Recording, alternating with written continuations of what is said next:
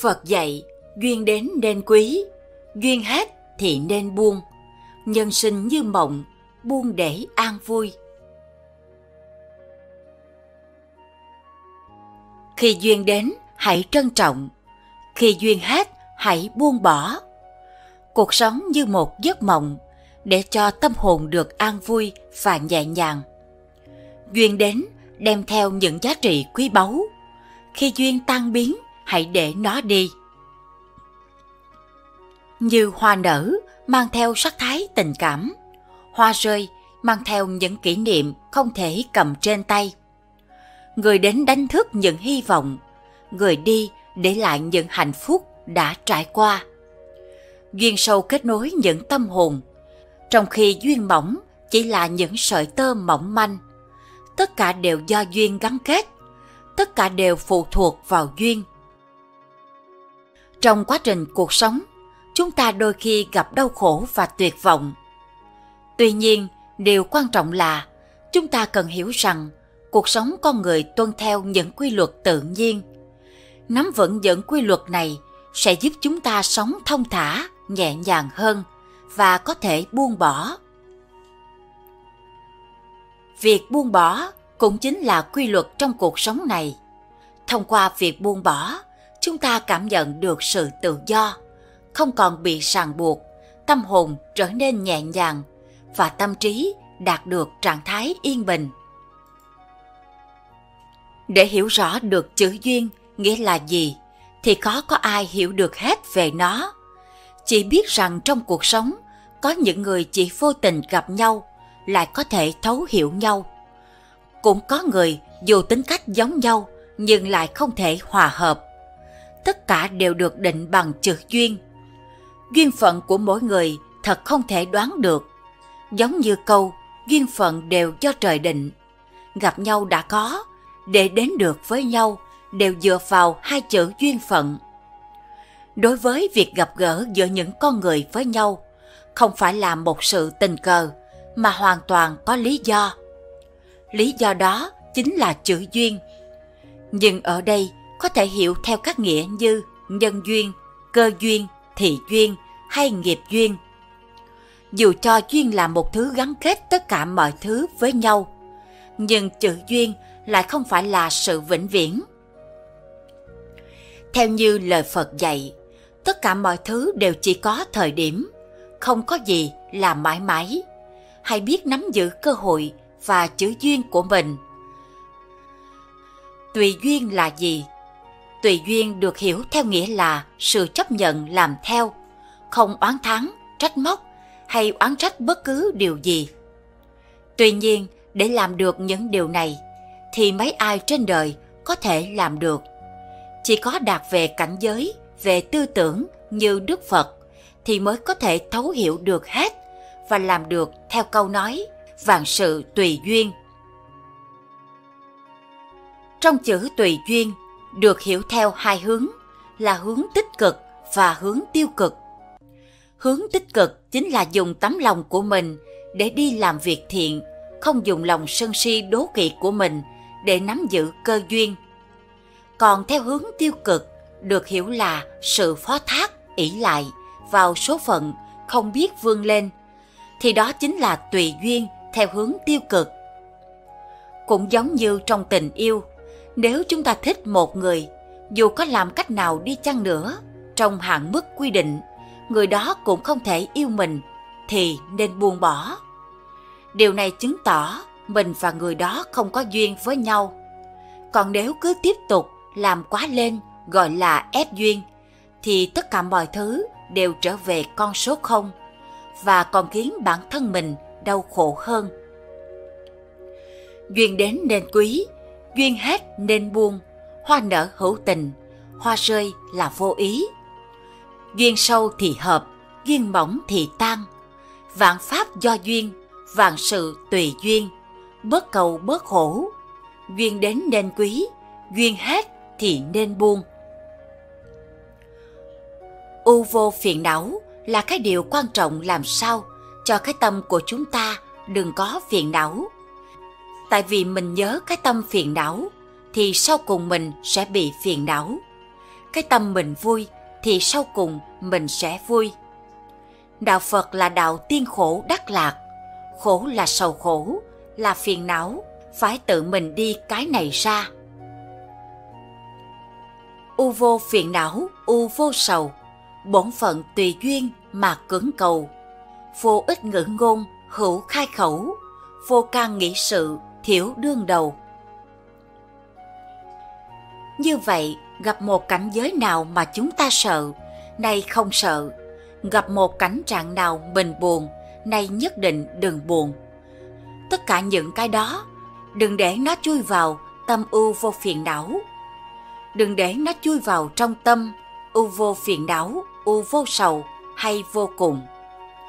Bài thơ này gói gọn cả trong lời khai thị tuyệt vời, giúp chúng ta giữ tâm an tĩnh. Như vậy, gặp một cảnh giới nào mà chúng ta sợ, nay không sợ. Gặp một trận nào mình buồn, nay nhất định đừng buồn. Tất cả những cái đó đừng để nó chui vào trong tâm. U vô phiền não, u vô sầu hay vô cùng. Bổn phận tùy duyên mà cưỡng cầu. Khi một mình làm một việc gì, lúc nào cũng coi có thuận duyên hay không. Nếu thuận duyên thì làm, không thuận duyên thì niệm Phật, chớ nên ráng quá sức. Vì khi ráng quá sức quá đáng, khi làm việc gì, ngoài bổn phận của mình, thường tạo ra phiền não, cho nên bổn phận phải tùy duyên. Vô ích ngữ, ngôn ngữ khai khẩu. Câu này cũng thật sự là hay. Tổ nào cũng nói như vậy hết. Vô ích ngữ ngôn là những lời nói vô ích. Hữu là chẳng đừng, đừng có nói, đừng khai khẩu. Vô trong đạo tràng, khi muốn nói một câu gì, mà thấy rằng nói câu này vô ích thì đừng nói. Chính vì vậy, những đạo tràng trang nghiêm thượng như chưa tỏ nhắc nhở rằng nói chuyện thì bỏ đi, đọc kinh thì bớt lại, còn niệm Phật thì thêm nhiều một chút. Những đạo tràng trang nghiêm thường có tổ chức những ngày tĩnh khẩu. Tại vì tịnh khẩu như vậy, tức là hữu khai khẩu, là đừng có khai khẩu, khai là mở, khẩu là miệng, đừng mở miệng ra nói.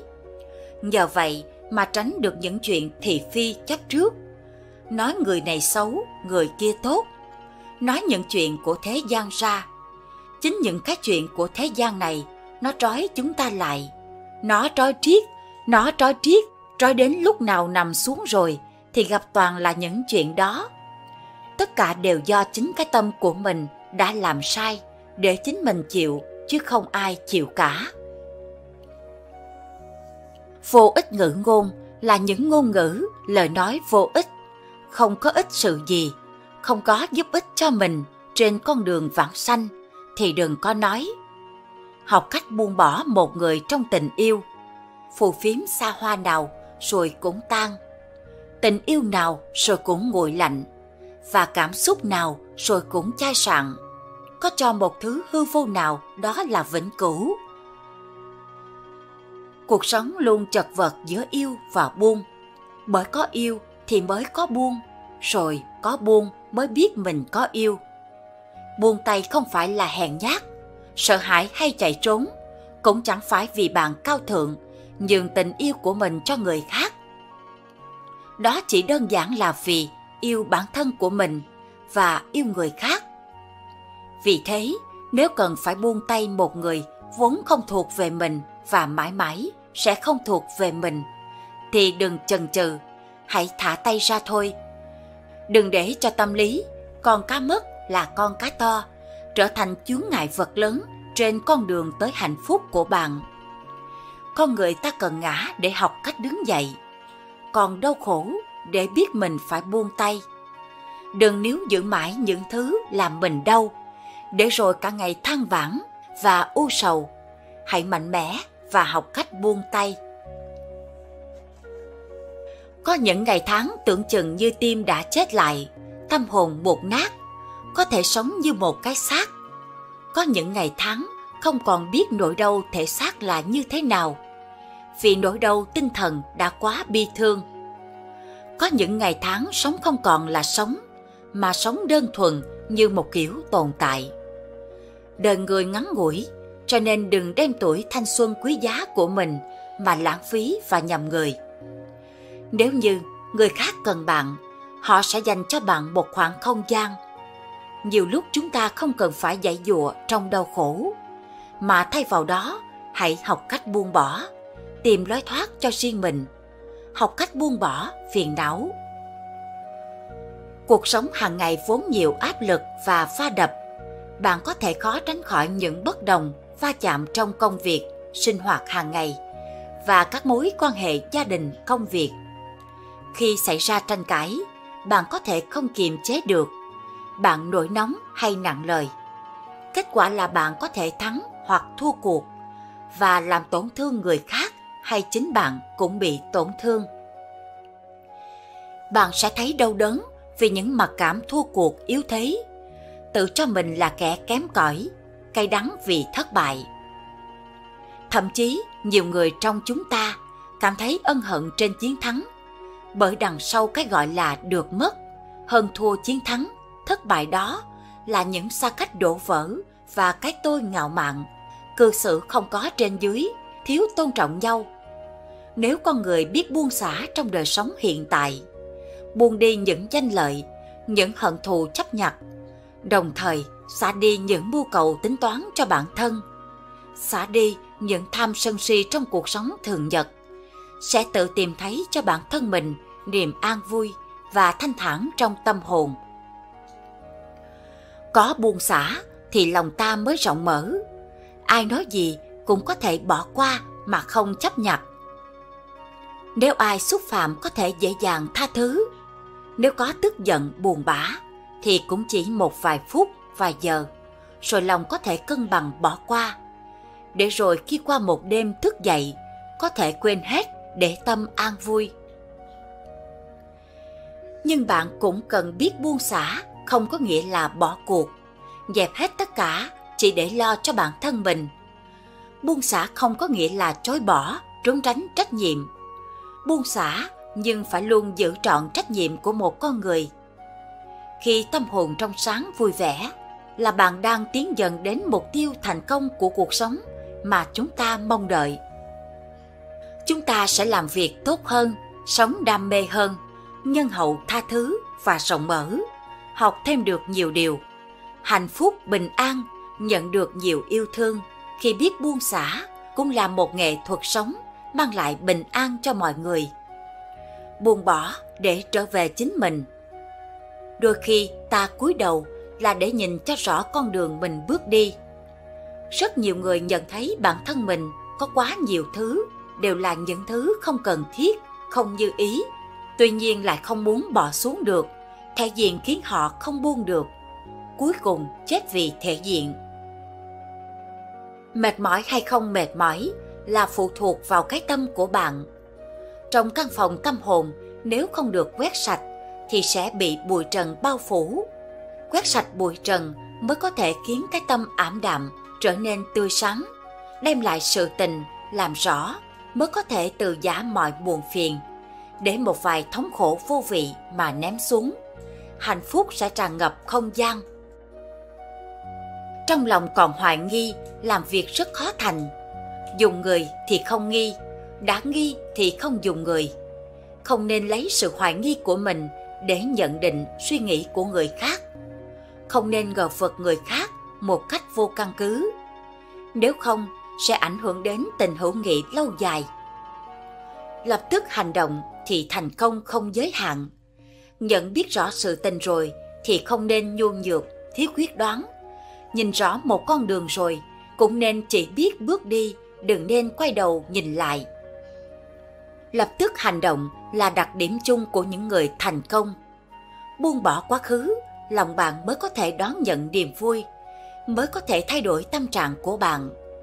Học cách bình tĩnh đón nhận sự thật, học cách thuận theo tự nhiên, học cách bản thân mình bình thản đối mặt với mọi khó khăn, học cách nhìn cuộc sống với con mắt tích cực học cách nhìn vào chỗ tốt của mọi sự việc trên đời quyết tâm thay đổi số phận bí quyết tuyệt vời nhất chính là đem mọi việc bạn làm dù đơn giản bình thường cũng khiến nó trở thành thành thục luôn nhớ nhắc nhở bản thân mình rằng bạn nên tiến về phía trước. Bạn thấy vui vẻ, bạn khỏe mạnh, bạn hiền lương, nhất định bạn sẽ có một cuộc đời sáng lạng. Nếu bạn muốn trở thành một người thành công, tốt nhất chính là mình hãy cố gắng bước lên để khiến phần tích cực đánh bại tiêu cực, khiến cao thượng đánh bại hẹp hòi, khiến chân thành đánh bại giả tạo, khiến kiên cường đánh bại yếu ớt, khiến vĩ đại đánh bại bị ổi. Chỉ cần bạn nguyện ý, bạn hoàn toàn có thể tự mình làm tốt mọi thứ. Không ai có thể ảnh hưởng đến kết quả của bạn, ngoài trừ bạn trong cuộc chiến của mình. Đấy chính là tướng quân vạch đường chỉ lối. Nếu đem tự ti xóa khỏi từ điển của bạn, chẳng phải mỗi người cũng có thể trở thành người vĩ đại hay sao? Có lẽ rằng mỗi người đều tồn tại một nội tâm mạnh mẽ. Bởi vậy, tin tưởng bản thân mình, xác định vị trí của mình, bạn mới có thể tìm thấy giá trị của cuộc sống này. Oán trách chi, bạn tiếp tục cố gắng mọi mọi thất bại chính là bước trải cho thành công. Mọi oán hận và tức giận chỉ có thể cản bước thành công của bạn. Buồn oán hận, tâm bình khí hòa, đoán nhận thất bại. Oán hận không thể nào thay đổi được thực trạng, mà tiếp tục cố gắng mới có thể mang đến hy vọng. Khoan dung là một mỹ đức. Khoan dung người khác kỳ thực chính là cấp cho lòng mình một con đường thanh thang rộng mở, cũng chính là khoan dung với chính bản thân mình. Nội dung trên kênh đều thuộc bản quyền của công ty cổ phần truyền thông TD Media. Vui lòng không sao chép dưới mọi hình thức. Chúng ta hay nói về nghiệp, nhưng không phải ai cũng biết cách để trả nghiệp. Vậy thì hãy nghe lời Phật dạy về cách tiêu giải nghiệp chướng thoát khỏi ai oán. Nghiệp chướng là từ xuất hiện trong đạo Phật hay được xuất hiện trong bài giảng kinh của Phật giáo. Trong đó nghiệp chướng là từ được ghép từ nghiệp và từ chướng. Ở đây, nghiệp có nghĩa là khởi đầu, tạo sự nghiệp, còn tùy vào hành động và từng trường hợp để phân định. Nghiệp chướng chính là ý niệm, ý niệm thiện chính là nghiệp thiện, ý niệm ác chính là nghiệp ác. Ý niệm vị chúng sinh là niệm thiện, niệm này là nghiệp thiện, ý niệm chỉ vì bản thân mình là niệm ác, niệm này là nghiệp ác. Tâm niệm chúng ta khởi tạo ra từ những tư tưởng suy nghĩ gọi là ý nghiệp. Miệng chúng ta phát ra âm thanh ngôn từ gọi là khẩu nghiệp. Thân thể chúng ta hành động tạo ra các sự việc, hành động gọi là thân nghiệp. Vì thế nhìn chung, nghiệp được tạo ra từ chính suy nghĩ, tư tưởng, lời nói, hành động của chính chúng ta. Đó là tạo nghiệp. Sau khi tạo nghiệp gây ra kết quả, hậu quả đó cũng được gọi là nghiệp nghiệp đã phát sinh có kết quả sẽ sinh ra chướng ngại về sau. Chướng là từ chướng trong chướng ngại. Chướng ngại ở đây là những vật cản, ngoại cảnh tác động khiến chúng ta tạo tác, tạo nghiệp. Từ chướng đứng sau nhưng theo nghĩa thì chướng phải có trước. Có sự tác động từ bên ngoài thì con người ta mới tạo nghiệp. Những điều không may mắn xảy đến, nhiều người không biết nguyên nhân từ đâu không ít người hoang mang tìm đến những thầy bói, những cô đồng để tìm lý do. Nhiều người quá tin thầy mang rất nhiều tiền trao cho thầy làm đại lễ giải nạn, cúng tế truyền miên, mong hóa giải nghiệp chướng. Nhưng tai ương vẫn cứ sầm sập kéo đến bất chấp việc cúng lễ có thành tâm đến đâu. Thậm chí, nhiều người cứ tin rằng những thầy bói hay thầy phù thủy cao tay có thể hóa giải được nghiệp chướng. Vậy để hóa giải nghiệp chướng, bạn hãy lưu ý những điều Phật dạy sau đây. một Oan gia nên giải không nên kết. Đối với người oán hận ta, hãy quan tâm cùng trợ giúp, oán kết tự nhiên hóa giải.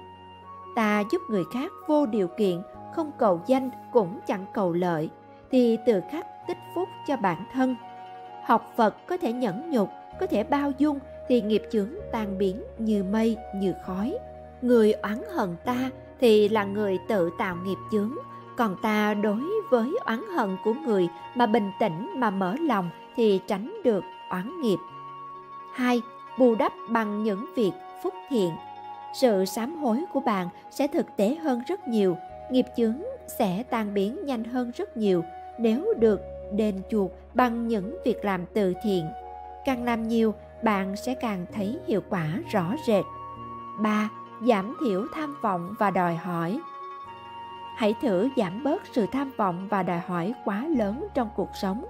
Điều này không có nghĩa không nên đặt mục tiêu, nhưng hãy giữ cho chúng thực tế và tập trung vào những gì bạn đã có thay vì luôn luôn tìm kiếm thêm. 4. Buông bỏ vật chất vô nghĩa. Tích trữ vật chất không có ý nghĩa thường tạo ra thêm nhiều điều phiền toái. Xem xét những vật dụng nào thực sự cần thiết và có ý nghĩa đối với bạn. Buông bỏ những thứ không cần thiết, sống đơn giản và tiết kiệm có thể giúp bạn giảm bớt gánh nặng vật chất. 5. Hiến máu nhân đạo Cứu người thoát nạn luôn là công đức hàng đầu, được người người ca ngợi, được thánh thần tán thán bất kể là nền văn hóa nào hay tôn giáo nào và không có cách cứu người nào dễ dàng hơn là hiến máu nhân đạo. Tất nhiên, nếu bạn có những cơ hội khác, những cách khác thì đều không nên bỏ qua. Rất rất nhiều người đã hoàn toàn thay đổi số mạng sau khi cứu giúp người khác qua cơn hoạn nạn. 6. Phóng sanh Dù không bằng so với việc cứu người, nhưng cứu sống những con vật tội nghiệp khỏi lưỡi dao đồ tể, khỏi cái chết đau đớn cũng sẽ đem đến cho bạn phước báo lớn lao. Có hàng ngàn câu chuyện kỳ diệu về công đức phóng sinh và đây là một trong số đó, một câu chuyện thuyết phục. Nếu bạn có một khoản tiền dư không dùng đến, hãy mạnh dạn mở lòng từ bi, trích ra một ít, hãy mua những con vật sắp bị giết thịt, rồi thả chúng vào một chốn an toàn. Cuộc sống của bạn sẽ thay đổi vì điều đó. Hành động từ tâm và tình yêu thương của bạn tạo ra phước lành cho chính bạn và người khác.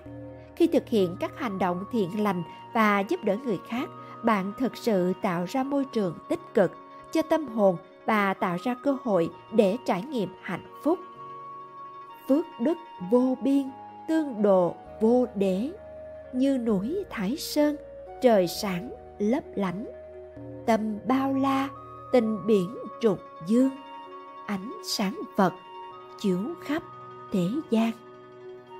Bảy Bao dung Nghiệp chướng căn bản là phiền não mà nguyên nhân không gì khác ngoài tư lợi, hàm danh, ham lợi nên tham, sân, si, vướng phải dục trần, tự gây rắc rối chính là tạo ác nghiệp. Vượt qua phiền não của bản thân chính là cách giải thoát ác nghiệp. Tâm càng thanh tịnh thì nghiệp ác càng tiêu tan – tâm càng phiền não thì nghiệp ác càng tích tụ vì thế, bao dung với người khác cũng là bao dung với chính mình tha thứ cho người khác cũng chính là tha thứ cho bản thân, là phương pháp tạo nghiệp lành tốt nhất, đơn giản nhất cùng bàn về cách hóa giải nghiệp chướng, một bậc tôn sư của đạo phật trong bài thuyết pháp đã cho rằng, thể xác thân biểu hiện bằng hành động, thể cảm thọ hay thể phí biểu hiện bằng tình cảm, thể trí biểu hiện bằng tư tưởng. Tam thể này thường xuyên gây chướng nghiệp. Vì thế mà con người cứ mãi trôi lăn trong lục đạo luân hồi đối với một linh hồn trải qua vô số kiếp, tiến hóa nơi cõi trần gian này đã tạo ra biết bao nghiệp chướng. Đến khi phát tâm ăn chay, tập làm điều thiện, cải sửa tâm tư, tu hành từ bậc hạ thừa, tiến dần qua thượng thừa, thọ pháp, thiền định. Nhưng vì nghiệp chướng đã gieo tạo từ vô số kiếp, đã kết thành trước khối nặng nề luôn ám ảnh thế nên không thể tu hành trong đôi ba năm mà có thể hoàn toàn hóa giải hết được. Nhiều người tin rằng muốn hóa giải nghiệp chướng chỉ còn cách ăn chay, niệm phật một cách thành tâm. Nhưng một số người mê muội cho rằng cứ sám hối thật nhiều thì nghiệp chướng sẽ tiêu tan nên chẳng màng xác thân hao mòn, ngày đêm tụng niệm mà nghiệp chướng vẫn còn nguyên. Lý giải điều này các bậc cao tu pháp sư tịnh không cho rằng bởi vì nghiệp chướng của người này quá nhiều do đó công đức niệm phật của một ngày đêm dù là giúp họ tiêu trừ đi rất nhiều mà vẫn chưa dứt sạch. Cho nên cần phải mỗi ngày đến niệm Phật, mỗi ngày giảm bớt thêm nghiệp chướng.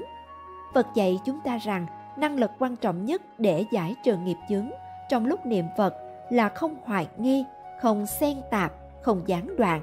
Với ba yếu tố này, năng lực của không xen tạp mạnh nhất. Nếu quý Phật tử giữ được liên tục, không gián đoạn trong ba năm, cho dù nghiệp chướng sâu dày bao nhiêu của vô lượng kiếp đều có thể giải trừ hết. Hướng thiện giúp con người ta cư xử có tình người hơn. Dù con người ta gặp nhiều điều không may, dù hóa giải được hay không, nhưng họ tin vào Phật, và sự siêu nhiên đó cũng là một cách giải thoát. Có một điều, nếu có nhiều người tin theo Phật, làm theo lời Phật dạy, họ sẽ không dám làm điều ác. Điều này xét về mặt xã hội là tốt bởi con người sẽ hành xử với nhau có tình người hơn chứ không mang tính cơ học như con người trần tục của xã hội hiện đại. Để cuộc sống được an yên, hạnh phúc và tránh gây nghiệp chướng cho kiếp sau, chúng ta nên cần chú ý đến hành động và thái độ đối với người khác. Người hay coi thường người khác sẽ phải lãnh nghiệp chướng. Cổ nhân có câu tử phi ngư, an tri ngư lạc. Không phải cá, làm sao biết niềm vui của cá. Người hay coi thường người khác sẽ phải gánh nghiệp tham, sân, si. Mỗi người chúng ta là một cá thể khác nhau, mang trong mình một bản ngã riêng biệt. Cuộc sống của bạn thế nào, chỉ có bạn là người rõ nhất. Vì không thể hiểu tường tận về cuộc đời của người khác, nên chúng ta không có quyền coi thường bất kỳ ai. Bàn về việc này, Đạo Phật cũng cho rằng coi thường người khác chính là tham, sân, si. Theo quan điểm của Đạo Phật, coi thường người khác là một việc làm ác. Những người mang theo thái độ và hành động này thường tự đặt mình ở vị thế cao hơn, tự cho mình cái quyền để chà đạp, nhạo báng kẻ yếu thế. Việc làm ấy sẽ khiến nhiều người tạo nghiệp, làm ác, sau này khó tránh khỏi quả báo. Nghiệp là hạt giống, gieo vào thế gian, gặt hái quả ngọt hay hương thiện niệm, nghiệp tốt làm phước, nghiệp xấu tan biến, vượt qua tham, sân, si, tâm trạng, ngời sáng. Để lưu lại nhân đức và tránh nghiệp chướng cho mình, hãy học cách trân trọng. Đêm nghe lời Phật dạy, đừng khổ tâm vì những kẻ không đáng học cách sống, tự mình hạnh phúc. Quý vị nào đầu tóc điểm bạc, đó là thiên sứ đến báo tin rồi. Ráng lo tu, kẻo trễ. Có nhiều bà cụ đi chùa lễ Phật, tôi thấy vậy mới khuyên. Cụ già rồi, không biết chết giờ nào. Ráng lo niệm Phật, làm hoài cũng vậy. Biết bao nhiêu mà cho đủ. Để cho con cháu nó làm, cụ lo niệm Phật để đứt lại cho nó. Hơn nữa, nhờ niệm Phật khi chết được Phật rước về cực lạc an lành, chớ con cháu của cải không cứu mình được. Bà cụ nói, sư bảo như vậy cũng phải, nhưng mấy đứa con của tôi còn nhỏ, lập gia đình chưa hết, để khi nào nó yên bề gia thất rồi, tôi mới rảnh lo tu. Mới nghe qua, tôi thấy cũng có lý, nhưng khi con nó lập gia đình xong, không bao lâu lại sinh ra cháu. Phận làm cha mẹ thật là khó xử. Còn nó bận đi làm, không ai giữ cháu. Thấy vậy, không đành lòng, rồi cứ tiếp tục lo cái này, xong lại có cái khác. Cái khác vừa xong, lại có cái khác nữa. Cứ như thế mà lo mãi cho đến khi ngã ra chết, mà cũng chưa rảnh để tu. Cho nên trong kinh Nikaya, Phật nói, hôm nay nhiệt tâm làm, ai biết chết ngày mai. Không ai điều đình được với đại binh thần chết. Khi tử thần đến gõ cửa, mình nói, khoan, để chậm lại vài năm nữa, cho tôi tu có được không? Chuyện đó không bao giờ có, vì Diêm Vương chỉ định canh ba chết, không thể nán lại đến canh năm. Hỡi ôi, tất cả già, trẻ, sang, hèn, ai rồi cũng phải chết. Bởi vậy, chúng ta không tu nhiều được thì cũng nên tu ít. Chớ có hứa hẹn bất luận là người ngoài đời hay trong đạo. tánh giải đãi rất tối kỵ trong sự thành công. Con đường thiên đạo, Phật dạy nếu người nào chuyên tu thập thiện, thân không sát sanh, đạo tặc, tà dâm, khẩu không nói dối, khoe khoang, đâm thọc, chửi rủa, ý không tham sân, tà kiến. Trong giờ phút lâm chung, những điều lành mình làm được hàng ngày như là trì trai, giữ giới, tụng kinh niệm Phật, cúng dường, bố thí phóng sinh, cứu trợ, ủy lão, hiếu thảo, phụng dưỡng cha mẹ. Qua diễn tiến đó, nó hiện ra cảnh giới thiên đường thấy tiên đồng ngọc nữ đến trước mình về thiên giới hưởng lấy thiền phước. Nói tóm lại, nếu người nào tâm địa độc ác là họ đang đi con đường xuống địa ngục. Người nào tham lam, trộm cắp, keo kiệt, bủn xỉn là đang đi vào con đường ngạ quỷ. Ai mê muội mù quáng không phân biệt được thiện ác, mê tín, tà đạo là đi vào loài súc sinh. Người nào thích đấu tranh hơn thua là đang đi vào con đường Atula, còn người giữ nam giới là đang đi vào cảnh giới người. Người nào tu thập thiện là đang đi vào con đường thiên giới. Đó là sáu nẻo luân hồi mình muốn đi lên xuống tùy ý. Còn nếu như ai muốn thoát cảnh luân hồi sanh tử thì phải xuất gia giữ 250 giới, tu lần cho đến khi chứng đắc quả vị thanh văn, duyên giác, Bồ Tát, Phật mới thoát khỏi cảnh sanh tử. Giữa năm mười giới mà còn chật vật, đừng nói chi tới 250 giới, rồi trải qua vô số kiếp tu mới thành Phật. Mình mới nghe qua thấy ngán, nhưng trong kinh Pháp Cú, Đức Phật dạy, tỳ kheo múc nước thuyền, nước hết thì thuyền nhẹ, thuyền nhẹ lướt đi mau. Người đoạn trừ ái dục và luôn cả sân nhuế. Ái dục và sân nhuế đã vứt sạch không còn.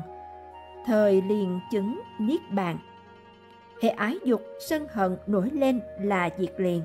Ngày đó là bồ đề niết bàn, vì mê là chúng sanh, ngộ là Phật. Có người nói sao tu hoài mà không thành Phật, thử kiểm lại coi mình tu có giống Phật không. Nếu tu giống thời thành Phật liền, tại mình tu không giống Phật cho nên làm chúng sanh luân hồi là vậy. Nếu mình nhận thấy không đủ khả năng thoát khỏi luân hồi thì nên chọn vào cảnh trời, người, chứ để rơi vào cảnh địa ngục, súc sanh. Atula là nguy lắm. Do đó ta phải cố gắng tu, nếu không siêng năng học tập tu hành, đến lúc lâm chung thì đã muộn. Sở dĩ có ba con đường dữ là do tham, sân si, thân làm ác, khẩu nói ác, ý nghĩ ác. Như giận người nào muốn cho họ chết một cách thê thảm mới hạ dạ. Nếu ghét ai là theo dệt, đâm thọc, chửi rủa, quỷ bán đủ điều. Quyết cho họ lâm vào cảnh khổ lại không ưa thấy điều tốt của người, còn như đánh vào người nào. Quyết đánh họ đau đớn thấu trời thấu đất. Khi giận hờn tàn bạo thì không kể tôn ti thượng hạ phùng mang trợn mắt như đổ lửa, la lối vang dội như sấm nổ chửi mắng, đánh đập, hãm hại người chẳng chút nương tay. Còn khi làm phước thì thiền tâm rất yếu ớt. Chỉ được lúc đầu, lần hồi ngày qua tháng lại, đến khi quên mất hết việc thiện là xong. Khi làm ác thì tâm lực mãnh liệt, lúc tu hành, làm lành thì ý chỉ bạc nhược, yếu hèn mà lại mong hóa giải hết ác nghiệp, hưởng nhiều phước báo. Có nhiều người vừa mới tụng kinh niệm phật lại sanh tâm mỏi mệt, chán nản, tự nhủ mình không nên làm cho thân thể quá mỏi mệt, sẽ sanh bệnh. Hơn nữa, tu hoài mà không thấy linh ấn hay đắc đạo. Toàn gặp những chuyện không may là đổ thừa tại tu mới đổ nghiệp như vậy nhưng họ có biết đâu, nếu không nhờ tu đã chết từ lâu rồi. Vì tu là chuyển nghiệp nặng thành nhẹ, chứ không phải là thêm nghiệp. Chẳng qua là biện hộ cái tánh giải đãi lười biếng, ham ăn, mê ngủ, vừa nằm xuống mê man như chết, không bao giờ tưởng nhớ đến tam bảo. Kinh luật hay là báo ơn cha mẹ tổ thầy cúng dường bố thí. Học pháp, nghe kinh tình tấn, tu hành lục độ là bố thí trì giới nhẫn nhục. Tinh tấn thiền định trí huệ, làm lợi ích cho chúng sinh. Từ sáng đến tối cứ mãi lo nghĩ cái chuyện hơn thua. Được không bao nhiêu phiền não khổ đau lại quá nhiều, chẳng khác nào con thiêu thân, đâm đầu vào lửa. Muốn có cuộc sống hài hòa, chúng ta phải tu hành hỷ xả tùy thuận lẫn nhau khi gặp cảnh trái ý nghịch lòng, ta phải bình tĩnh, quan sát lời phật dạy. Ngũ dục lục trần là pháp loạn luân, tổn hao sức khỏe đều nguy hại cho lòng đạo cả. Nếu ta thấy rõ các pháp không thực, thì tâm ta liền trở nên an lạc. Sở dĩ con người khổ là do lòng cố chấp quá nặng, như khi hương thơm đến nảy sinh ưa ý thích, hồi thối tới liền bực dọc, tức giận muốn khắc phục và định tâm để thấy tự tánh nó không thật, đủ duyên thì đến hết duyên liệt mất. Nhìn lại thân ta cũng là nhơ uế, có gì phải bận tâm buồn phiền, không giải quyết được, tốt nhất là lo dọn dẹp hoặc tránh né, hay hơn là phiền trách. Cho đến xúc phạm những gì êm ái mịn màng thì sanh tâm, say đắm thô cứng thì lại chán ghét. Phật dạy, người đam mê xúc dục nếu cứ mãi luẩn quẩn trong vòng sinh tử, chịu biết bao kiếp nạn, giống như người đứng trước vực thẳm, không biết rơi xuống lúc nào, nên có câu. Bởi mê mới làm tôi thì dục, nếu ngộ đâu tùng phục lòng tà. Dục tà đều hại người ta, dục là thống khổ, tà là trầm luân. Dục thường vì sát thân khởi xướng tà thường vì vọng tưởng gây ra. Cả hai đều thứ mắc lòa. Lợi gần thì thấy, hại xa không lường. Hay là nhãn thấy sắc thường hay bận biệu tai ưa nghe những điệu âm thanh. Mắt với tai đều chọn đẹp xinh. Còn lỗ mũi ưa mùi êm dịu. Đồ thơm tho nó ưa, nó chịu chốn xạ hương hay lết lại gần. Lưỡi ưa ngon là chuyện ân cần. Đồ ngọt béo, nó ưa, nó mến. Thân tham sướng muốn tiền của đến, đặng ăn xài cho vĩ tâm tình. Ý thì ưa sữa, sắc, soi hình. Với chất vận, cho cao, cho quý. Sáu đường ấy ở trong tâm ý ta mau mau dứt nó cho rồi. Thì tòa sen mới đặng đứng ngồi, cho thông thả hưởng mùi sen báu. Cổ đức, thi văn cho chúng ta biết nếu lục căn của mình được thanh tịnh ngày đó là bồ đề niết bàn tịnh độ, không cần tìm đâu xa. Phật pháp vốn ở thế gian, trong đời giác ngộ chớ tìm đâu xa. Bồ đề cuộc sống quanh ta buồn ba cầu ngộ chỉ là uổng công. Pháp bảo đàn kinh. Chữ tâm là trái tim, lòng dạ và lương tâm của con người, mọi hành động của chúng ta. Nếu đều xuất phát từ cái tâm, sự tâm thiện thì suy nghĩ và hành động sẽ theo đúng đạo lý lẽ phải. Nếu tâm của chúng ta không lành thì sẽ sinh tà ý và làm nhiều điều xấu xa, gây ra tội lỗi chữ tâm thường được sử dụng để hướng suy nghĩ của con người đến cái thiện, sự tu thân, dưỡng tính, sống một cách tích cực và làm nhiều điều thiện lành. Khi tâm lệch lạc thì cuộc sống của bạn sẽ điên đảo. Tâm gian dối thì cuộc sống bất an. Tâm ghen ghét thì cuộc sống hận thù. Tâm đố kỵ thì sống mất vui. Tâm tham lam thì cuộc sống dối trá. Đức phật có dạy rằng tất cả chúng sinh đều có bản tâm thanh tịnh. Chúng sinh chẳng nhận thấy được vì bị vô minh che lấp. Trích trong kinh đài bát niết bàn. Ý phật dạy có nghĩa là tất cả mọi người đều có bản tâm thanh tịnh, trong sáng tròn đầy và vắng lặng. Tuy nhiên, vì bị ngoại cảnh bên ngoài chi phối và tác động nên tâm đó luôn bị dao động, thành ra tâm trí thực bất an, điên đảo, tạo tội, tạo nghiệp trong vòng luân hồi bất diệt. Lời nói là của người khác, cuộc sống là do mình tự tạo ra. Bạn không thể thay đổi suy nghĩ của thiên hạ, nhưng lại có thể làm chủ vận mệnh của mình. Đừng để những lời dèm pha, đàm tiếu xung quanh phá hỏng sự an yên trong tâm hồn bạn chúng ta đều biết rằng mỗi người trên cuộc đời này đều có tính cách, lối sống và thế giới quan của riêng mình. Không có ai là hoàn hảo tuyệt đối, dù cho có thành công thế nào đi nữa. Ngàn ngữ có câu, kim vô túc xích, nhân vô thập toàn. Ngay cả vàng còn không thể thuần khiết thì trên đời có ai hoàn hảo đâu cơ chứ? Thế nên cũng là chuyện thường tình, nếu cùng một việc làm, có người khen, người chê có người ca ngợi, người dè biểu. Bạn không thể làm hài lòng tất cả mọi người. Do đó, thay vì tức giận, hậm hực, thậm chí trả thù những kẻ buông ra lời lẽ xấu xí cho mình, bạn nên học cách làm ngơ.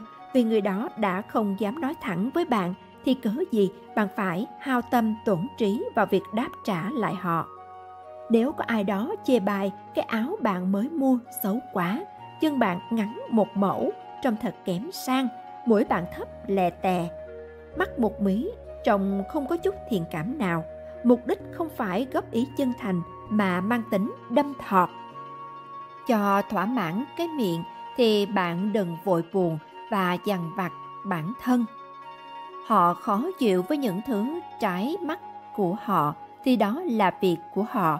Việc của bạn là cứ tự tin là chính mình.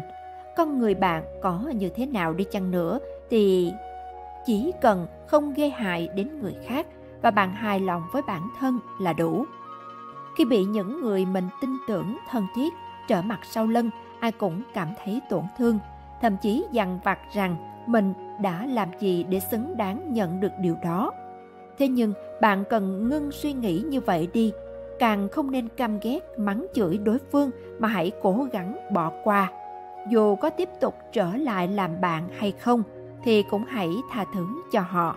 Tha thứ không phải để tỏ ra cao thượng, mà tha thứ để hạnh phúc, an yên hơn. Việc oán hận đối phương chỉ càng đào sâu vào vết thương lòng của bạn mà thôi. Cuộc sống không hề vắng lặng như dòng sông. Những kẻ không ưa bạn sẽ trực chờ lúc bạn sơ hở để đâm bị thóc, chọc bị gạo. Khi bạn gặp khó khăn hay sa cơ lỡ vận, khiến bạn buồn, bạn khóc, bạn tổn thương. Với mục đích là khiến bạn gục ngã, không thể gượng dậy. Đó lại chính là lúc bạn phải mạnh mẽ hơn. Để kẻ xấu có muốn chế nhạo, hả hê cũng không được. Nếu họ khiến bạn tổn thương một, hãy cố gắng tìm kiếm niềm vui cho bản thân gấp 10 lần, vì chỉ có cuộc sống tràn đầy niềm vui tiếng cười của bạn mới là công cụ trả thù ngọt ngào mà chí mạng nhất đối với những kẻ như vậy.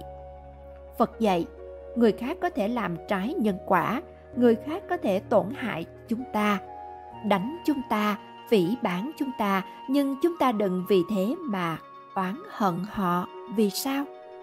Vì chúng ta nhất định phải giữ một bản tính hoàn chỉnh và một tâm hồn thanh tịnh. Lời nói là của người khác, cuộc sống do mình tự tạo ra, bạn không thể thay đổi suy nghĩ của thiên hạ, nhưng lại có thể làm chủ vận mệnh của mình. Đừng để những lời dèm pha, đàm tiếu xung quanh quyết định bạn có được hạnh phúc hay không. Hãy tập sống thật với cảm xúc, tính cách của mình. Vui thì cười, buồn thì khóc. Thương ai đó thì bày tỏ cho họ biết. Không hài lòng với ai đó thì góp ý chân thành để họ trở nên đáng yêu hơn đừng vì sợ những người xung quanh đánh giá, nói xấu mà cố ép bản thân phải sống theo cách mà họ muốn. Lâu ngày con người sẽ đánh mất chính mình và giả tạo lắm đấy. Nếu thường xuyên phải ở bên cạnh những kẻ ngồi lê đôi mắt, hãy giữ khoảng cách nhất định với họ, tỏ ra hòa nhã nhưng đừng thân thiết với những kẻ dèm pha. Cũng đừng bao giờ tâm sự chuyện riêng tư với họ vì có khả năng những thông tin đó sau này lại trở thành đề tài cho họ đơm đặt theo dịch có thể sẽ rất khó để tiếp tục tập trung vào công việc bài vở khi có kẻ nói xấu sau lưng. Thay vì cứ mãi âu sầu dày dứt vì chuyện đó hãy dành năng lượng cho những hoạt động tích cực để đánh lạc hướng bản thân. Sắp xếp lại bàn làm việc, đi dạo qua công viên, hít thở không khí trong lành, tán gẫu với một người bạn thân hoặc tự đề ra thời hạn cho mình để hoàn thành một việc nào đó là những cách hữu ích giúp đầu óc bạn phân tán khỏi những điều không đáng bận tâm. Hiển nhiên con người dễ cảm thấy bị cô lập khi có người bàn tán sau lưng. Bạn có thể đẩy lùi cảm giác này bằng cách dành thời gian cho người yêu mến mình, cho gia đình, cho người thương. Họ sẽ giúp bạn vui vẻ hơn, tự tin hơn, thậm chí quên đi những lời đơm đặc hoặc tin đồn tiêu cực.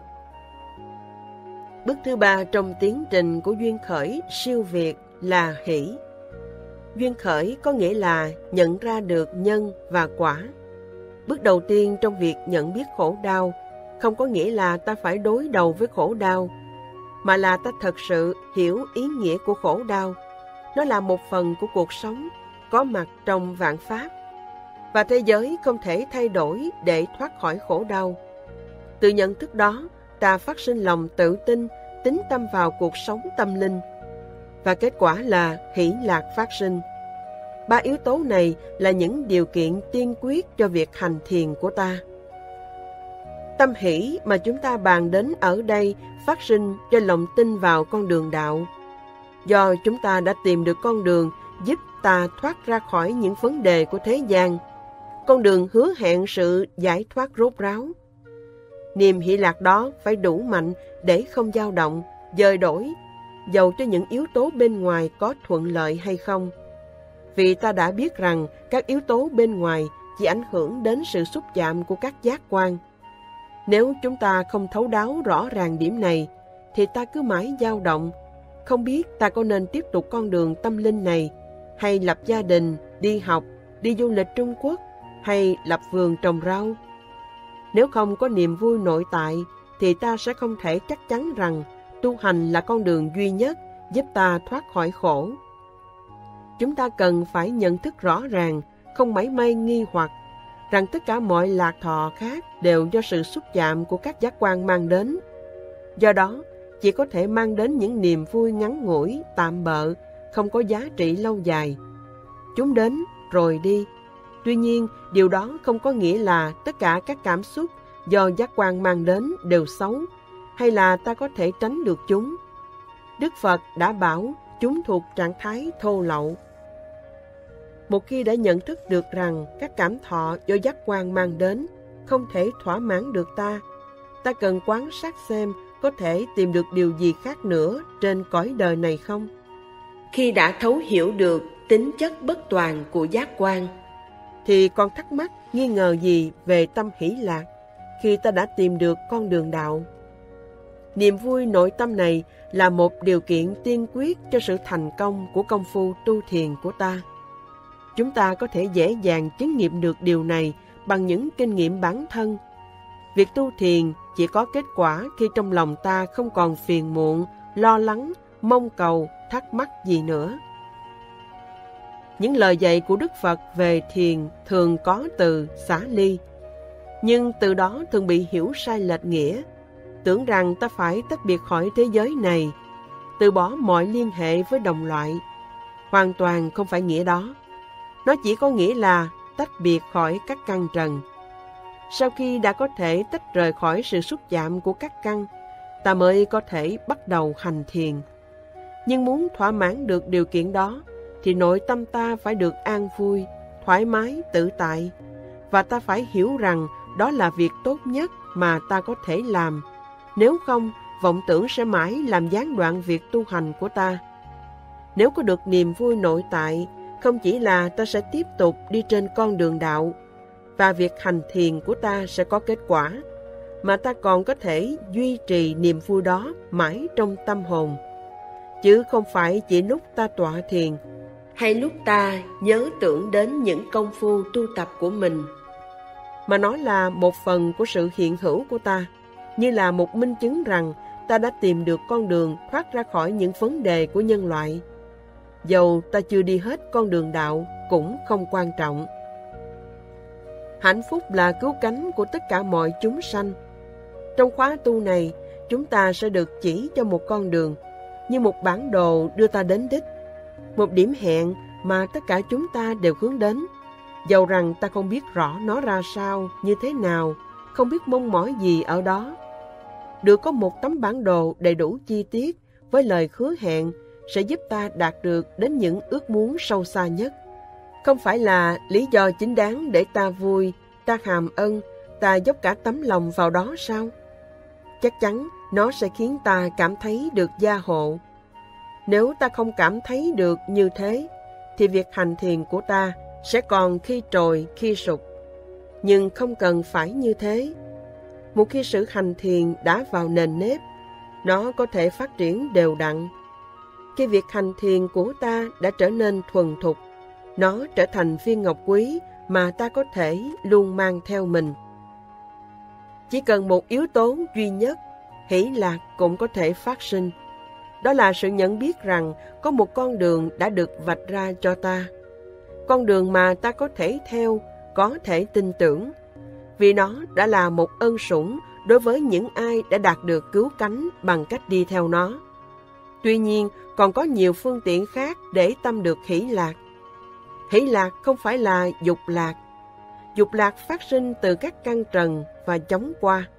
Cũng không có nghĩa là ta chẳng bao giờ được hưởng dục lạc. Chúng sẽ phát sinh khi có sự xúc chạm của các giác quan, trừ khi tâm buông xả đã được thiết lập vững chắc trong ta. Nhưng dục lạc và khỉ lạc là hai cảm thọ hoàn toàn khác nhau. Chúng ta có thể tự giúp mình trên con đường đạo bằng cách tạo nên hỷ lạc bằng những việc thiện như là sẵn sàng phục vụ người khác. Khi ta có ý muốn giúp đỡ, hỗ trợ người khác, ta dồn tất cả chú tâm vào việc đó, thì các vấn đề của riêng ta không thể phát khởi vào lúc đó, vì tâm ta đang ở nơi khác. Có thể làm gì cho ai đó, dầu có được đền ơn hay không, khiến tâm ta sinh hoan hỷ. Sự an nhiên tự tại đến từ việc nhận biết rằng mình đã cố gắng hết sức mình. Đức Phật đã nhắc đến 10 điều thiện ta cần phun trồng. Trên tất cả là tâm bố thí. Bố thí bao gồm bố thí thời gian, sự quan tâm, tình thương, lòng bi mẫn, mong đem lại hạnh phúc cho người khác. Khi ta có thể thực sự thấy những điều này xảy ra, thì tâm phát sinh hỷ lạc là chuyện đương nhiên rồi. Ngay nếu như hạnh phúc đã không thực sự đến với người đó, ta cũng biết mình đã cố hết sức lực. Do đó, không thể nào trong lòng ta lại không có niềm vui. Tâm hỷ lạc cũng phát sinh khi ta tự biết mình đã giữ được kỷ luật, những kỷ luật mình đã tự đặt ra cho mình. Kỷ luật do áp đặt khiến ta cảm thấy khó chịu như đeo gông. Do đó, tự động ta sẽ phản kháng, chống cự, cảm thấy bị quấy nhiễu. Bất cứ kỷ luật gì chúng ta đang giữ đều là do ta tự đặt ra cho mình và ta có thể cảm thấy vui trong lòng vì ta đang tự chiến thắng chính mình. Đức Phật đã nói, kẻ thắng một vạn quân hằng vạn lần cũng không bằng người tự chiến thắng mình. Thật vậy, bản năng của chúng ta là đi ngược lại với sự tự thắng mình. Lúc nào ta cũng tìm mọi cách để được hưởng những lạc thú do các căn mang đến. Làm bất cứ điều gì, trước tiên ta cũng nghĩ đến việc thỏa mãn các căn của mình. Có thể chiến thắng một số các phản ứng bản năng này cũng đủ khiến ta vui mừng được làm một chiến sĩ trên con đường đi đến giải thoát. Nói thế không có nghĩa là chúng ta phải thật sự tham dự một cuộc chiến, là điều đau khổ, đáng sợ. Nhưng chỉ để chứng tỏ rằng ta cần can đảm, tự dựa vào bản thân, trung thực với chính mình. Sự can đảm và lòng trung thực giúp ta sức mạnh để có thể tự đặt ra những kỷ luật cho chính mình. Tất cả những việc làm này mang đến cho tâm ta hỷ lạc. Niềm vui biết được rằng ta đang thật sự thoát ra khỏi những vấn đề tầm thường của cuộc sống thế nhân, là những thứ ta từng nếm trải, nhưng chưa bao giờ tìm được sự thỏa mãn. Biết được rằng mình đã tìm ra được một hướng đi khác tràn niềm vui, giúp chúng ta tiến bước không ngại ngùng. Có câu chuyện kể về Đức Phật trước khi Ngài thành đạo, khi Ngài vẫn còn là Bồ Tát. Ngài đã không ăn và đã nhận ra rằng sự khổ hạnh thái quá không giúp cho tâm được thanh tịnh. Vì lẽ đó, con đường đạo của Đức Phật thường được gọi là trung đạo. Câu chuyện kể rằng Ngài đã ngồi dưới gốc cây bồ đề ở một nơi giờ được gọi là Bodh Gaya, phía bắc Ấn Độ. Trong vùng, thuở đó, người ta tin có một vị thần sống trong cây bồ đề, có khả năng giúp những người muốn cầu tự. Một phụ nữ tên là Sujata đã cầu nguyện vị thần cây giúp nàng có con và lời nguyện cầu đó đã thành sự thật. Bà liền sai cô hầu sửa soạn các lễ vật để dân cúng thần cây như bà đã khấn nguyện. Khi cô hầu tới bên cây thì thấy vị Bồ Tát ngồi dưới cây, nhưng cô lại tưởng là vị thần cây. Cô chạy về nhà để báo với nữ chủ của mình rằng vị thần cây đang ngồi dưới gốc cây. Sujata quyết định mang lễ vật ra tạ thần để được gặp vị thần bằng xương thịt. Câu chuyện kể rằng, trước hết bà vắt sữa 100 con bò và mang sữa đó cho 50 con uống. Sau đó, bà lại vắt sữa 50 con bò này rồi cho 20 con uống. Kế tiếp, bà vắt sữa 20 con và cho 10 con uống. Rồi bà lại vắt sữa từ 10 con này để cho một con uống. Khi bà vắt sữa từ con bò cuối cùng này, sữa thanh khiết, đậm đặc như kem. Bà dùng sữa này nấu cơm, xong đựng cơm trong một chén bằng vàng. Bà mang cơm đựng trong chén vàng ra cho người mà bà nghĩ là vị thần cây. Bà dân cúng cho người cơm và chén vàng. Vị Bồ Tát đã dùng cơm, trong tiếng Sihalis gọi là Kiripat, có nghĩa là cơm sữa. Trong các ngày lễ ở Sri Lanka vẫn còn được người ta nấu. Khi vị Bồ Tát đã dùng xong bữa, Ngài mang chiếc chén vàng đến vứt ở dòng sông phía sau lưng. Ngài nói, nếu chén nổi và chảy ngược dòng nước, thì Ngài sẽ giác ngộ, trở thành Phật. Nhưng nếu chén chảy theo dòng nước, thì Ngài sẽ không chứng được giác ngộ. Hẳn là chén đã chảy ngược dòng, dầu rằng đó là điều người ta khó thể tưởng tượng. Dầu gì, đó cũng chỉ là câu chuyện ẩn dụ nhưng là một câu chuyện khá quan trọng đối với chúng ta. Nó ám chỉ rằng tu theo Phật Pháp cũng giống như lội ngược dòng nước.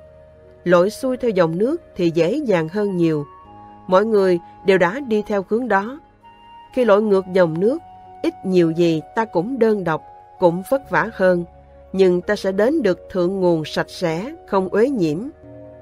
Sông luôn bắt đầu ở thượng nguồn. Thật là duyên lành cho chúng ta được biết phương hướng, biết con đường đạo để đi. Nhưng chúng ta cần nhớ rằng, đi ngược với dòng chảy lúc nào cũng vất vả hơn nhiều so với thuận theo, làm theo như mọi chúng sanh khác. Vì điều đó cũng có nghĩa là chúng ta phải đi ngược lại với những bản năng của chính mình. Bất cứ khi nào các ham muốn, vọng tưởng khởi lên và niềm vui đi trên con đường đạo tạm thời biến mất, Chúng ta cần nhớ rằng đó chỉ là những phản ứng bản năng tự nhiên của con người mà chúng ta đang cố gắng thoát ra. Mỗi khi ta thành công, dù là rất nhỏ, ta lại tìm được niềm vui mới trong việc tu tập của mình. Chúng ta biết được con đường đạo, biết những kết quả tốt đẹp của con đường đạo đó, cũng như biết rằng nhiều người đi trước ta đã đến được đích bằng cách lội ngược dòng chúng ta càng cảm thấy như có thêm sức mạnh vì chúng ta đã không chịu thua cuộc. Mỗi người chúng ta đều có những khả năng đặc biệt có thể sử dụng trong việc tu tập.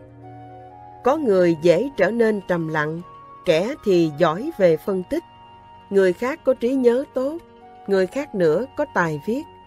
Chúng ta cần phải sử dụng tất cả những khả năng mình có và phát triển chúng tới tột cùng. Đức Phật đã dạy ta cần giữ ý, lời nói, hành động đơn giản, vì tâm ta đã đầy uẩn khúc. Các quá trình suy tư phức tạp chỉ làm cho việc tu tập của ta khó hơn. Những lời dạy đơn giản của Đức Phật càng khiến cho cuộc sống hàng ngày của ta thêm vui. Vui vì được ở đúng nơi, đúng lúc và hành động đúng cách với tất cả tâm hồn. Có năm khả năng tâm linh mà nếu được phát triển toàn diện sẽ giúp ta thêm sức mạnh. Do đó, chúng cũng là những yếu tố đưa đến giác ngộ. Năm khả năng này, chánh niệm, tinh tấn, trí tuệ, tính tâm và thiền định, được so sánh với một đàn ngựa, gồm một con đầu đàn và hai cặp. Con đầu đàn có thể tùy ý đi mau hay chậm, nhưng hai cặp còn lại phải giữ thăng bằng, nếu không xe sẽ bị ngã. Con ngựa đầu đàn là chánh niệm, một khả năng ai cũng có. Nếu không, chúng ta đã bị xe ủi khi đặt bước chân đầu tiên xuống đường. Tuy nhiên, chúng ta cần phát triển chánh niệm hơn nữa để nó trở thành một sức mạnh. Đó là giới thực hành chánh niệm khi đi, đứng, nằm, ngồi, khi mở cửa, đóng cửa hay bất cứ hành động nào của thân tâm. Dĩ nhiên là có lúc ta cũng quên, nhưng khi tâm nói tôi quên hành chánh niệm, thì ngay lúc đó ta lại nhớ. Không có chánh niệm, ta sẽ không nhận biết được niềm vui nội tâm, vì ta quen tìm lạc thú qua sự xúc chạm của các giác quan. Ta biết một cách chánh niệm rằng ta đã có nhiều lạc thú do các giác quan mang đến trong cuộc đời, nhưng không có gì mang đến cho ta sự thỏa mãn, vì thế không cần phải tìm kiếm chúng nữa. Thay vào đó, ta có thể quan sát những hành động, cử chỉ, cảm giác, tư tưởng của mình. Chánh niệm là khả năng tối ưu của ta, là sự quan sát nội tâm một cách khách quan, không có giọng phê phán. Nếu không được như thế, ta sẽ dễ dàng bị các tình cảm lôi kéo hay hoang mang bởi những phản ứng thiếu khôn ngoan. Cặp ngựa đầu tiên là lòng tin và trí tuệ. Lòng tin khiến ta dốc lòng, dốc sức theo đuổi. Và trí tuệ giúp ta biết rằng cái ta dốc lòng theo đuổi có phải là chân lý không? Nếu không có sự đảm bảo đó, niềm tin của ta có thể đặt không đúng chỗ. Cặp ngựa thứ hai là tinh tấn và thiền định. Khi có quá nhiều năng lượng sẽ dễ khiến thân tâm lăng xăng, là điều tất cả chúng ta đều từng trải qua. Nếu có quá nhiều năng lượng vật lý, ta cần hướng chúng đến những hành động ở thân. Nếu quá nhiều năng lượng tâm linh, khiến tâm bất an, bức bối, ta có thể sử dụng nó hữu hiệu hơn bằng cách hướng dẫn các suy nghĩ của ta. Ngược lại, nếu thiền định quá nhiều sẽ không còn năng lượng, dẫn đến thiếu chánh niệm. Thiền định thái quá cũng khiến ta hôn trầm, vì thế ta luôn phải cân bằng chúng. Đó là một nét đặc trưng của con đường đạo của Đức Phật. Đó là giữ cân bằng giữa việc lo cho mình mà cũng không quên giúp người, của việc sử dụng năng lượng sao cho thiền định có thể phát triển, là sự thăng bằng giữa lòng tin và trí tuệ để tâm và thân hòa hợp, đem những gì ta biết và những gì ta cảm đến gần nhau. Nếu ta không sử dụng đúng pháp thì nó giống như con rắn. Khi nắm đằng đuôi, nó có thể cắn ta. Nắm ở phía sau đầu, nó không còn nguy hiểm nữa. Chủ nghĩa vật chất tâm linh là một điển hình rõ nhất của mối nguy hiểm này. Khi tâm và trí cân bằng, trí biết được ta đang làm gì và tâm có thể cảm xúc. Con đường tâm linh chỉ có thể được thực hành qua các cảm xúc. Nếu chúng ta có thể hiểu được giáo lý nhưng không cảm thấy chúng mang lại lợi ích gì, thì đó chỉ là sự thực tập của trí tuệ, chỉ thích hợp ở các đại học. Những gì chúng ta hướng đến, ngược lại là sự giấy khởi của một tri giác sâu xa, có thể biến chúng ta từ một chúng sanh tầm thường thành một đấng giác ngộ, người đã đạt được Niết Bàn, Nibbana. Hỷ là một cảm xúc nội tâm thiết yếu nếu như ta muốn đi theo con đường này nếu ta không thấy vui trong khi tu tập, thì tại sao ta phải theo đuổi chúng? Rất ít người theo đuổi một điều gì nếu họ không thấy hứng thú, không coi điều đó là giá trị đẹp đẽ. Niềm vui nội tâm không thể bị xâm phạm bởi những yếu tố bên ngoài. Khi nào ta còn tùy thuộc vào ngoại cảnh, ta còn là những nạn nhân không có sự tự do lựa chọn. Con đường này sẽ dẫn ta đến tự do hoàn toàn chúng ta cần phát triển sức mạnh nội tâm để không còn phải tùy thuộc vào bất cứ điều gì trừ những gì chúng ta tự phát triển. Tham vấn Thiền sinh hỏi Thưa Ni Sư, có phải việc ta bám vào các căn trần mới là vấn đề, chứ không phải là các căn? Ni Sư Ayakema trả lời Dĩ nhiên là các căn của chúng ta không phải là vấn đề, vì chúng ta không thể sống nếu không có chúng. Nhưng chính là những diễn giải nơi tâm mới tạo nên vấn đề. Câu chuyện sau đây sẽ là một thí dụ. Có đôi vợ chồng kia. Một ngày nọ, sinh chuyện cãi vã lớn. Người vợ nghĩ rằng mình sẽ ra đi vì đã quá chán ngán. Bà mặc vào những chiếc sari đẹp đẽ nhất, cái nọ chồng lên cái kia, đeo những đồ trang sức bằng vàng quý giá nhất, rồi bỏ nhà ra đi. Người chồng sau đó cảm thấy hối hận nên quyết định chạy tìm người vợ để đưa bà trở về. Ông chạy đuổi theo nhưng không tìm thấy bà đâu cả. Lúc đang vội vã trên đường làng, ông nhìn thấy một vị sư đi ngang qua. Ông chặn vị sư lại hỏi, Thưa Ngài, Ngài có thấy một phụ nữ đẹp, tóc dài, mặc sari đỏ, mang nhiều nữ trang, đi ngang qua trên đường này không? Vị sư trả lời, tôi thấy một hàm răng đi qua. Dầu vị sư đã nhìn thấy người phụ nữ, ông không muốn bắt đầu tự nhủ rằng đây là một người phụ nữ đẹp với mái tóc đen dài, áo sari đỏ, nữ trang vàng chói. Ông đã biết làm sao để thanh tịnh các căn, đến nỗi ông chỉ thấy một hàm răng đi ngang qua. Không phải các căn của ta là vấn đề, chúng ta rất cần chúng. Không thể sống thoải mái mà không có các căn. Thật vậy, cuộc sống của ta sẽ rất khó khăn nếu ta bị mù hay điếc. Vấn đề là ở các suy nghĩ của ta. Thiền sinh Con nghĩ là nếu chúng ta dựa theo quan điểm chánh niệm đó, quá sát sẽ khiến ta thiếu sự tri ân, ngưỡng mộ. Thí dụ, niềm vui của con là con cảm thấy mình tri ân mọi thứ hơn lên. Chim chóc, biển cả, ánh sáng hình như đẹp hơn. Đó không phải là chấp, mà là một cảm giác an lạc, hưng phấn trước cái đẹp của muôn vật, muôn loại. Con không biết phải diễn tả thế nào. Ni sư Tôi hiểu điều em muốn nói. Tuy nhiên ở đây, điều chúng ta muốn nhấn mạnh đó là ta có thể có được niềm vui ở nội tâm mà không cần có sự xúc chạm của các căn. Sự xúc chạm của các căn là điều không thể tránh khỏi. Qua đó, có thể khiến ta tăng thêm lòng ngưỡng mộ cái đẹp. Nhưng hãy cố gắng đừng để phải tùy thuộc vào các vẻ đẹp bên ngoài để tạo niềm vui cho nội tâm. Đừng đợi một động lực nào đó mới phát sinh hỷ lạc.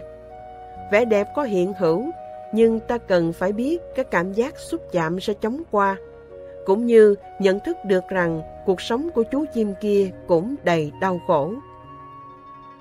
Hỷ lạc phát sinh từ sự hiểu biết trong nội tâm rằng vạn pháp đều vô thường, không có gì để ta phải chấp, không có gì để ta lo lắng, không cần phải đi đâu, không cần phải đạt được điều gì. Đức Phật trả phí sự xúc chạm của các căn như là một con bò bị lột da sống, với đàn ruồi luôn bu trên da thịt. Con bò phải khốn khổ luôn vì chúng. Cũng thế, sự xúc chạm của các căn cũng quấy rầy ta luôn, vì tâm ta lúc nào cũng phải cố gắng giải mã chúng. Tiếng chim hót không có gì hơn là âm thanh, nhưng tâm lại vẽ vời ra những câu chuyện khi nghe các âm thanh đó.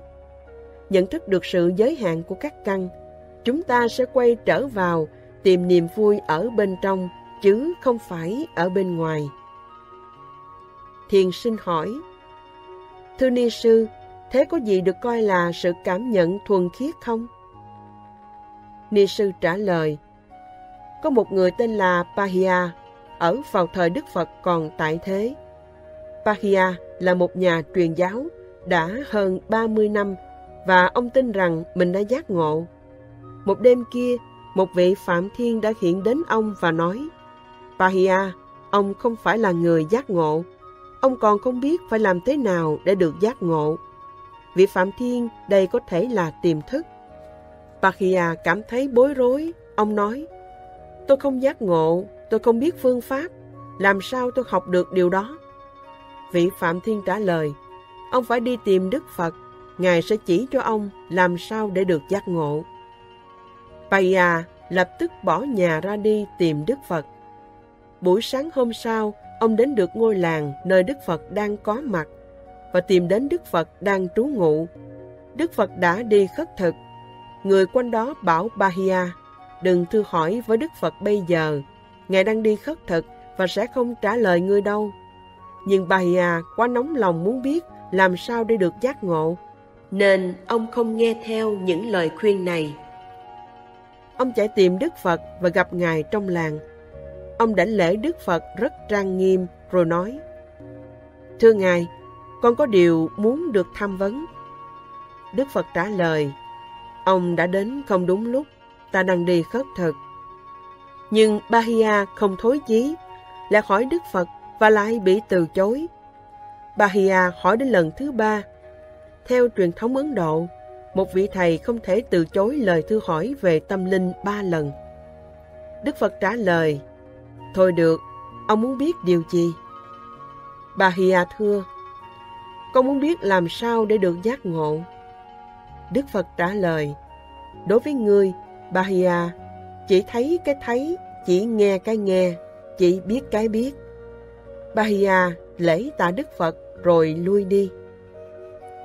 Buổi chiều khi Đức Phật đi cùng với các vị đệ tử, thì thấy thi thể của Bahia ở ven đường. Ông đã bị một con bò hút phải. Thế thế Đức Phật nói, Bahia đã giác ngộ trước khi chết. Chỉ một câu nói của Đức Phật cũng đủ cho Bahia, người đã tu tập trong 30 năm, nhận thức được giác ngộ là gì. Nhận thức được rằng chỉ thấy cái thấy, chỉ nghe cái nghe, chỉ biết cái biết, có nghĩa là không coi sự xúc chạm của các căn là quan trọng, không coi chúng thuộc về ta, không cần phải phản ứng theo chúng, mà chỉ nên coi chúng như một vở tuồng đang diễn ra. Phật dạy, duyên đến nên quý, duyên hết thì nên buông. Nhân sinh như mộng, buông để an vui. Khi duyên đến, hãy trân trọng. Khi duyên hết, hãy buông bỏ.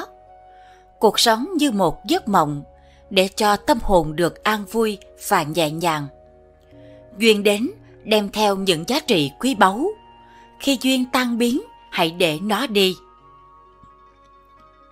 Như hoa nở mang theo sắc thái tình cảm. Hoa rơi mang theo những kỷ niệm không thể cầm trên tay.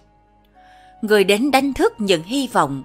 Người đi để lại những hạnh phúc đã trải qua.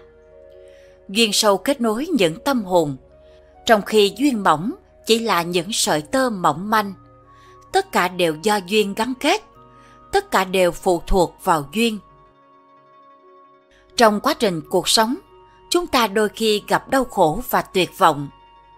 Tuy nhiên, điều quan trọng là chúng ta cần hiểu rằng cuộc sống con người tuân theo những quy luật tự nhiên.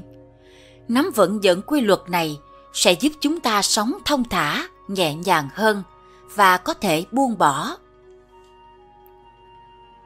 Việc buông bỏ cũng chính là quy luật trong cuộc sống này. Thông qua việc buông bỏ, chúng ta cảm nhận được sự tự do, không còn bị ràng buộc, tâm hồn trở nên nhẹ nhàng và tâm trí đạt được trạng thái yên bình.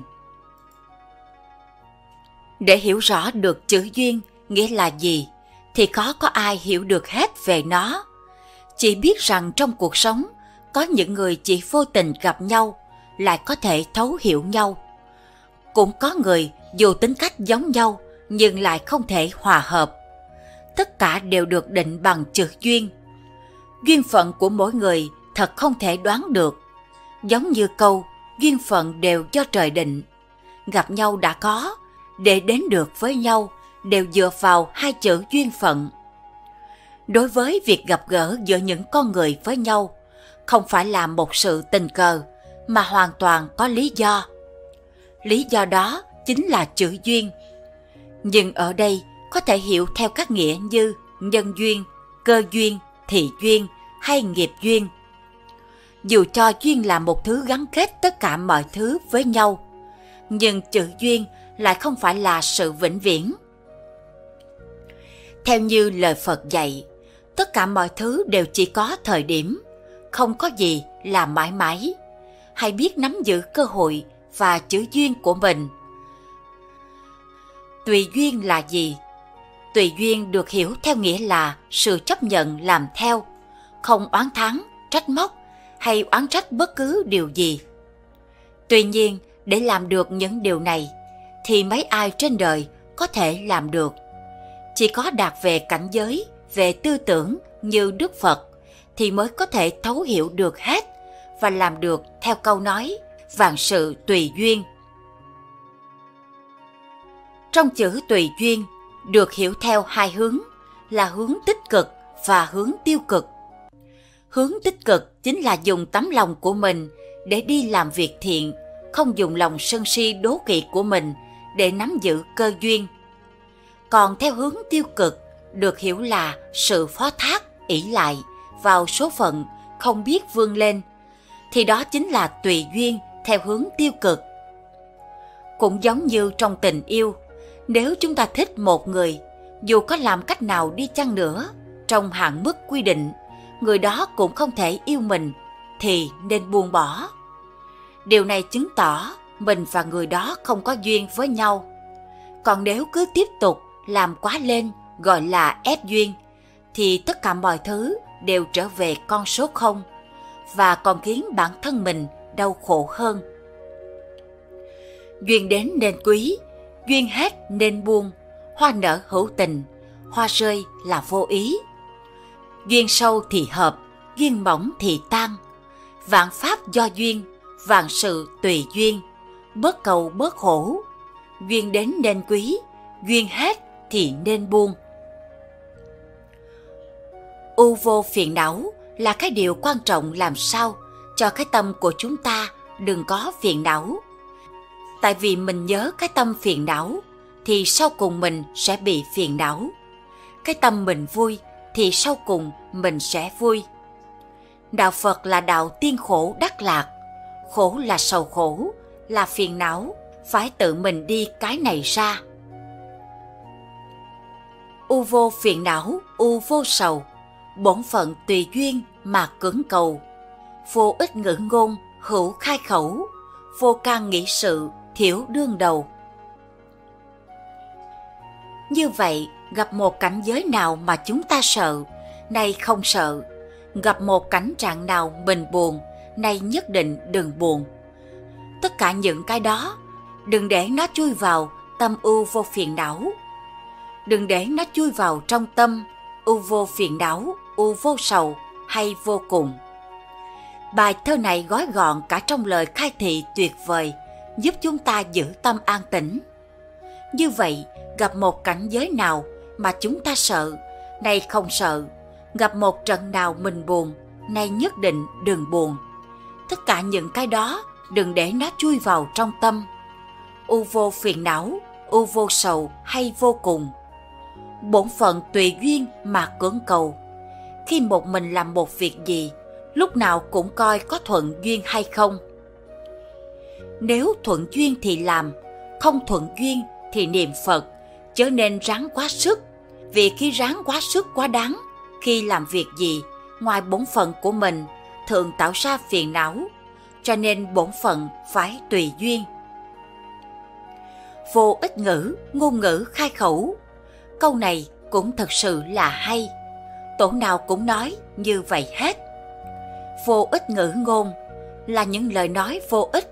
Hữu là chẳng đừng, đừng có nói, đừng khai khẩu.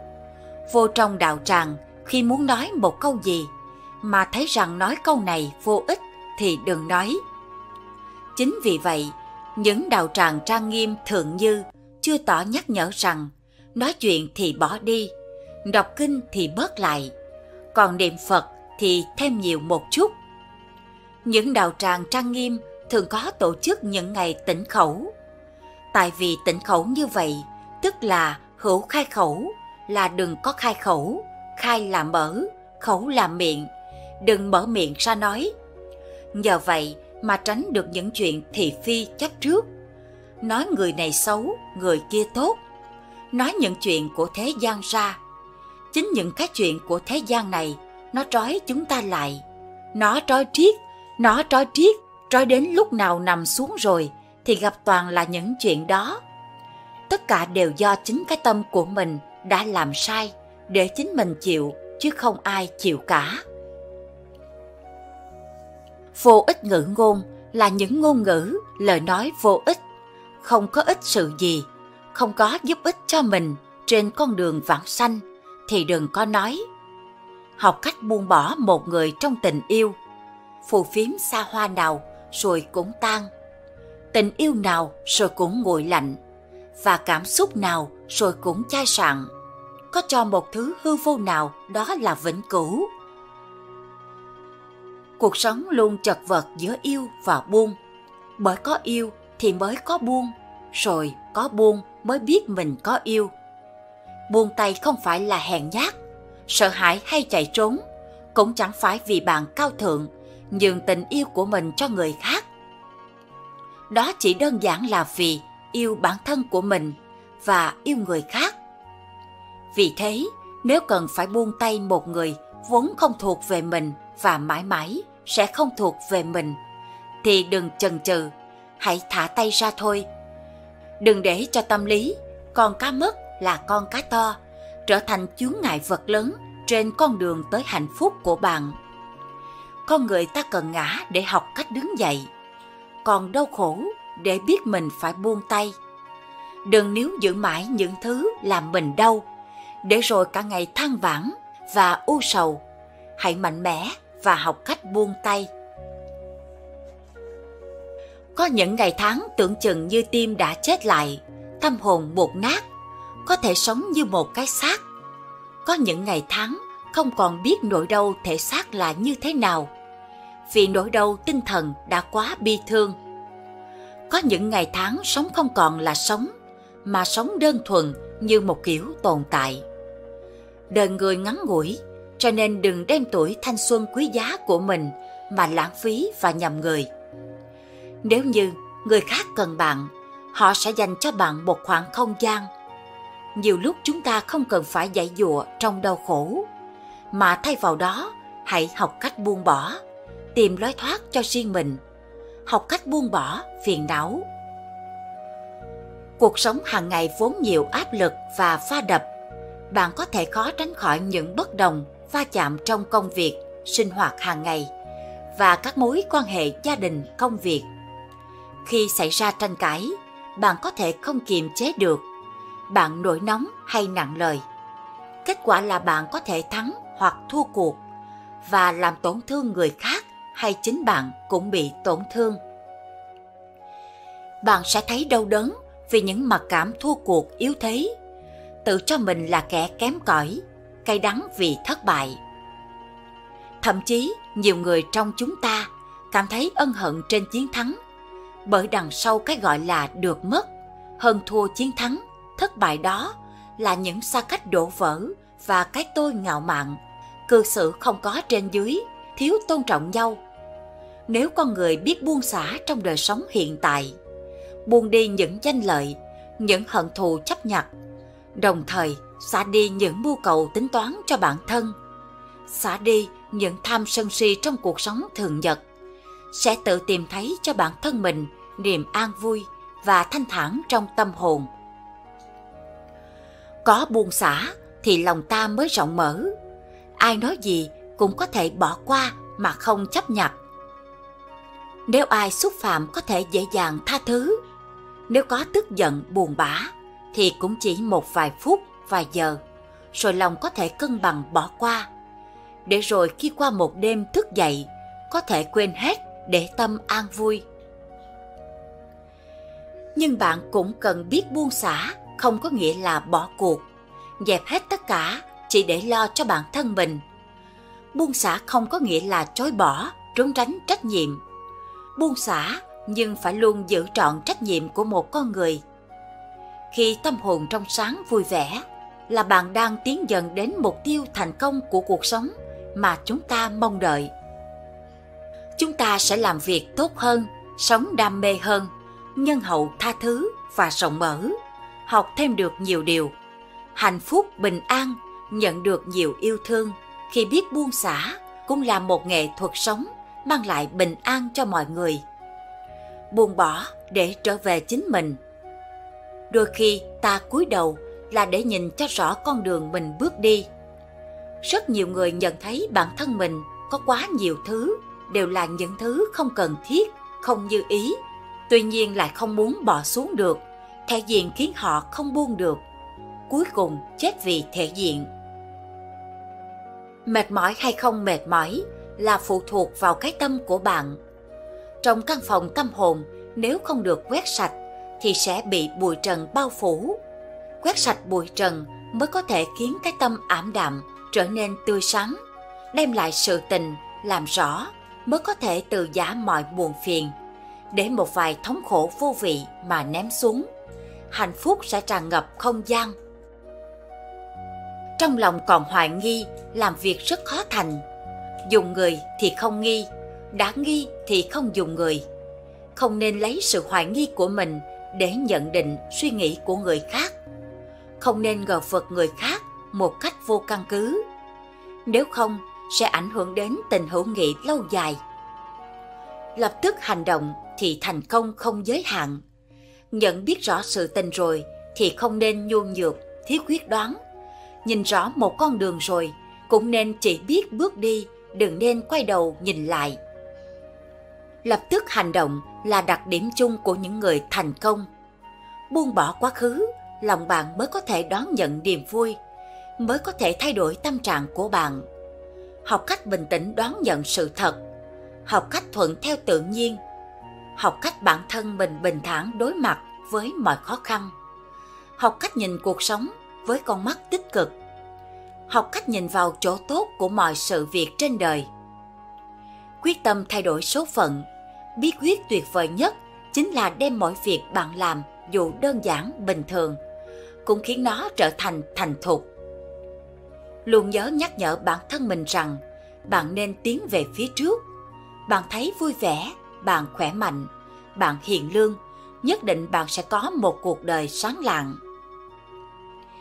Nếu bạn muốn trở thành một người thành công, tốt nhất chính là mình hãy cố gắng bước lên để khiến phần tích cực đánh bại tiêu cực, khiến cao thượng đánh bại hẹp hòi, khiến chân thành đánh bại giả tạo, khiến kiên cường đánh bại yếu ớt, khiến vĩ đại đánh bại bị ổi. Chỉ cần bạn nguyện ý, bạn hoàn toàn có thể tự mình làm tốt mọi thứ. Không ai có thể ảnh hưởng đến kết quả của bạn, ngoài trừ bạn trong cuộc chiến của mình. Đấy chính là tướng quân vạch đường chỉ lối. Nếu đem tự ti xóa khỏi từ điển của bạn, chẳng phải mỗi người cũng có thể trở thành người vĩ đại hay sao? Có lẽ rằng mỗi người đều tồn tại một nội tâm mạnh mẽ bởi vậy, tin tưởng bản thân mình, xác định vị trí của mình, bạn mới có thể tìm thấy giá trị của cuộc sống này.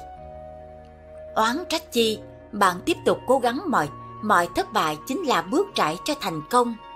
Mọi oán hận và tức giận chỉ có thể cản bước thành công của bạn. Buồn oán hận, tâm bình khí hòa, đoán nhận thất bại. Oán hận không thể nào thay đổi được thực trạng, mà tiếp tục cố gắng mới có thể mang đến hy vọng. Khoan dung là một mỹ đức. Khoan dung người khác kỳ thực chính là cấp cho lòng mình một con đường thanh thang rộng mở, cũng chính là khoan dung với chính bản thân mình. Nội dung trên kênh đều thuộc bản quyền của công ty cổ phần truyền thông TD Media. Vui lòng không sao chép dưới mọi hình thức. Chúng ta hay nói về nghiệp, nhưng không phải ai cũng biết cách để trả nghiệp. Vậy thì hãy nghe lời Phật dạy về cách tiêu giải nghiệp chướng thoát khỏi ai oán. Nghiệp chướng là từ xuất hiện trong đạo Phật hay được xuất hiện trong bài giảng kinh của Phật giáo. Trong đó nghiệp chướng là từ được ghép từ nghiệp và từ chướng. Ở đây, nghiệp có nghĩa là khởi đầu, tạo sự nghiệp, còn tùy vào hành động và từng trường hợp để phân định nghiệp chướng chính là ý niệm ý niệm thiện chính là nghiệp thiện, ý niệm ác chính là nghiệp ác. Ý niệm vị chúng sinh là niệm thiện, niệm này là nghiệp thiện.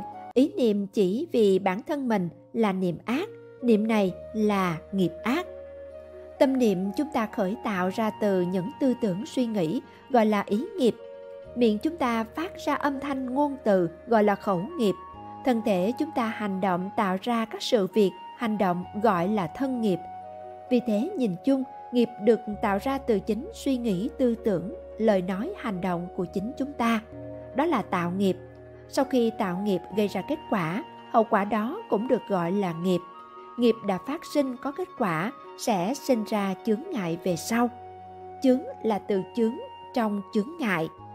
Chướng ngại ở đây là những vật cản, ngoại cảnh tác động khiến chúng ta tạo tác, tạo nghiệp. Từ chướng đứng sau nhưng theo nghĩa thì chướng phải có trước. Có sự tác động từ bên ngoài thì con người ta mới tạo nghiệp. Những điều không may mắn xảy đến, nhiều người không biết nguyên nhân từ đâu, không ít người hoang mang tìm đến những thầy bói, những cô đồng để tìm lý do.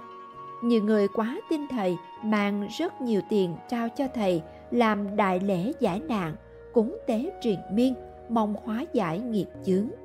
Nhưng tai ương vẫn cứ rầm rập kéo đến bất chấp việc cúng lễ có thành tâm đến đâu. Thậm chí, nhiều người cứ tin rằng những thầy bói hay thầy phù thủy cao tay có thể hóa giải được nghiệp chướng. Vậy để hóa giải nghiệp chướng, bạn hãy lưu ý những điều Phật dạy sau đây. một Oan gia nên giải không nên kết.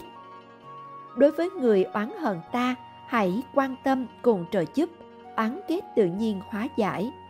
Ta giúp người khác vô điều kiện, không cầu danh cũng chẳng cầu lợi, thì tự khắc tích phúc cho bản thân. Học Phật có thể nhẫn nhục, có thể bao dung thì nghiệp chướng tan biến như mây, như khói. Người oán hận ta thì là người tự tạo nghiệp chướng, còn ta đối với oán hận của người mà bình tĩnh mà mở lòng thì tránh được oán nghiệp. 2. Bù đắp bằng những việc phúc thiện. Sự sám hối của bạn sẽ thực tế hơn rất nhiều, nghiệp chướng sẽ tan biến nhanh hơn rất nhiều nếu được đền chuộc bằng những việc làm từ thiện. Càng làm nhiều, bạn sẽ càng thấy hiệu quả rõ rệt. 3. Giảm thiểu tham vọng và đòi hỏi.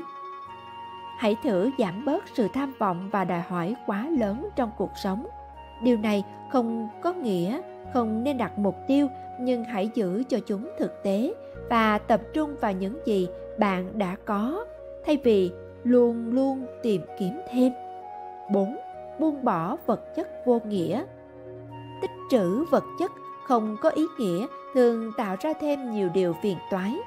Xem xét những vật dụng nào thực sự cần thiết và có ý nghĩa đối với bạn. Buông bỏ những thứ không cần thiết, sống đơn giản và tiết kiệm có thể giúp bạn giảm bớt gánh nặng vật chất. 5. Hiến máu nhân đạo Cứu người thoát nạn luôn là công đức hàng đầu, được người người ca ngợi, được thánh thần tán thán bất kể là nền văn hóa nào hay tôn giáo nào và không có cách cứu người nào dễ dàng hơn là hiến máu nhân đạo. Tất nhiên, nếu bạn có những cơ hội khác, những cách khác thì đều không nên bỏ qua. Rất rất nhiều người đã hoàn toàn thay đổi số mạng sau khi cứu giúp người khác qua cơn hoạn nạn. 6. Phóng sanh Dù không bằng so với việc cứu người, nhưng cứu sống những con vật tội nghiệp khỏi lưỡi dao đồ tể, khỏi cái chết đau đớn cũng sẽ đem đến cho bạn phước báo lớn lao. Có hàng ngàn câu chuyện kỳ diệu về công đức phóng sinh và đây là một trong số đó, một câu chuyện thuyết phục.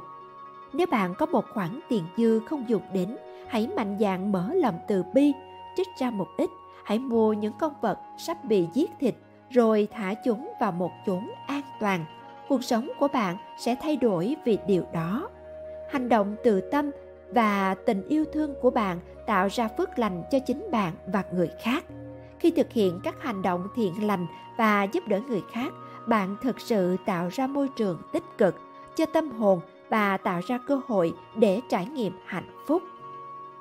Phước đức vô biên tương độ vô đế. Như núi thái sơn trời sáng lấp lánh. Tâm bao la tình biển trục dương. Ánh sáng Phật chiếu khắp thế gian. bảy Bao dung Nghiệp chướng căn bản là phiền não mà nguyên nhân không gì khác ngoài tư lợi, hàm danh, ham lợi nên tham, sân, si, vướng phải dục trần, tự gây rắc rối chính là tạo ác nghiệp. Vượt qua phiền não của bản thân chính là cách giải thoát ác nghiệp. tâm càng thanh tịnh thì nghiệp ác càng tiêu tan tâm càng phiền não thì nghiệp ác càng tích tụ vì thế bao dung với người khác cũng là bao dung với chính mình tha thứ cho người khác cũng chính là tha thứ cho bản thân là phương pháp tạo nghiệp lành tốt nhất, đơn giản nhất. Cùng bàn về cách hóa giải nghiệp chướng, một bậc tôn sư của đạo phật trong bài thuyết pháp đã cho rằng, thể xác thân biểu hiện bằng hành động, thể cảm thọ hay thể phí biểu hiện bằng tình cảm, thể trí biểu hiện bằng tư tưởng. Tam thể này thường xuyên gây chướng nghiệp. Vì thế mà con người cứ mãi trôi lăn trong lục đạo luân hồi. Đối với một linh hồn trải qua vô số kiếp, tiến hóa nơi cõi trần gian này đã tạo ra biết bao nghiệp chướng. Đến khi phát tâm ăn chay, tập làm điều thiện, cải sửa tâm tư, tu hành từ bậc hạ thừa, tiến dần qua thượng thừa, thọ pháp, thiền định. Nhưng vì nghiệp chướng đã gieo tạo từ vô số kiếp, đã kết thành trước khối nặng nề luôn ám ảnh. Thế nên không thể tu hành trong đôi ba năm mà có thể hoàn toàn hóa giải hết được. Nhiều người tin rằng muốn hóa giải nghiệp chướng chỉ còn cách ăn chay, niệm phật một cách thành tâm. Nhưng một số người mê muội cho rằng cứ sám hối thật nhiều thì nghiệp chướng sẽ tiêu tan nên chẳng màng xác thân hao mòn, ngày đêm tụng niệm mà nghiệp chướng vẫn còn nguyên. Lý giải điều này các bậc cao tu, pháp sư tịnh không cho rằng bởi vì nghiệp chướng của người này quá nhiều. Do đó, công đức niệm phật của một ngày đêm, dù là giúp họ tiêu trừ đi rất nhiều mà vẫn chưa dứt sạch. Cho nên cần phải mỗi ngày đến niệm phật, mỗi ngày giảm bớt thêm nghiệp chướng. Phật dạy chúng ta rằng năng lực quan trọng nhất để giải trừ nghiệp chướng trong lúc niệm phật là không hoài nghi, không xen tạp, không gián đoạn với ba yếu tố này, năng lực của không xen tạp mạnh nhất. Nếu quý phật tử giữ được liên tục, không gián đoạn trong ba năm, cho dù nghiệp chướng sâu dày bao nhiêu của vô lượng kiếp đều có thể giải trừ hết. Hướng thiện giúp con người ta cư xử có tình người hơn. Dù con người ta gặp nhiều điều không may, dù hóa giải được hay không, nhưng họ tin vào phật và sự siêu nhiên đó cũng là một cách giải thoát có một điều, nếu có nhiều người tin theo phật, làm theo lời phật dạy, họ sẽ không dám làm điều ác. Điều này xét về mặt xã hội là tốt, bởi con người sẽ hành xử với nhau có tình người hơn, chứ không mang tính cơ học như con người trần tục của xã hội hiện đại. Để cuộc sống được an yên, hạnh phúc và tránh gây nghiệp chướng cho kiếp sau, chúng ta nên cần chú ý đến hành động và thái độ đối với người khác người hay coi thường người khác sẽ phải lãnh nghiệp chướng cổ nhân có câu, tử phi ngư, an tri ngư lạc. Không phải cá làm sao biết niềm vui của cá. Người hay coi thường người khác sẽ phải gánh nghiệp tham, sân, si. Mỗi người chúng ta là một cá thể khác nhau, mang trong mình một bản ngã riêng biệt.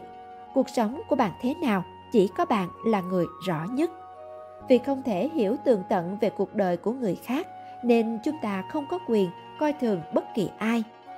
Bàn về việc này, đạo phật cũng cho rằng, coi thường người khác chính là tham, sân, si. Theo quan điểm của đạo phật, coi thường người khác là một việc làm ác. Những người mang theo thái độ và hành động này thường tự đặt mình ở vị thế cao hơn, tự cho mình cái quyền để chà đạp, nhạo báng kẻ yếu thế. Việc làm ấy sẽ khiến nhiều người tạo nghiệp làm ác, sau này khó tránh khỏi quả báo.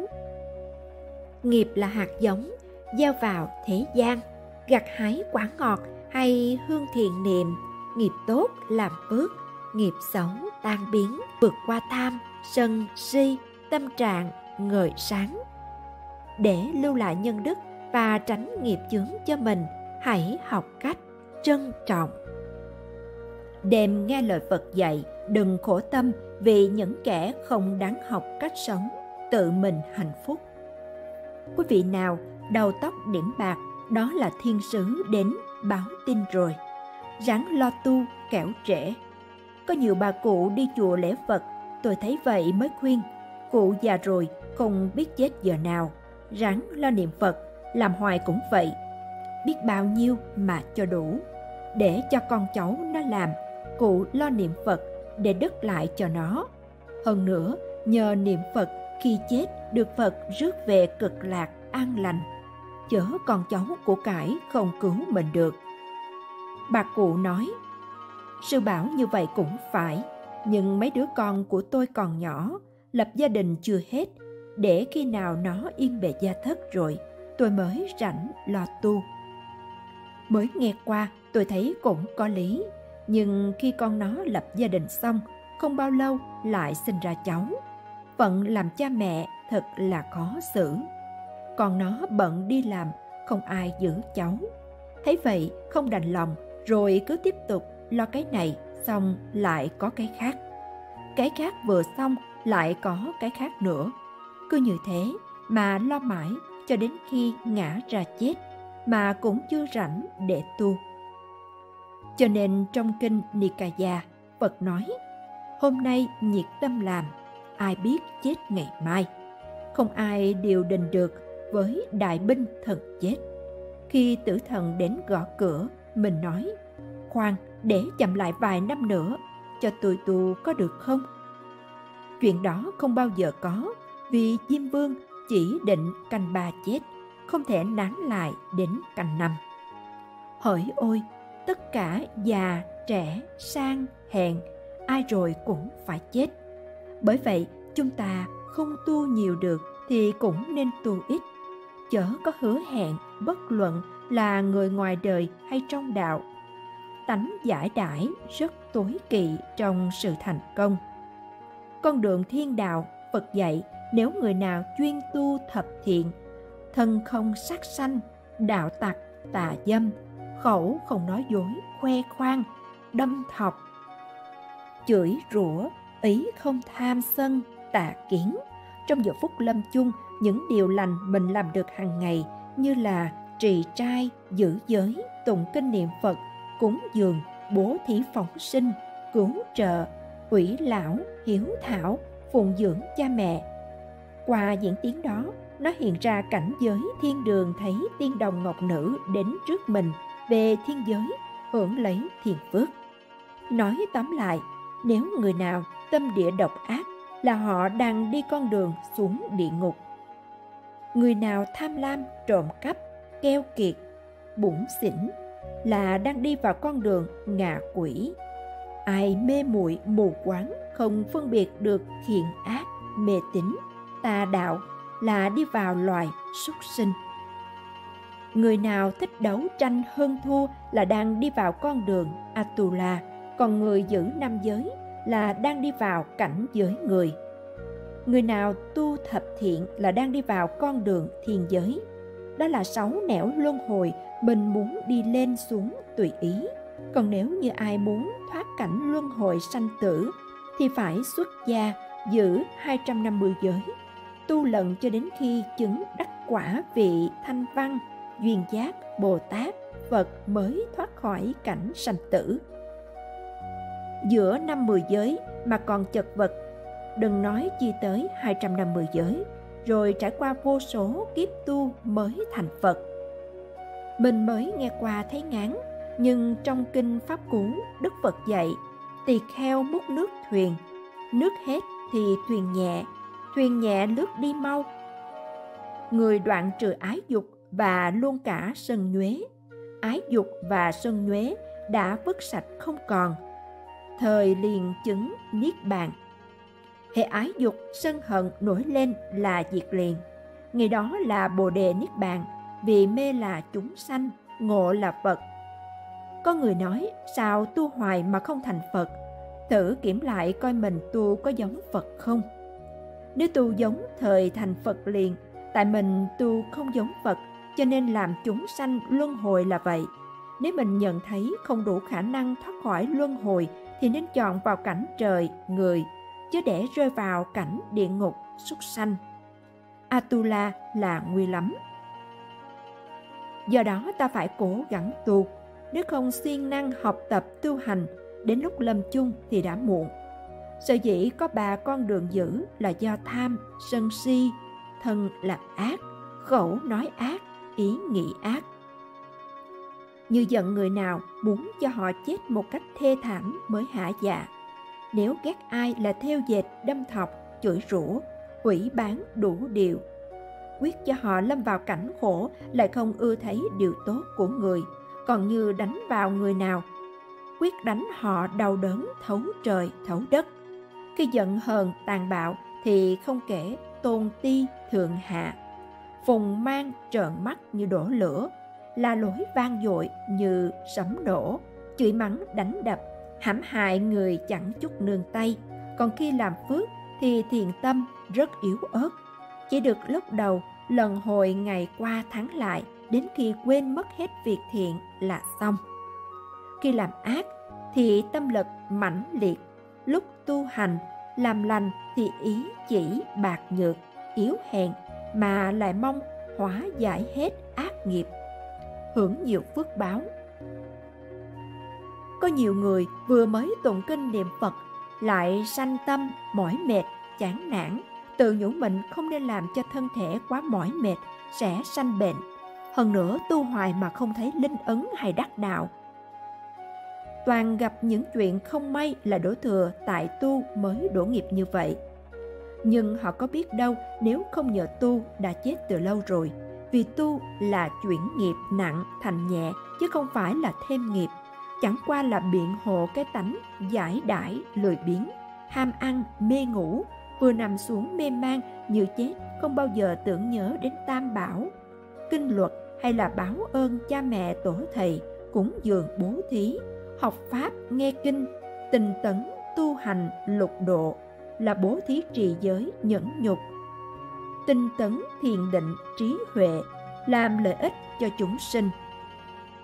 Từ sáng đến tối cứ mãi lo nghĩ cái chuyện hơn thua. Được không bao nhiêu phiền não khổ đau lại quá nhiều, chẳng khác nào con thiêu thân đâm đầu vào lửa. Muốn có cuộc sống hài hòa, chúng ta phải tu hành hỷ xả tùy thuận lẫn nhau. Khi gặp cảnh trái ý nghịch lòng ta phải bình tĩnh, quan sát lời phật dạy. Ngũ dục lục trần là pháp loạn luân, tổn hao sức khỏe đều nguy hại cho lòng đạo cả. Nếu ta thấy rõ các pháp không thực, thì tâm ta liền trở nên an lạc. Sở dĩ con người khổ là do lòng cố chấp quá nặng, như khi hương thơm đến nảy sinh ưa ý thích, hồi thối tới liền bực dọc, tức giận. Muốn khắc phục và định tâm để thấy tự tánh nó không thật, đủ duyên thì đến hết duyên liệt mất. Nhìn lại thân ta cũng là nhơ uế, có gì phải bận tâm buồn phiền, không giải quyết được, tốt nhất là lo dọn dẹp hoặc tránh né, hay hơn là phiền trách. Cho đến xúc phạm những gì êm ái mịn màng thì sanh tâm, say đắm thô cứng thì lại chán ghét. Phật dạy người đam mê xúc dục nếu cứ mãi luẩn quẩn trong vòng sinh tử, chịu biết bao kiếp nạn giống như người đứng trước vực thẳm, không biết rơi xuống lúc nào, nên có câu, bởi mê mới làm tôi thì dục, nếu ngộ đâu tùng phục lòng tà. Dục tà đều hại người ta, dục là thống khổ, tà là trầm luân. Dục thường vì sát thân khởi xướng tà thường vì vọng tưởng gây ra. Cả hai đều thứ mắc lòa. Lợi gần thì thấy hại xa không lường. Hay là nhãn thấy sắc thường hay bận biệu tai ưa nghe những điệu âm thanh. Mắt với tai đều chọn đẹp xinh. Còn lỗ mũi ưa mùi êm dịu. Đồ thơm tho nó ưa, nó chịu chốn xạ hương hay lết lại gần. Lưỡi ưa ngon là chuyện ân cần. Đồ ngọt béo, nó ưa, nó mến. Thân tham sướng muốn tiền của đến, đặng ăn xài cho vĩ tâm tình. Ý thì ưa sửa sắc, soi hình. Với chất vận, cho cao, cho quý. Sáu đường ấy ở trong tâm ý ta mau mau dứt nó cho rồi thì tòa sen mới đặng đứng ngồi cho thông thả hưởng mùi sen báu cổ đức Thi văn cho chúng ta biết nếu lục căn của mình được thanh tịnh ngày đó là bồ đề niết bàn tịnh độ, không cần tìm đâu xa. Phật Pháp vốn ở thế gian, trong đời giác ngộ chớ tìm đâu xa. Bồ đề cuộc sống quanh ta, buông ba cầu ngộ chỉ là uổng công. Pháp bảo đàn kinh Chữ tâm là trái tim, lòng dạ và lương tâm của con người.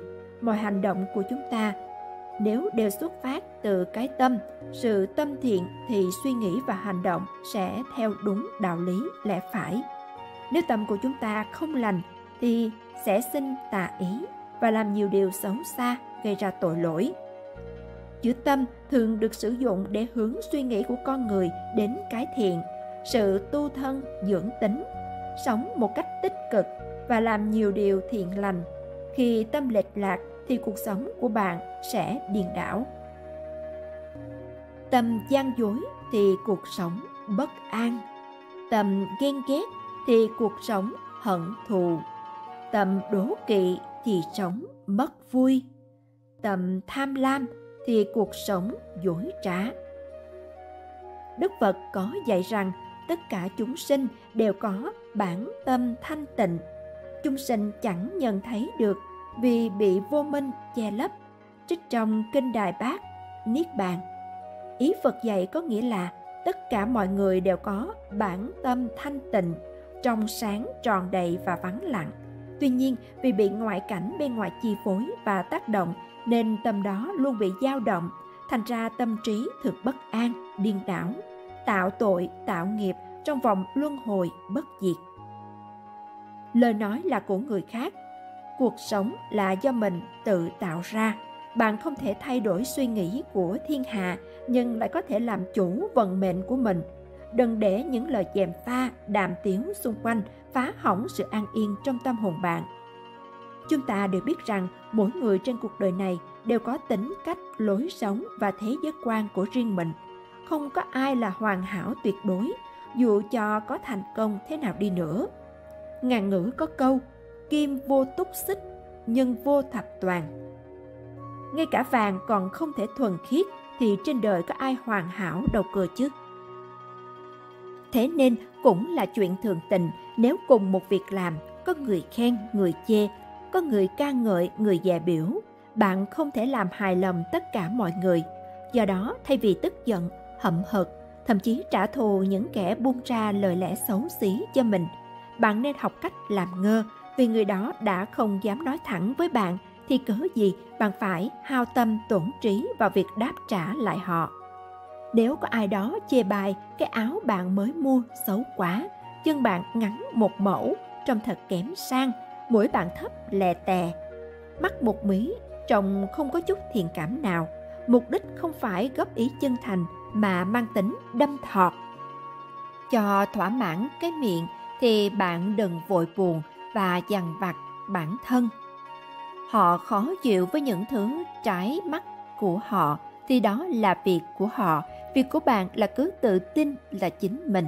Con người bạn có như thế nào đi chăng nữa thì chỉ cần không gây hại đến người khác và bạn hài lòng với bản thân là đủ. Khi bị những người mình tin tưởng thân thiết trở mặt sau lưng, ai cũng cảm thấy tổn thương, thậm chí dằn vặt rằng mình đã làm gì để xứng đáng nhận được điều đó thế nhưng bạn cần ngưng suy nghĩ như vậy đi càng không nên căm ghét mắng chửi đối phương mà hãy cố gắng bỏ qua dù có tiếp tục trở lại làm bạn hay không thì cũng hãy tha thứ cho họ. Tha thứ không phải để tỏ ra cao thượng, mà tha thứ để hạnh phúc, an yên hơn. Việc oán hận đối phương chỉ càng đào sâu vào vết thương lòng của bạn mà thôi. Cuộc sống không hề vắng lặng như dòng sông. Những kẻ không ưa bạn sẽ trực chờ lúc bạn sơ hở để đâm bị thóc, chọc bị gạo. Khi bạn gặp khó khăn hay sa cơ lỡ vận, khiến bạn buồn, bạn khóc, bạn tổn thương. Với mục đích là khiến bạn gục ngã, không thể gượng dậy. Đó lại chính là lúc bạn phải mạnh mẽ hơn. Để kẻ xấu có muốn chế nhạo, hả hê cũng không được. Nếu họ khiến bạn tổn thương một, hãy cố gắng tìm kiếm niềm vui cho bản thân gấp 10 lần, vì chỉ có cuộc sống tràn đầy niềm vui tiếng cười của bạn mới là công cụ trả thù ngọt ngào mà chí mạng nhất đối với những kẻ như vậy. Phật dạy, người khác có thể làm trái nhân quả, người khác có thể tổn hại chúng ta, đánh chúng ta, phỉ bán chúng ta, nhưng chúng ta đừng vì thế mà oán hận họ. Vì sao? Vì chúng ta nhất định phải giữ một bản tính hoàn chỉnh và một tâm hồn thanh tịnh. Lời nói là của người khác, cuộc sống do mình tự tạo ra, bạn không thể thay đổi suy nghĩ của thiên hạ, nhưng lại có thể làm chủ vận mệnh của mình. Đừng để những lời dèm pha, đàm tiếu xung quanh quyết định bạn có được hạnh phúc hay không. Hãy tập sống thật với cảm xúc, tính cách của mình, vui thì cười, buồn thì khóc. Thương ai đó thì bày tỏ cho họ biết, không hài lòng với ai đó thì góp ý chân thành để họ trở nên đáng yêu hơn. Đừng vì sợ những người xung quanh đánh giá, nói xấu mà cố ép bản thân phải sống theo cách mà họ muốn. Lâu ngày con người sẽ đánh mất chính mình và giả tạo lắm đấy. Nếu thường xuyên phải ở bên cạnh những kẻ ngồi lê đôi mắt, hãy giữ khoảng cách nhất định với họ, tỏ ra hòa nhã nhưng đừng thân thiết với những kẻ dèm pha. Cũng đừng bao giờ tâm sự chuyện riêng tư với họ vì có khả năng những thông tin đó sau này lại trở thành đề tài cho họ đơm đặt, theo dịch. Có thể sẽ rất khó để tiếp tục tập trung vào công việc, bài vở khi có kẻ nói xấu sau lưng. Thay vì cứ mãi âu sầu, dày dứt vì chuyện đó, hãy dành năng lượng cho những hoạt động tích cực để đánh lạc hướng bản thân. Sắp xếp lại bàn làm việc, đi dạo qua công viên, hít thở không khí trong lành, tán gẫu với một người bạn thân hoặc tự đề ra thời hạn cho mình để hoàn thành một việc nào đó là những cách hữu ích giúp đầu óc bạn vần tán khỏi những điều không đáng bận tâm. Hiển nhiên con người dễ cảm thấy bị cô lập khi có người bàn tán sau lưng. Bạn có thể đẩy lùi cảm giác này bằng cách dành thời gian cho người yêu mến mình, cho gia đình, cho người thương. Họ sẽ giúp bạn vui vẻ hơn, tự tin hơn, thậm chí quên đi những lời đơm đặc hoặc tin đồn tiêu cực. Bước thứ ba trong tiến trình của duyên khởi siêu việt là hỷ. Duyên khởi có nghĩa là nhận ra được nhân và quả. Bước đầu tiên trong việc nhận biết khổ đau không có nghĩa là ta phải đối đầu với khổ đau, mà là ta thật sự hiểu ý nghĩa của khổ đau. Nó là một phần của cuộc sống, có mặt trong vạn pháp. Và thế giới không thể thay đổi để thoát khỏi khổ đau. Từ nhận thức đó, ta phát sinh lòng tự tin, tính tâm vào cuộc sống tâm linh. Và kết quả là hỷ lạc phát sinh. Ba yếu tố này là những điều kiện tiên quyết cho việc hành thiền của ta. Tâm hỷ mà chúng ta bàn đến ở đây phát sinh do lòng tin vào con đường đạo. Do chúng ta đã tìm được con đường giúp ta thoát ra khỏi những vấn đề của thế gian, con đường hứa hẹn sự giải thoát rốt ráo. Niềm hỷ lạc đó phải đủ mạnh để không dao động, dời đổi, dầu cho những yếu tố bên ngoài có thuận lợi hay không. Vì ta đã biết rằng các yếu tố bên ngoài chỉ ảnh hưởng đến sự xúc chạm của các giác quan. Nếu chúng ta không thấu đáo rõ ràng điểm này, thì ta cứ mãi dao động, không biết ta có nên tiếp tục con đường tâm linh này, hay lập gia đình, đi học, đi du lịch Trung Quốc, hay lập vườn trồng rau. Nếu không có niềm vui nội tại, thì ta sẽ không thể chắc chắn rằng tu hành là con đường duy nhất giúp ta thoát khỏi khổ. Chúng ta cần phải nhận thức rõ ràng, không mảy may nghi hoặc, rằng tất cả mọi lạc thọ khác đều do sự xúc chạm của các giác quan mang đến. Do đó, chỉ có thể mang đến những niềm vui ngắn ngủi, tạm bợ, không có giá trị lâu dài. Chúng đến rồi đi. Tuy nhiên, điều đó không có nghĩa là tất cả các cảm xúc do giác quan mang đến đều xấu, hay là ta có thể tránh được chúng. Đức Phật đã bảo chúng thuộc trạng thái thô lậu.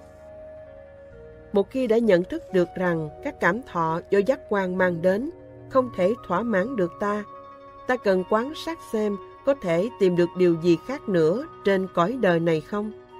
Khi đã thấu hiểu được tính chất bất toàn của giác quan, thì còn thắc mắc nghi ngờ gì về tâm hỷ lạc khi ta đã tìm được con đường đạo?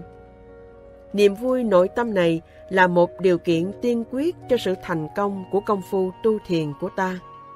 Chúng ta có thể dễ dàng chứng nghiệm được điều này bằng những kinh nghiệm bản thân.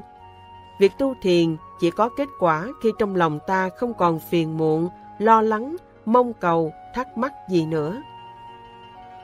Những lời dạy của Đức Phật về thiền thường có từ xả ly, nhưng từ đó thường bị hiểu sai lệch nghĩa, tưởng rằng ta phải tách biệt khỏi thế giới này, từ bỏ mọi liên hệ với đồng loại. Hoàn toàn không phải nghĩa đó. Nó chỉ có nghĩa là tách biệt khỏi các căn trần. Sau khi đã có thể tách rời khỏi sự xúc chạm của các căn, ta mới có thể bắt đầu hành thiền. Nhưng muốn thỏa mãn được điều kiện đó, thì nội tâm ta phải được an vui, thoải mái, tự tại. Và ta phải hiểu rằng đó là việc tốt nhất mà ta có thể làm. Nếu không, vọng tưởng sẽ mãi làm gián đoạn việc tu hành của ta. Nếu có được niềm vui nội tại, không chỉ là ta sẽ tiếp tục đi trên con đường đạo và việc hành thiền của ta sẽ có kết quả, mà ta còn có thể duy trì niềm vui đó mãi trong tâm hồn. Chứ không phải chỉ lúc ta tọa thiền hay lúc ta nhớ tưởng đến những công phu tu tập của mình, mà nó là một phần của sự hiện hữu của ta, như là một minh chứng rằng ta đã tìm được con đường thoát ra khỏi những vấn đề của nhân loại. Dầu ta chưa đi hết con đường đạo cũng không quan trọng. Hạnh phúc là cứu cánh của tất cả mọi chúng sanh. Trong khóa tu này, chúng ta sẽ được chỉ cho một con đường, như một bản đồ đưa ta đến đích một điểm hẹn mà tất cả chúng ta đều hướng đến.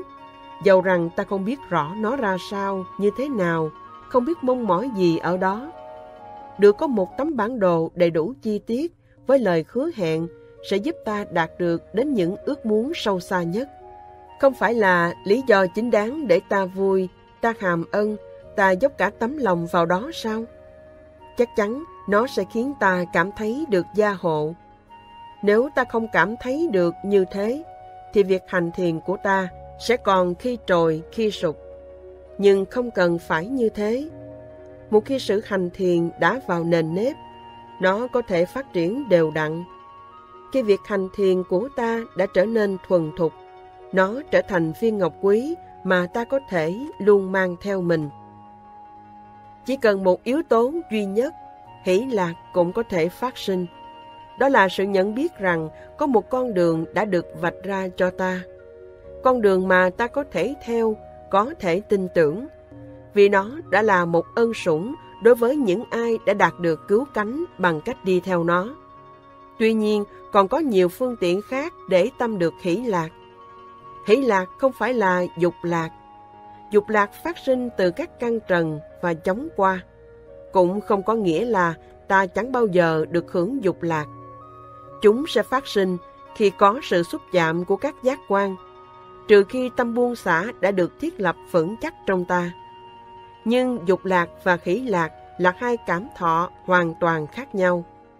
Chúng ta có thể tự giúp mình trên con đường đạo bằng cách tạo nên hỷ lạc bằng những việc thiện như là sẵn sàng phục vụ người khác. Khi ta có ý muốn giúp đỡ, hỗ trợ người khác, ta dồn tất cả chú tâm vào việc đó thì các vấn đề của riêng ta không thể phát khởi vào lúc đó vì tâm ta đang ở nơi khác. Có thể làm gì cho ai đó, dầu có được đền ơn hay không, khiến tâm ta sinh hoan hỷ. Sự an nhiên tự tại đến từ việc nhận biết rằng mình đã cố gắng hết sức mình. Đức Phật đã nhắc đến 10 điều thiện ta cần phun trồng. Trên tất cả là tâm bố thí. Bố thí bao gồm bố thí thời gian, sự quan tâm, tình thương, lòng bi mẫn, mong đem lại hạnh phúc cho người khác. Khi ta có thể thực sự thấy những điều này xảy ra, thì tâm phát sinh hỷ lạc là chuyện đương nhiên rồi. Ngay nếu như hạnh phúc đã không thực sự đến với người đó, ta cũng biết mình đã cố hết sức lực. Do đó, không thể nào trong lòng ta lại không có niềm vui.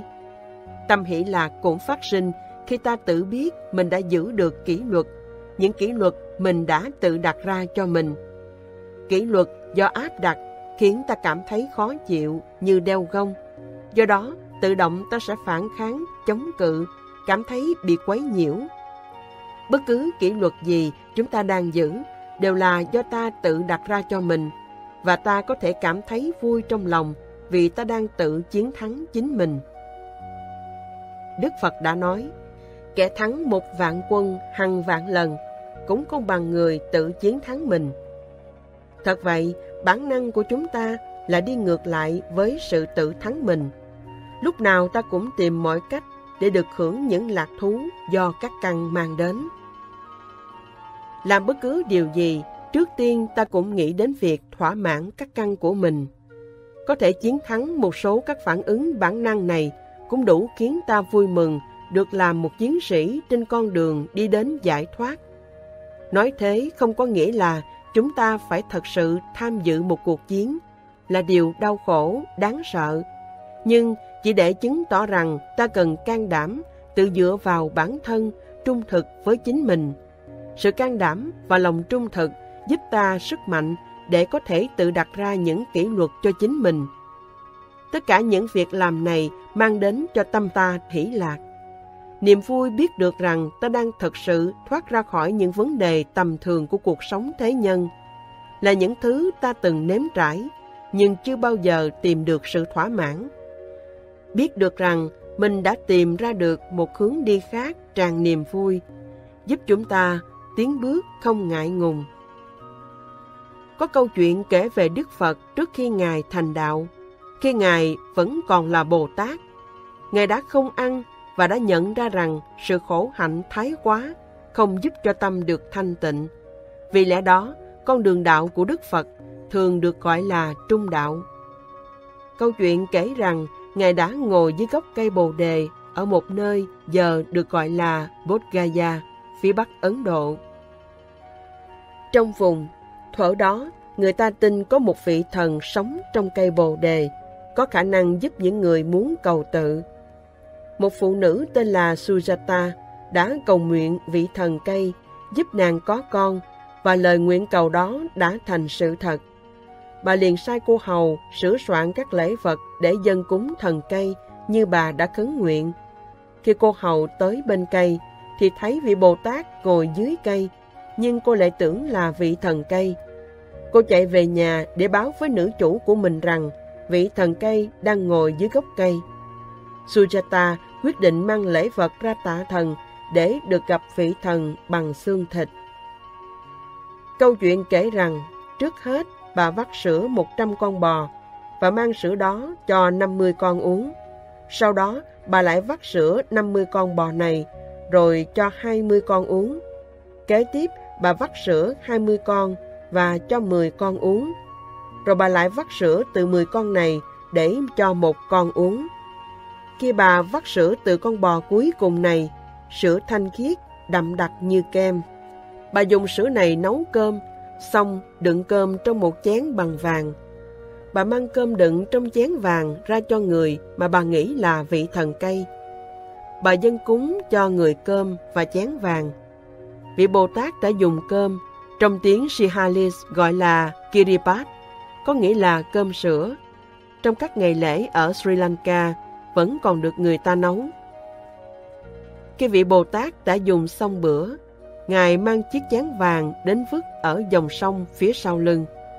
Ngài nói, nếu chén nổi và chảy ngược dòng nước, thì Ngài sẽ giác ngộ, trở thành Phật. Nhưng nếu chén chảy theo dòng nước, thì Ngài sẽ không chứng được giác ngộ. Hẳn là chén đã chảy ngược dòng, dầu rằng đó là điều người ta khó thể tưởng tượng. Dầu gì, đó cũng chỉ là câu chuyện ẩn dụ, nhưng là một câu chuyện khá quan trọng đối với chúng ta. Nó ám chỉ rằng tu theo Phật Pháp cũng giống như lội ngược dòng nước. Lội xuôi theo dòng nước thì dễ dàng hơn nhiều. Mọi người đều đã đi theo hướng đó.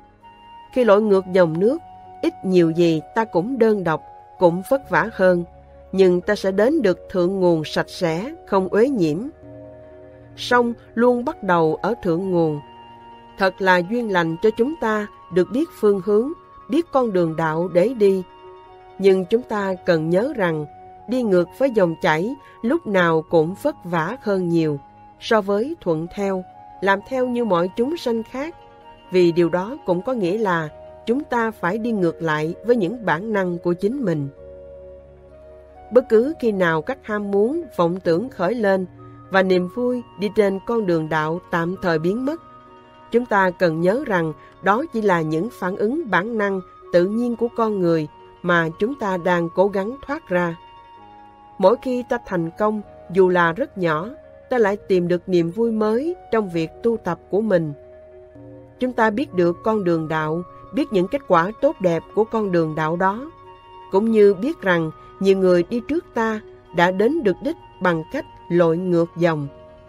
Chúng ta càng cảm thấy như có thêm sức mạnh vì chúng ta đã không chịu thua cuộc. Mỗi người chúng ta đều có những khả năng đặc biệt có thể sử dụng trong việc tu tập. Có người dễ trở nên trầm lặng, kẻ thì giỏi về phân tích, người khác có trí nhớ tốt, người khác nữa có tài viết. Chúng ta cần phải sử dụng tất cả những khả năng mình có và phát triển chúng tới tột cùng. Đức Phật đã dạy ta cần giữ ý, lời nói, hành động đơn giản vì tâm ta đã đầy uẩn khúc. Các quá trình suy tư phức tạp chỉ làm cho việc tu tập của ta khó hơn. Những lời dạy đơn giản của Đức Phật càng khiến cho cuộc sống hàng ngày của ta thêm vui. Vui vì được ở đúng nơi, đúng lúc và hành động đúng cách với tất cả tâm hồn. Có năm khả năng tâm linh mà nếu được phát triển toàn diện sẽ giúp ta thêm sức mạnh. Do đó, chúng cũng là những yếu tố đưa đến giác ngộ. Năm khả năng này, chánh niệm, tinh tấn, trí tuệ, tính tâm và thiền định, được so sánh với một đàn ngựa, gồm một con đầu đàn và hai cặp. Con đầu đàn có thể tùy ý đi mau hay chậm, nhưng hai cặp còn lại phải giữ thăng bằng, nếu không xe sẽ bị ngã. Con ngựa đầu đàn là chánh niệm, một khả năng ai cũng có. Nếu không, chúng ta đã bị xe ủi khi đặt bước chân đầu tiên xuống đường. Tuy nhiên, chúng ta cần phát triển chánh niệm hơn nữa để nó trở thành một sức mạnh. Đó là giới thực hành chánh niệm khi đi, đứng, nằm, ngồi, khi mở cửa, đóng cửa hay bất cứ hành động nào của thân tâm. Dĩ nhiên là có lúc ta cũng quên, nhưng khi tâm nói tôi quên hành chánh niệm, thì ngay lúc đó ta lại nhớ. Không có chánh niệm, ta sẽ không nhận biết được niềm vui nội tâm, vì ta quen tìm lạc thú qua sự xúc chạm của các giác quan. Ta biết một cách chánh niệm rằng ta đã có nhiều lạc thú do các giác quan mang đến trong cuộc đời, nhưng không có gì mang đến cho ta sự thỏa mãn, vì thế không cần phải tìm kiếm chúng nữa. Thay vào đó, ta có thể quan sát những hành động, cử chỉ, cảm giác, tư tưởng của mình. Chánh niệm là khả năng tối ưu của ta, là sự quan sát nội tâm một cách khách quan, không có giọng phê phán. Nếu không được như thế, ta sẽ dễ dàng bị các tình cảm lôi kéo hay hoang mang bởi những phản ứng thiếu khôn ngoan. Cặp ngựa đầu tiên là lòng tin và trí tuệ. Lòng tin khiến ta dốc lòng, dốc sức theo đuổi. Và trí tuệ giúp ta biết rằng cái ta dốc lòng theo đuổi có phải là chân lý không? Nếu không có sự đảm bảo đó, niềm tin của ta có thể đặt không đúng chỗ. Cặp ngựa thứ hai là tinh tấn và thiền định. Khi có quá nhiều năng lượng sẽ dễ khiến thân tâm lăng xăng, là điều tất cả chúng ta đều từng trải qua.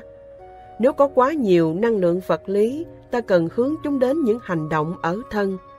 Nếu quá nhiều năng lượng tâm linh, khiến tâm bất an, bức bối, ta có thể sử dụng nó hữu hiệu hơn bằng cách hướng dẫn các suy nghĩ của ta. Ngược lại, nếu thiền định quá nhiều sẽ không còn năng lượng, dẫn đến thiếu chánh niệm.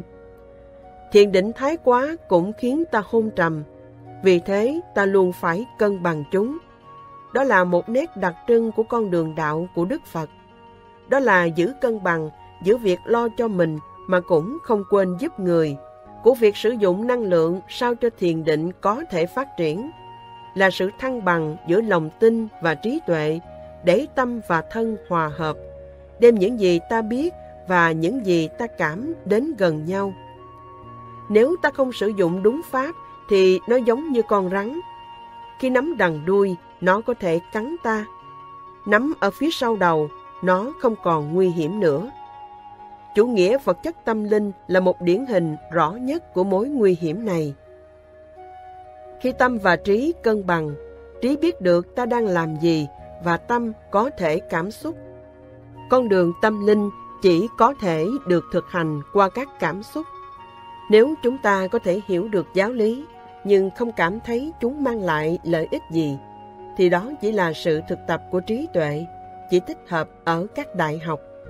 Những gì chúng ta hướng đến, ngược lại, là sự giấy khởi của một tri giác sâu xa, có thể biến chúng ta từ một chúng sanh tầm thường thành một đấng giác ngộ, người đã đạt được Niết Bàn, Nibbana. Hỷ là một cảm xúc nội tâm thiết yếu nếu như ta muốn đi theo con đường này. Nếu ta không thấy vui trong khi tu tập, thì tại sao ta phải theo đuổi chúng? Rất ít người theo đuổi một điều gì nếu họ không thấy hứng thú, không coi điều đó là giá trị đẹp đẽ. Niềm vui nội tâm không thể bị xâm phạm bởi những yếu tố bên ngoài. Khi nào ta còn tùy thuộc vào ngoại cảnh, ta còn là những nạn nhân không có sự tự do lựa chọn. Con đường này sẽ dẫn ta đến tự do hoàn toàn. Chúng ta cần phát triển sức mạnh nội tâm để không còn phải tùy thuộc vào bất cứ điều gì trừ những gì chúng ta tự phát triển. Tham vấn Thiền sinh hỏi Thưa Ni Sư, có phải việc ta bám vào các căn trần mới là vấn đề, chứ không phải là các căn? Ni Sư Ayakema trả lời Dĩ nhiên là các căn của chúng ta không phải là vấn đề, vì chúng ta không thể sống nếu không có chúng. Nhưng chính là những diễn giải nơi tâm mới tạo nên vấn đề. Câu chuyện sau đây sẽ là một thí dụ. Có đôi vợ chồng kia. Một ngày nọ, sinh chuyện cãi vã lớn. Người vợ nghĩ rằng mình sẽ ra đi vì đã quá chán ngán. Bà mặc vào những chiếc sare đẹp đẽ nhất, cái nọ chồng lên cái kia, đeo những đồ trang sức bằng vàng quý giá nhất rồi bỏ nhà ra đi. Người chồng sau đó cảm thấy hối hận nên quyết định chạy tìm người vợ để đưa bà trở về. Ông chạy đuổi theo nhưng không tìm thấy bà đâu cả. Lúc đang vội vã trên đường làng, ông nhìn thấy một vị sư đi ngang qua. Ông chặn vị sư lại hỏi, Thưa ngài, ngài có thấy một phụ nữ đẹp, tóc dài, mặc sari đỏ, mang nhiều nữ trang, đi ngang qua trên đường này không? Vị sư trả lời, tôi thấy một hàm răng đi qua. Dầu vị sư đã nhìn thấy người phụ nữ, ông không muốn bắt đầu tự nhủ rằng đây là một người phụ nữ đẹp với mái tóc đen dài, áo sari đỏ, nữ trang vàng chói. Ông đã biết làm sao để thanh tịnh các căn, đến nỗi ông chỉ thấy một hàm răng đi ngang qua. Không phải các căn của ta là vấn đề, chúng ta rất cần chúng không thể sống thoải mái mà không có cắt căn. Thật vậy, cuộc sống của ta sẽ rất khó khăn nếu ta bị mù hay điếc. Vấn đề là ở các suy nghĩ của ta. Thiền sinh Con nghĩ là nếu chúng ta dựa theo quan điểm chánh niệm đó, quá sát sẽ khiến ta thiếu sự tri ân, ngưỡng mộ. Thí dụ, niềm vui của con là con cảm thấy mình tri ân mọi thứ hơn lên chim chóc, biển cả, ánh sáng hình như đẹp hơn. Đó không phải là chấp, mà là một cảm giác an lạc, hưng phấn trước cái đẹp của muôn vật, muôn loại. Con không biết phải diễn tả thế nào. Ni sư, tôi hiểu điều em muốn nói. Tuy nhiên ở đây, điều chúng ta muốn nhấn mạnh đó là ta có thể có được niềm vui ở nội tâm mà không cần có sự xúc chạm của các căn sự xúc chạm của các căn là điều không thể tránh khỏi. Qua đó, có thể khiến ta tăng thêm lòng ngưỡng mộ cái đẹp. Nhưng hãy cố gắng đừng để phải tùy thuộc vào các vẻ đẹp bên ngoài để tạo niềm vui cho nội tâm. Đừng đợi một động lực nào đó mới phát sinh hỷ lạc. Vẻ đẹp có hiện hữu, nhưng ta cần phải biết các cảm giác xúc chạm sẽ chóng qua cũng như nhận thức được rằng cuộc sống của chú chim kia cũng đầy đau khổ. Hỷ lạc phát sinh từ sự hiểu biết trong nội tâm rằng vạn pháp đều vô thường, không có gì để ta phải chấp, không có gì để ta lo lắng. không cần phải đi đâu, không cần phải đạt được điều gì. Đức Phật đã ví sự xúc chạm của các căn như là một con bò bị lột da sống, với đàn ruồi luôn bu trên da thịt. Con bò phải khốn khổ luôn vì chúng. Cũng thế, sự xúc chạm của các căn cũng quấy rầy ta luôn, vì tâm ta lúc nào cũng phải cố gắng giải mã chúng.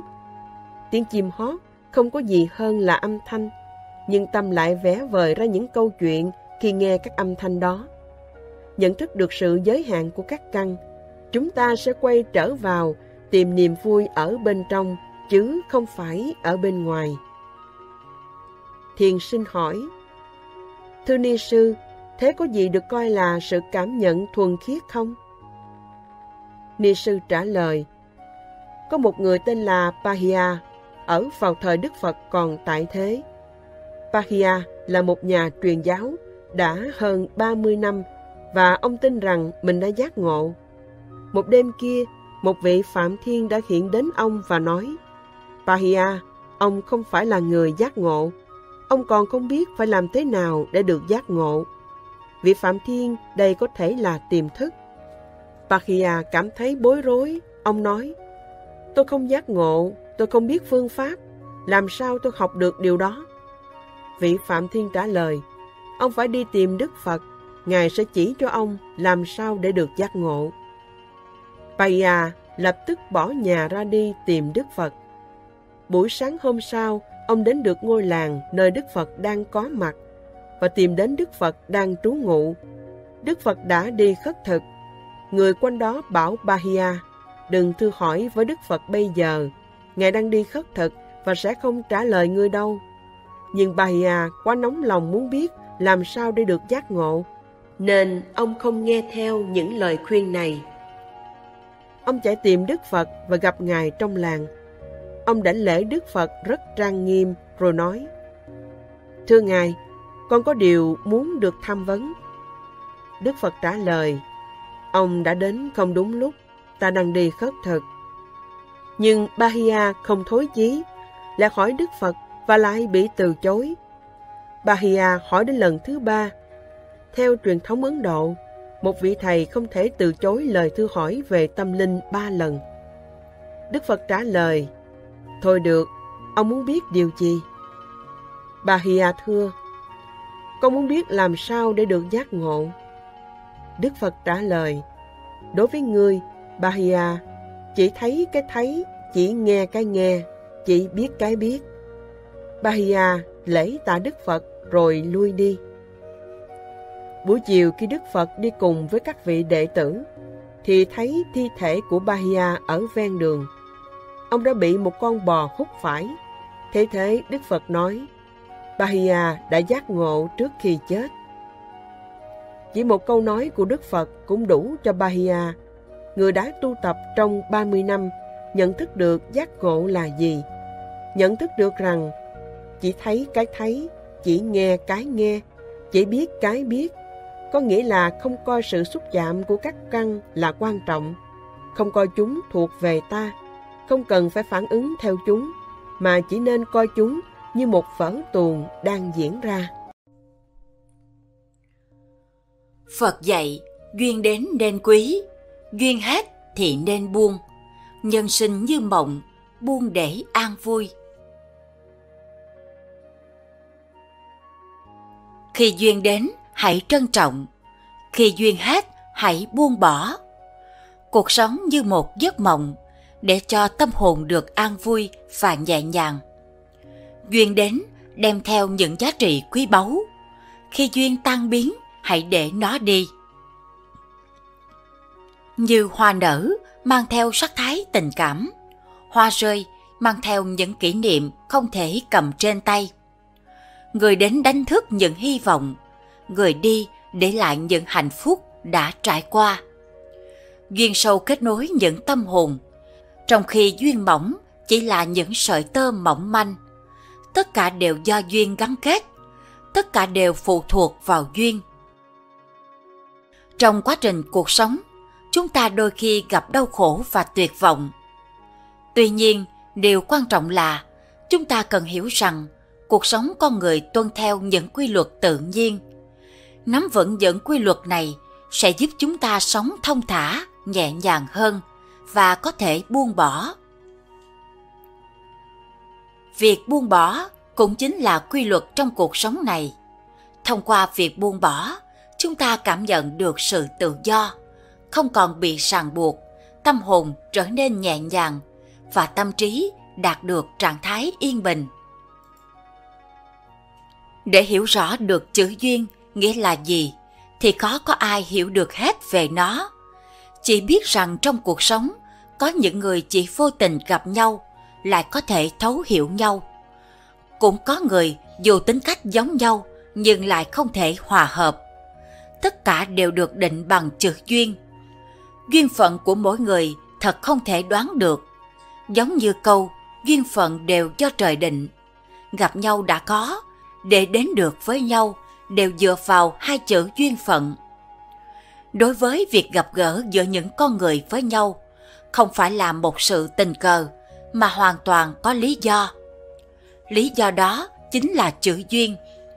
Nhưng ở đây có thể hiểu theo các nghĩa như nhân duyên, cơ duyên, thị duyên hay nghiệp duyên.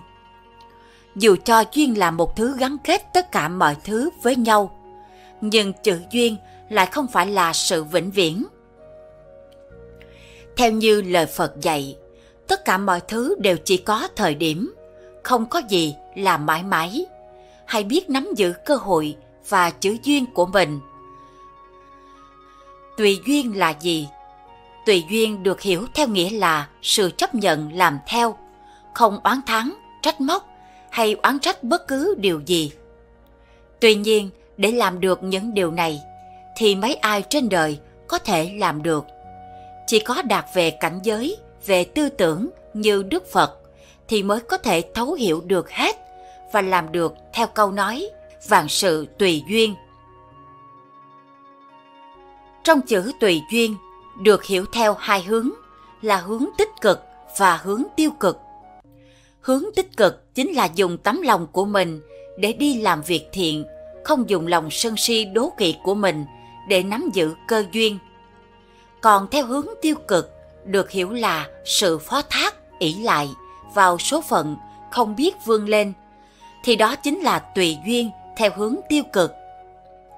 Cũng giống như trong tình yêu, nếu chúng ta thích một người, dù có làm cách nào đi chăng nữa, trong hạn mức quy định, người đó cũng không thể yêu mình, thì nên buông bỏ. Điều này chứng tỏ mình và người đó không có duyên với nhau. Còn nếu cứ tiếp tục làm quá lên, gọi là ép duyên, thì tất cả mọi thứ đều trở về con số không và còn khiến bản thân mình đau khổ hơn. Duyên đến nên quý, duyên hết nên buông, hoa nở hữu tình, hoa rơi là vô ý. Duyên sâu thì hợp, duyên mỏng thì tan. Vạn pháp do duyên, vạn sự tùy duyên, bớt cầu bớt khổ. Duyên đến nên quý, duyên hết thì nên buông u vô phiền não là cái điều quan trọng làm sao cho cái tâm của chúng ta đừng có phiền não. Tại vì mình nhớ cái tâm phiền não thì sau cùng mình sẽ bị phiền não. Cái tâm mình vui thì sau cùng mình sẽ vui. Đạo phật là đạo tiên khổ đắc lạc. Khổ là sầu khổ, là phiền não, phải tự mình đi cái này ra. U vô phiền não, u vô sầu bổn phận tùy duyên mà cưỡng cầu. Vô ích ngữ ngôn, hữu khai khẩu. Vô can nghĩ sự, thiểu đương đầu. Như vậy, gặp một cảnh giới nào mà chúng ta sợ? Nay không sợ. Gặp một cảnh trạng nào mình buồn? Nay nhất định đừng buồn. Tất cả những cái đó, đừng để nó chui vào tâm ưu vô phiền não. Đừng để nó chui vào trong tâm ưu vô phiền não u vô sầu hay vô cùng. Bài thơ này gói gọn cả trong lời khai thị tuyệt vời, giúp chúng ta giữ tâm an tĩnh.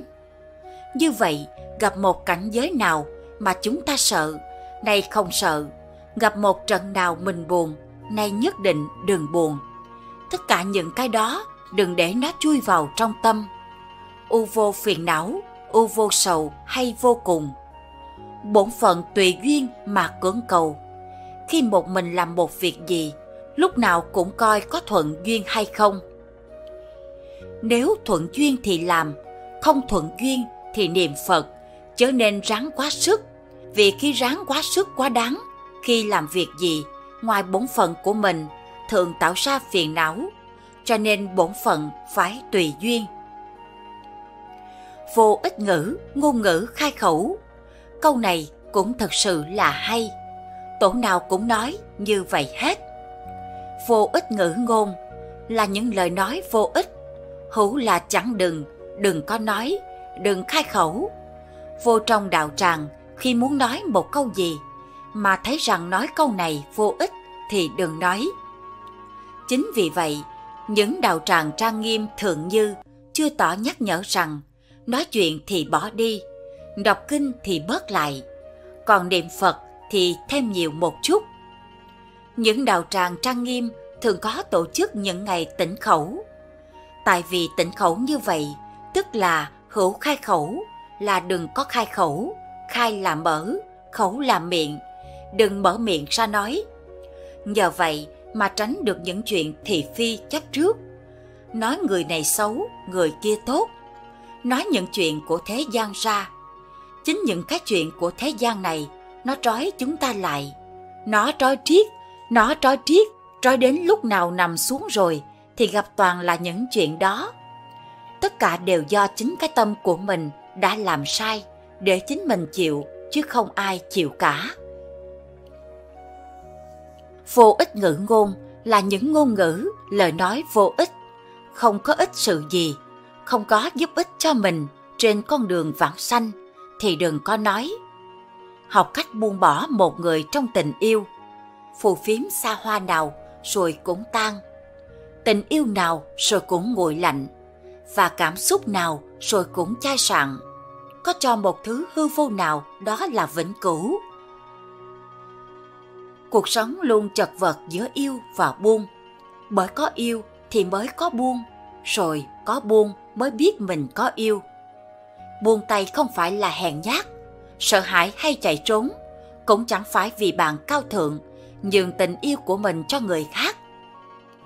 Đó chỉ đơn giản là vì yêu bản thân của mình và yêu người khác. Vì thế, nếu cần phải buông tay một người vốn không thuộc về mình và mãi mãi sẽ không thuộc về mình, thì đừng chần chừ, hãy thả tay ra thôi. Đừng để cho tâm lý, con cá mất là con cá to trở thành chướng ngại vật lớn trên con đường tới hạnh phúc của bạn. Con người ta cần ngã để học cách đứng dậy còn đau khổ để biết mình phải buông tay. Đừng níu giữ mãi những thứ làm mình đau để rồi cả ngày than vãn và u sầu.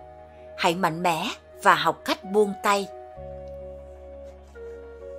Có những ngày tháng tưởng chừng như tim đã chết lại, tâm hồn buộc nát, có thể sống như một cái xác.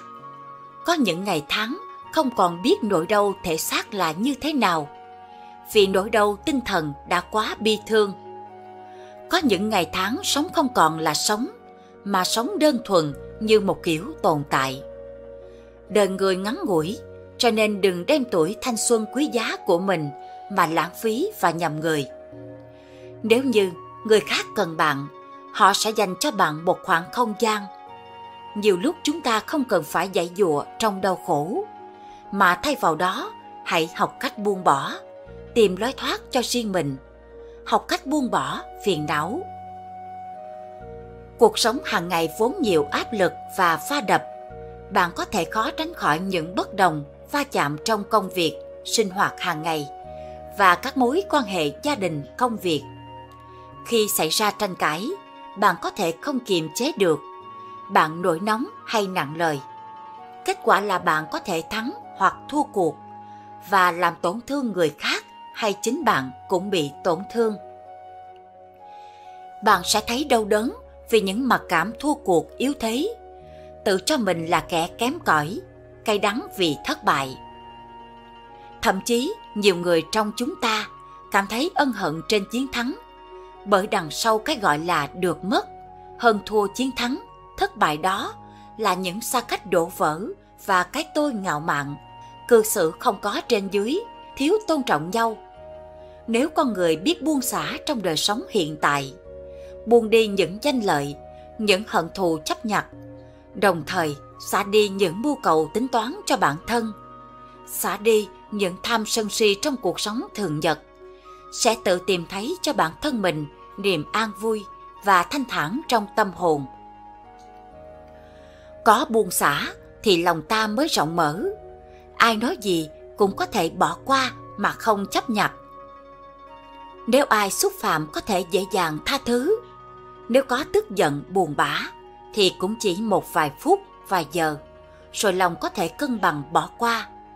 Để rồi khi qua một đêm thức dậy, có thể quên hết để tâm an vui. Nhưng bạn cũng cần biết buông xả, không có nghĩa là bỏ cuộc, dẹp hết tất cả chỉ để lo cho bản thân mình. Buông xả không có nghĩa là chối bỏ, trốn tránh trách nhiệm. Buông xả nhưng phải luôn giữ trọn trách nhiệm của một con người. Khi tâm hồn trong sáng vui vẻ, là bạn đang tiến dần đến mục tiêu thành công của cuộc sống mà chúng ta mong đợi. Chúng ta sẽ làm việc tốt hơn, sống đam mê hơn, nhân hậu tha thứ và rộng mở, học thêm được nhiều điều. Hạnh phúc bình an, nhận được nhiều yêu thương khi biết buông xả cũng là một nghệ thuật sống mang lại bình an cho mọi người. Buông bỏ để trở về chính mình. Đôi khi ta cúi đầu là để nhìn cho rõ con đường mình bước đi. Rất nhiều người nhận thấy bản thân mình có quá nhiều thứ đều là những thứ không cần thiết, không như ý. Tuy nhiên lại không muốn bỏ xuống được, thể diện khiến họ không buông được. Cuối cùng chết vì thể diện. Mệt mỏi hay không mệt mỏi là phụ thuộc vào cái tâm của bạn. Trong căn phòng tâm hồn, nếu không được quét sạch thì sẽ bị bụi trần bao phủ. Quét sạch bụi trần mới có thể khiến cái tâm ảm đạm trở nên tươi sáng, đem lại sự tình, làm rõ mới có thể từ giả mọi buồn phiền, để một vài thống khổ vô vị mà ném xuống. Hạnh phúc sẽ tràn ngập không gian. Trong lòng còn hoài nghi, làm việc rất khó thành. Dùng người thì không nghi, đã nghi thì không dùng người. Không nên lấy sự hoài nghi của mình để nhận định suy nghĩ của người khác. Không nên ngờ vực người khác một cách vô căn cứ. Nếu không, sẽ ảnh hưởng đến tình hữu nghị lâu dài.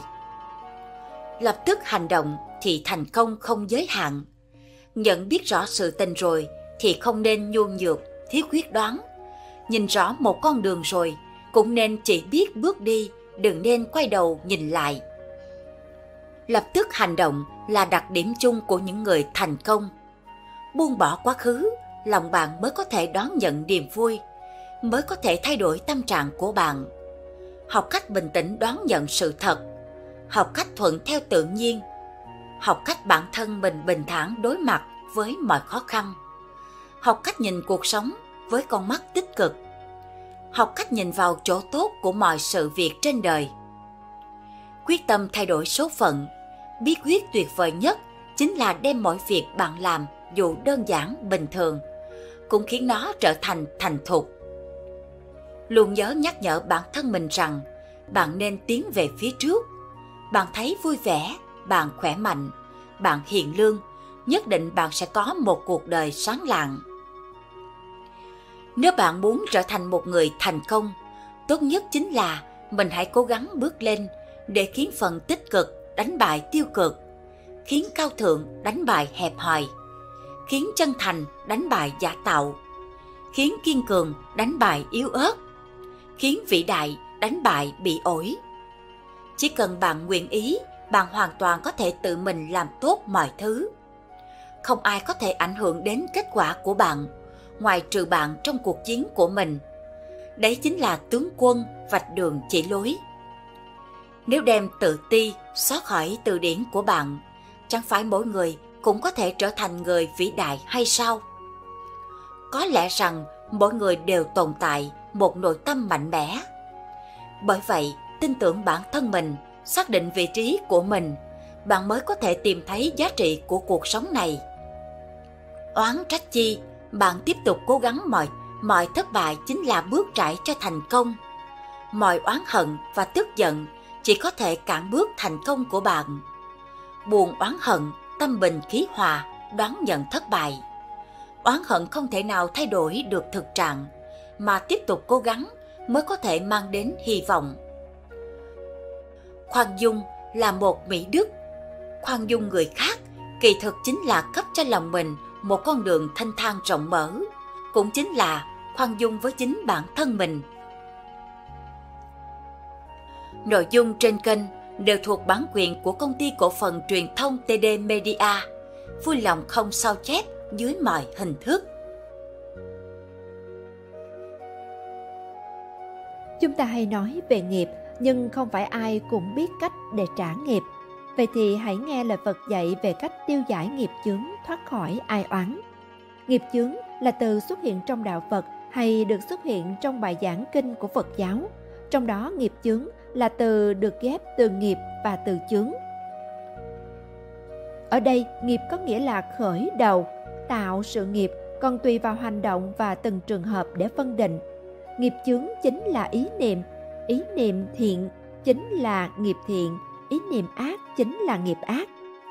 Ý niệm vị chúng sinh là niệm thiện, niệm này là nghiệp thiện, ý niệm chỉ vì bản thân mình là niệm ác, niệm này là nghiệp ác. Tâm niệm chúng ta khởi tạo ra từ những tư tưởng suy nghĩ gọi là ý nghiệp. Miệng chúng ta phát ra âm thanh ngôn từ gọi là khẩu nghiệp. Thân thể chúng ta hành động tạo ra các sự việc, hành động gọi là thân nghiệp. Vì thế nhìn chung, nghiệp được tạo ra từ chính suy nghĩ tư tưởng, lời nói hành động của chính chúng ta. Đó là tạo nghiệp. Sau khi tạo nghiệp gây ra kết quả, hậu quả đó cũng được gọi là nghiệp nghiệp đã phát sinh có kết quả sẽ sinh ra chướng ngại về sau.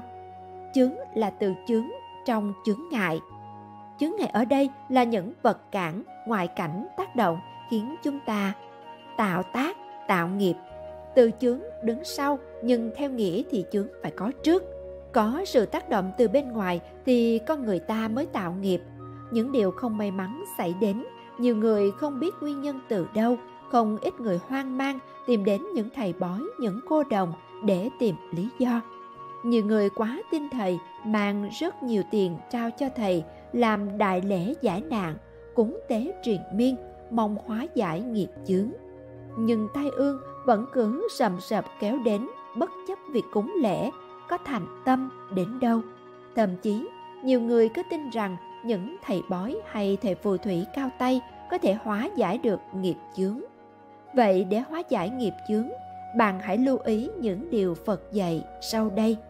một Oan gia nên giải không nên kết. Đối với người oán hận ta, hãy quan tâm cùng trợ giúp, oán kết tự nhiên hóa giải. Ta giúp người khác vô điều kiện, không cầu danh cũng chẳng cầu lợi, thì tự khắc tích phúc cho bản thân. Học Phật có thể nhẫn nhục, có thể bao dung thì nghiệp chướng tan biến như mây như khói người oán hận ta thì là người tự tạo nghiệp chướng còn ta đối với oán hận của người mà bình tĩnh mà mở lòng thì tránh được oán nghiệp hai bù đắp bằng những việc phúc thiện sự sám hối của bạn sẽ thực tế hơn rất nhiều, nghiệp chướng sẽ tan biến nhanh hơn rất nhiều nếu được đền chuộc bằng những việc làm từ thiện càng làm nhiều, bạn sẽ càng thấy hiệu quả rõ rệt. 3. Giảm thiểu tham vọng và đòi hỏi. Hãy thử giảm bớt sự tham vọng và đòi hỏi quá lớn trong cuộc sống. Điều này không có nghĩa không nên đặt mục tiêu nhưng hãy giữ cho chúng thực tế và tập trung vào những gì bạn đã có thay vì luôn luôn tìm kiếm thêm. 4. Buông bỏ vật chất vô nghĩa. Tích trữ vật chất không có ý nghĩa thường tạo ra thêm nhiều điều phiền toái. Xem xét những vật dụng nào thực sự cần thiết và có ý nghĩa đối với bạn. Buông bỏ những thứ không cần thiết, sống đơn giản và tiết kiệm có thể giúp bạn giảm bớt gánh nặng vật chất. 5.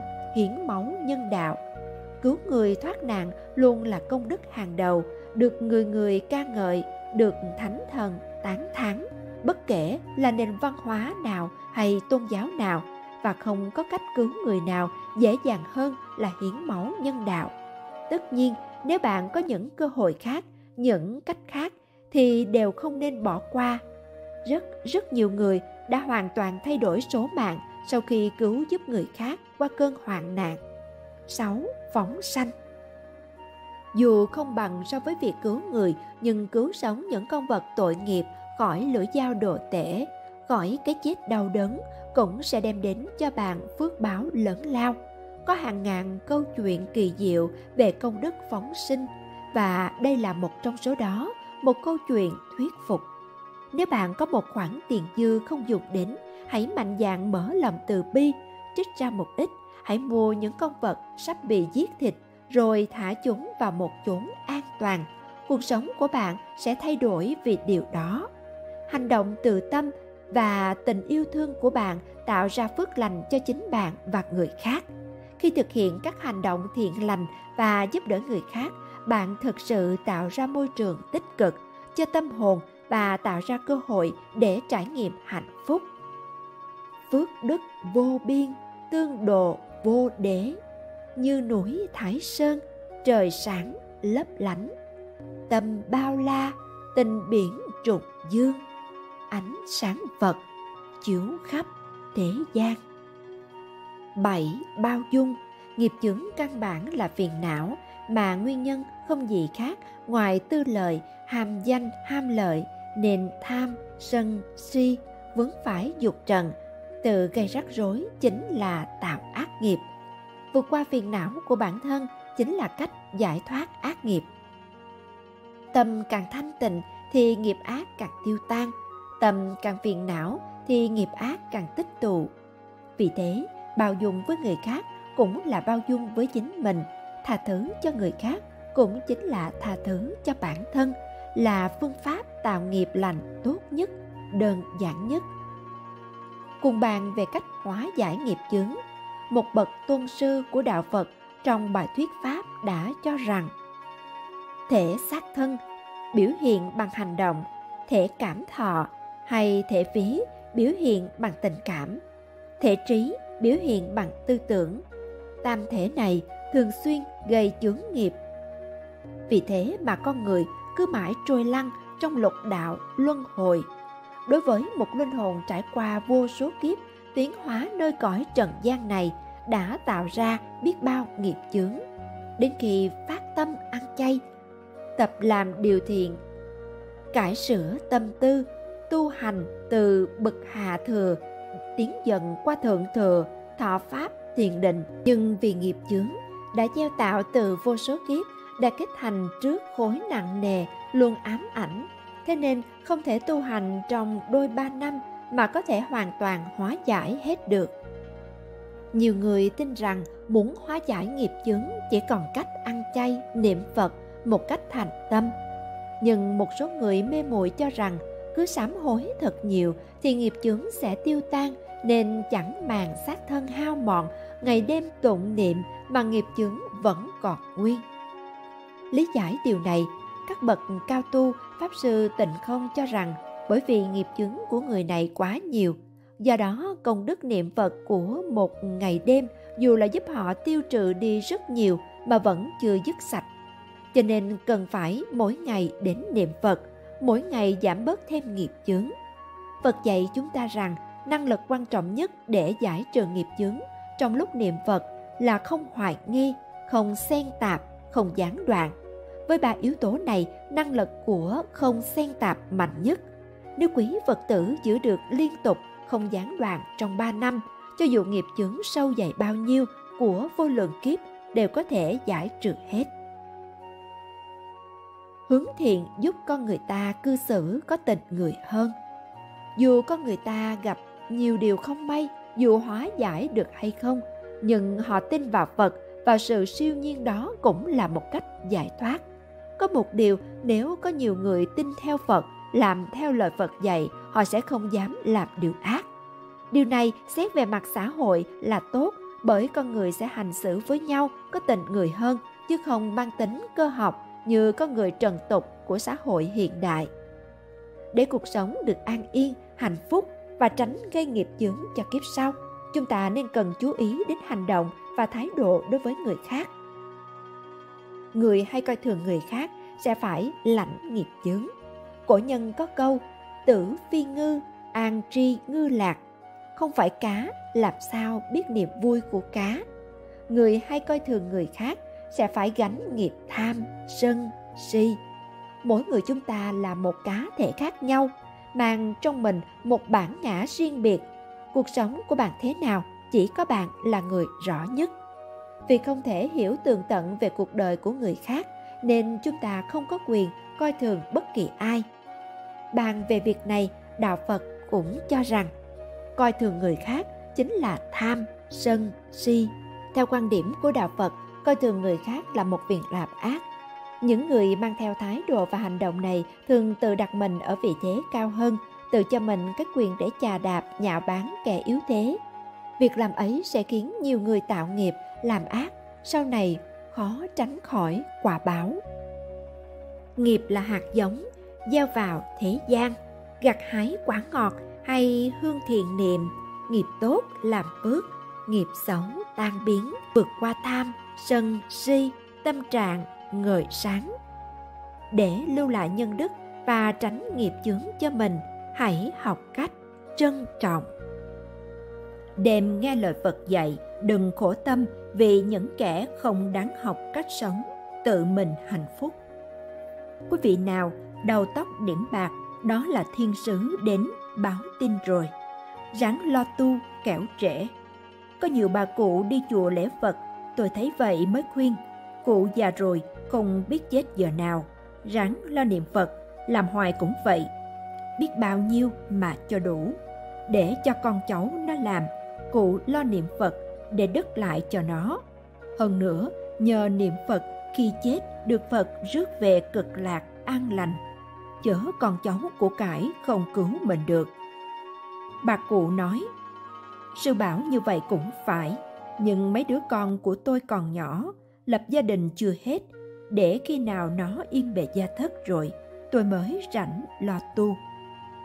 Mới nghe qua, tôi thấy cũng có lý, nhưng khi con nó lập gia đình xong, không bao lâu lại sinh ra cháu. Phận làm cha mẹ thật là khó xử. Còn nó bận đi làm, không ai giữ cháu. Thấy vậy không đành lòng, rồi cứ tiếp tục lo cái này xong lại có cái khác. Cái khác vừa xong lại có cái khác nữa. Cứ như thế mà lo mãi cho đến khi ngã ra chết mà cũng chưa rảnh để tu. Cho nên trong kinh Nikaya, Phật nói, hôm nay nhiệt tâm làm, ai biết chết ngày mai. Không ai điều đình được với đại binh thần chết. Khi tử thần đến gõ cửa, mình nói, khoan, để chậm lại vài năm nữa, cho tôi tu có được không? Chuyện đó không bao giờ có, vì Diêm Vương chỉ định canh ba chết, không thể nán lại đến canh năm. hỡi ôi, tất cả già, trẻ, sang, hèn, ai rồi cũng phải chết. Bởi vậy, chúng ta không tu nhiều được thì cũng nên tu ít. Chớ có hứa hẹn bất luận là người ngoài đời hay trong đạo. Tánh giải đãi rất tối kỵ trong sự thành công. Con đường thiên đạo, Phật dạy nếu người nào chuyên tu thập thiện, thân không sát sanh, đạo tặc, tà dâm, khẩu không nói dối, khoe khoang, đâm thọc, chửi rủa, ý không tham sân, tà kiến. Trong giờ phút lâm chung, những điều lành mình làm được hàng ngày như là trì trai, giữ giới, tụng kinh niệm Phật, cúng dường, bố thí phóng sinh, cứu trợ, ủy lão, hiếu thảo, phụng dưỡng cha mẹ. Qua diễn tiến đó, nó hiện ra cảnh giới thiên đường thấy tiên đồng ngọc nữ đến trước mình về thiên giới hưởng lấy thiền phước. Nói tóm lại, nếu người nào tâm địa độc ác là họ đang đi con đường xuống địa ngục. Người nào tham lam, trộm cắp, keo kiệt, bủn xỉn là đang đi vào con đường ngạ quỷ. Ai mê muội mù quáng không phân biệt được thiện ác, mê tín, tà đạo là đi vào loài súc sinh. Người nào thích đấu tranh hơn thua là đang đi vào con đường Atula, còn người giữ nam giới là đang đi vào cảnh giới người. người nào tu thập thiện là đang đi vào con đường thiên giới. Đó là sáu nẻo luân hồi mình muốn đi lên xuống tùy ý. Còn nếu như ai muốn thoát cảnh luân hồi sanh tử thì phải xuất gia giữ 250 giới tu lần cho đến khi chứng đắc quả vị thanh văn duyên giác bồ tát phật mới thoát khỏi cảnh sanh tử giữa năm mười giới mà còn chật vật đừng nói chi tới 250 giới rồi trải qua vô số kiếp tu mới thành Phật. Mình mới nghe qua thấy ngán, nhưng trong kinh Pháp Cú, Đức Phật dạy, tỳ kheo múc nước thuyền, nước hết thì thuyền nhẹ, thuyền nhẹ lướt đi mau. Người đoạn trừ ái dục và luôn cả sân nhuế, ái dục và sân nhuế đã vứt sạch không còn. Thời liền chứng niết bàn. Hệ ái dục sân hận nổi lên là diệt liền. Ngày đó là bồ đề niết bàn vì mê là chúng sanh ngộ là phật. Có người nói sao tu hoài mà không thành phật? Thử kiểm lại coi mình tu có giống phật không? Nếu tu giống thời thành phật liền tại mình tu không giống phật cho nên làm chúng sanh luân hồi là vậy nếu mình nhận thấy không đủ khả năng thoát khỏi luân hồi thì nên chọn vào cảnh trời người chứ để rơi vào cảnh địa ngục súc sanh. Atula là nguy lắm. Do đó ta phải cố gắng tu, nếu không siêng năng học tập tu hành, đến lúc lâm chung thì đã muộn. Sở dĩ có ba con đường giữ là do tham, sân si, thân là ác, khẩu nói ác, ý nghĩ ác. Như giận người nào muốn cho họ chết một cách thê thảm mới hạ dạ. Nếu ghét ai là theo dệt, đâm thọc, chửi rủa quỷ bán đủ điều. Quyết cho họ lâm vào cảnh khổ lại không ưa thấy điều tốt của người, còn như đánh vào người nào. Quyết đánh họ đau đớn, thấu trời, thấu đất. Khi giận hờn, tàn bạo thì không kể tôn ti thượng hạ phùng mang trợn mắt như đổ lửa, la lối vang dội như sấm nổ. Chửi mắng, đánh đập, hãm hại người chẳng chút nương tay. Còn khi làm phước thì thiền tâm rất yếu ớt. Chỉ được lúc đầu, lần hồi ngày qua tháng lại, đến khi quên mất hết việc thiện là xong. Khi làm ác thì tâm lực mãnh liệt, lúc tu hành, làm lành thì ý chỉ bạc nhược, yếu hèn mà lại mong hóa giải hết ác nghiệp hưởng nhiều phước báo có nhiều người vừa mới tụng kinh niệm Phật lại sanh tâm, mỏi mệt, chán nản, tự nhủ mình không nên làm cho thân thể quá mỏi mệt, sẽ sanh bệnh. Hơn nữa tu hoài mà không thấy linh ấn hay đắc đạo. Toàn gặp những chuyện không may là đổ thừa tại tu mới đổ nghiệp như vậy. Nhưng họ có biết đâu, nếu không nhờ tu đã chết từ lâu rồi. Vì tu là chuyển nghiệp nặng thành nhẹ, chứ không phải là thêm nghiệp chẳng qua là biện hộ cái tánh giải đãi lười biếng, ham ăn, mê ngủ, vừa nằm xuống mê man như chết, không bao giờ tưởng nhớ đến tam bảo kinh luật hay là báo ơn cha mẹ tổ thầy cúng dường bố thí, học pháp, nghe kinh tình tấn tu hành lục độ là bố thí trì giới nhẫn nhục. Tinh tấn thiền định trí huệ, làm lợi ích cho chúng sinh. Từ sáng đến tối cứ mãi lo nghĩ cái chuyện hơn thua. Được không bao nhiêu phiền não khổ đau lại quá nhiều, chẳng khác nào con thiêu thân, đâm đầu vào lửa. Muốn có cuộc sống hài hòa, chúng ta phải tu hành hỷ xả, tùy thuận lẫn nhau. Khi gặp cảnh trái ý nghịch lòng ta phải bình tĩnh quan sát lời phật dạy ngũ dục lục trần là pháp loạn luân tổn hao sức khỏe đều nguy hại cho lòng đạo cả. Nếu ta thấy rõ các pháp không thực thì tâm ta liền trở nên an lạc. Sở dĩ con người khổ là do lòng cố chấp quá nặng, như khi hương thơm đến nảy sinh ưa ý thích, hồi thối tới liền bực dọc tức giận. Muốn khắc phục và định tâm để thấy tự tánh nó không thật, đủ duyên thì đến, hết duyên liệt mất nhìn lại thân ta cũng là nhơ uế có gì phải bận tâm buồn phiền không giải quyết được tốt nhất là lo dọn dẹp hoặc tránh né hay hơn là phiền trách cho đến xúc phạm những gì êm ái mịn màng thì sanh tâm, say đắm, thô cứng thì lại chán ghét. Phật dạy, người đam mê xúc dục nếu cứ mãi luẩn quẩn trong vòng sinh tử, chịu biết bao kiếp nạn, giống như người đứng trước vực thẳm, không biết rơi xuống lúc nào, nên có câu. Bởi mê mới làm tôi thì dục, nếu ngộ đâu tùng phục lòng tà. Dục tà đều hại người ta, dục là thống khổ, tà là trầm luân. Dục thường vì sát thân khởi xướng, tà thường vì vọng tưởng gây ra. Cả hai đều thứ mắc lòa. Lợi gần thì thấy, hại xa không lường. Hay là nhãn thấy sắc thường hay bận biệu tai ưa nghe những điệu âm thanh. Mắt với tai đều chọn đẹp xinh. Còn lỗ mũi ưa mùi êm dịu. Đồ thơm tho nó ưa, nó chịu chốn xạ hương hay lết lại gần. Lưỡi ưa ngon là chuyện ân cần. Đồ ngọt béo, nó ưa, nó mến. Thân tham sướng muốn tiền của đến, đặng ăn xài cho vĩ tâm tình. Ý thì ưa sữa, sắc, soi hình. Với chất vận cho cao, cho quý. Sáu đường ấy ở trong tâm ý ta mau mau dứt nó cho rồi. Thì tòa sen mới đặng đứng ngồi, cho thông thả hưởng mùi sen báu. Cổ đức, thi văn cho chúng ta biết nếu lục căn của mình được thanh tịnh ngày đó là bồ đề niết bàn tịnh độ, không cần tìm đâu xa.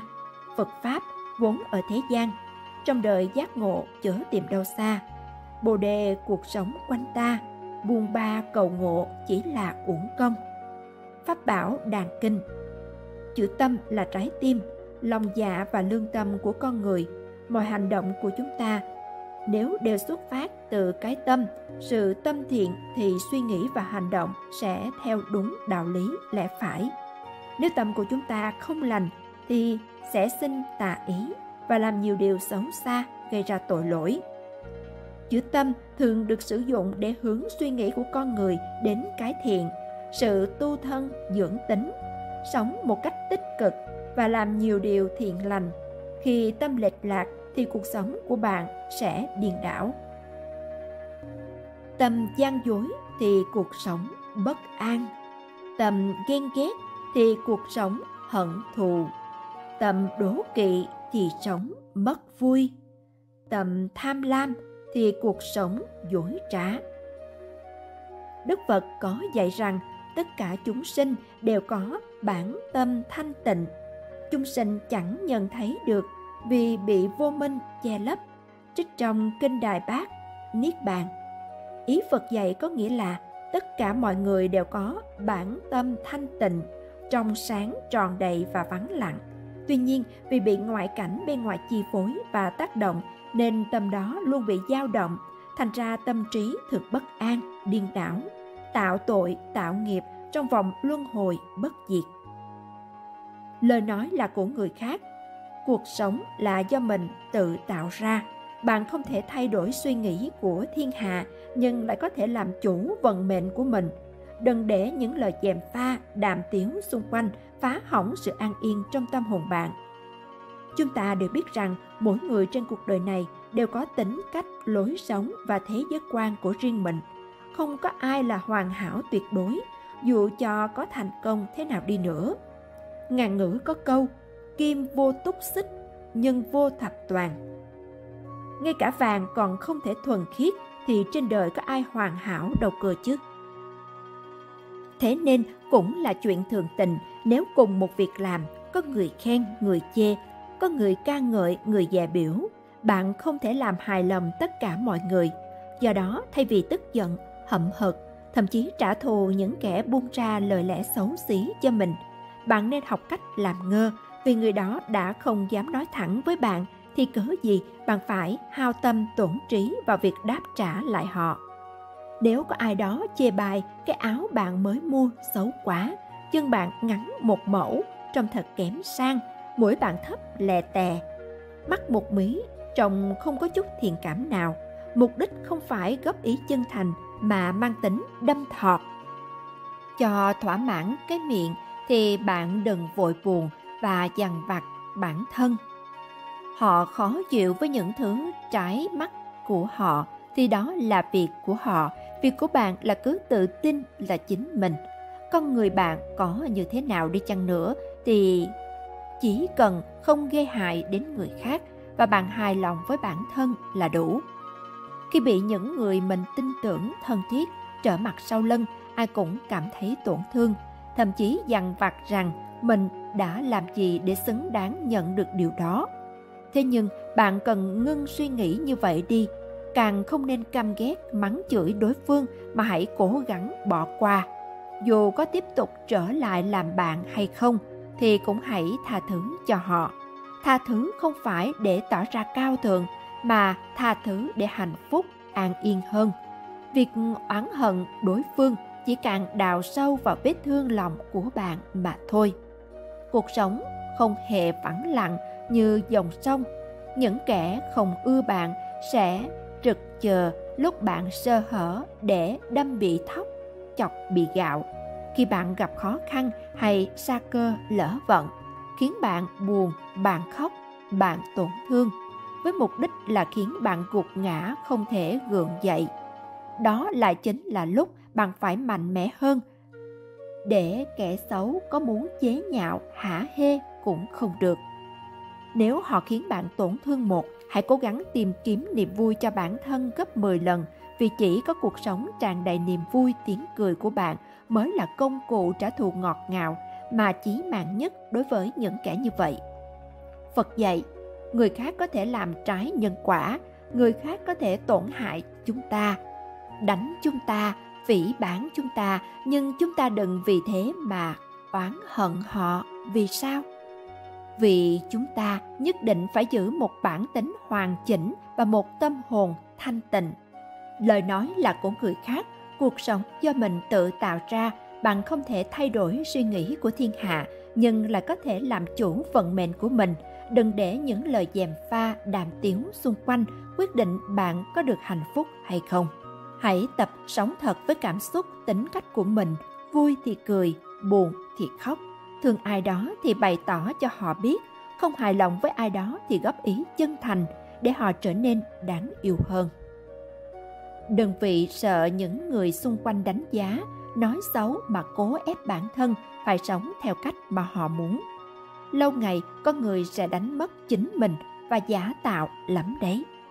Nếu thường xuyên phải ở bên cạnh những kẻ ngồi lê đôi mắt, hãy giữ khoảng cách nhất định với họ, tỏ ra hòa nhã nhưng đừng thân thiết với những kẻ dèm pha. Cũng đừng bao giờ tâm sự chuyện riêng tư với họ vì có khả năng những thông tin đó sau này lại trở thành đề tài cho họ đơm đặt, theo dịch có thể sẽ rất khó để tiếp tục tập trung vào công việc, bài vở khi có kẻ nói xấu sau lưng. Thay vì cứ mãi âu sầu, dày dứt vì chuyện đó, hãy dành năng lượng cho những hoạt động tích cực để đánh lạc hướng bản thân. Sắp xếp lại bàn làm việc, đi dạo qua công viên, hít thở không khí trong lành, tán gẫu với một người bạn thân hoặc tự đề ra thời hạn cho mình để hoàn thành một việc nào đó là những cách hữu ích giúp đầu óc bạn vần tán khỏi những điều không đáng bận tâm. Hiển nhiên con người dễ cảm thấy bị cô lập khi có người bàn tán sau lưng. Bạn có thể đẩy lùi cảm giác này bằng cách dành thời gian cho người yêu mến mình, cho gia đình, cho người thương. Họ sẽ giúp bạn vui vẻ hơn, tự tin hơn, thậm chí quên đi những lời đơm đặc hoặc tin đồn tiêu cực. Bước thứ ba trong tiến trình của duyên khởi siêu việt là hỷ. Duyên khởi có nghĩa là nhận ra được nhân và quả. Bước đầu tiên trong việc nhận biết khổ đau không có nghĩa là ta phải đối đầu với khổ đau, mà là ta thật sự hiểu ý nghĩa của khổ đau. Nó là một phần của cuộc sống, có mặt trong vạn pháp. Và thế giới không thể thay đổi để thoát khỏi khổ đau. Từ nhận thức đó, ta phát sinh lòng tự tin, tính tâm vào cuộc sống tâm linh, và kết quả là hỷ lạc phát sinh. Ba yếu tố này là những điều kiện tiên quyết cho việc hành thiền của ta. Tâm hỷ mà chúng ta bàn đến ở đây phát sinh do lòng tin vào con đường đạo. Do chúng ta đã tìm được con đường giúp ta thoát ra khỏi những vấn đề của thế gian, con đường hứa hẹn sự giải thoát rốt ráo. Niềm hỷ lạc đó phải đủ mạnh để không dao động, dời đổi, dầu cho những yếu tố bên ngoài có thuận lợi hay không. Vì ta đã biết rằng các yếu tố bên ngoài chỉ ảnh hưởng đến sự xúc chạm của các giác quan. Nếu chúng ta không thấu đáo rõ ràng điểm này, thì ta cứ mãi dao động, không biết ta có nên tiếp tục con đường tâm linh này, hay lập gia đình, đi học, đi du lịch Trung Quốc, hay lập vườn trồng rau. Nếu không có niềm vui nội tại, thì ta sẽ không thể chắc chắn rằng tu hành là con đường duy nhất giúp ta thoát khỏi khổ. Chúng ta cần phải nhận thức rõ ràng, không mảy may nghi hoặc, rằng tất cả mọi lạc thọ khác đều do sự xúc chạm của các giác quan mang đến. Do đó, chỉ có thể mang đến những niềm vui ngắn ngủi, tạm bợ, không có giá trị lâu dài. Chúng đến rồi đi. Tuy nhiên, điều đó không có nghĩa là tất cả các cảm xúc do giác quan mang đến đều xấu, hay là ta có thể tránh được chúng. Đức Phật đã bảo chúng thuộc trạng thái thô lậu. Một khi đã nhận thức được rằng các cảm thọ do giác quan mang đến không thể thỏa mãn được ta, ta cần quán sát xem có thể tìm được điều gì khác nữa trên cõi đời này không? Khi đã thấu hiểu được tính chất bất toàn của giác quan, thì còn thắc mắc nghi ngờ gì về tâm hỷ lạc khi ta đã tìm được con đường đạo? Niềm vui nội tâm này là một điều kiện tiên quyết cho sự thành công của công phu tu thiền của ta. Chúng ta có thể dễ dàng chứng nghiệm được điều này bằng những kinh nghiệm bản thân. Việc tu thiền chỉ có kết quả khi trong lòng ta không còn phiền muộn, lo lắng, mong cầu, thắc mắc gì nữa. Những lời dạy của Đức Phật về thiền thường có từ xả ly, nhưng từ đó thường bị hiểu sai lệch nghĩa, tưởng rằng ta phải tách biệt khỏi thế giới này, từ bỏ mọi liên hệ với đồng loại. Hoàn toàn không phải nghĩa đó. Nó chỉ có nghĩa là tách biệt khỏi các căn trần. Sau khi đã có thể tách rời khỏi sự xúc chạm của các căn, ta mới có thể bắt đầu hành thiền.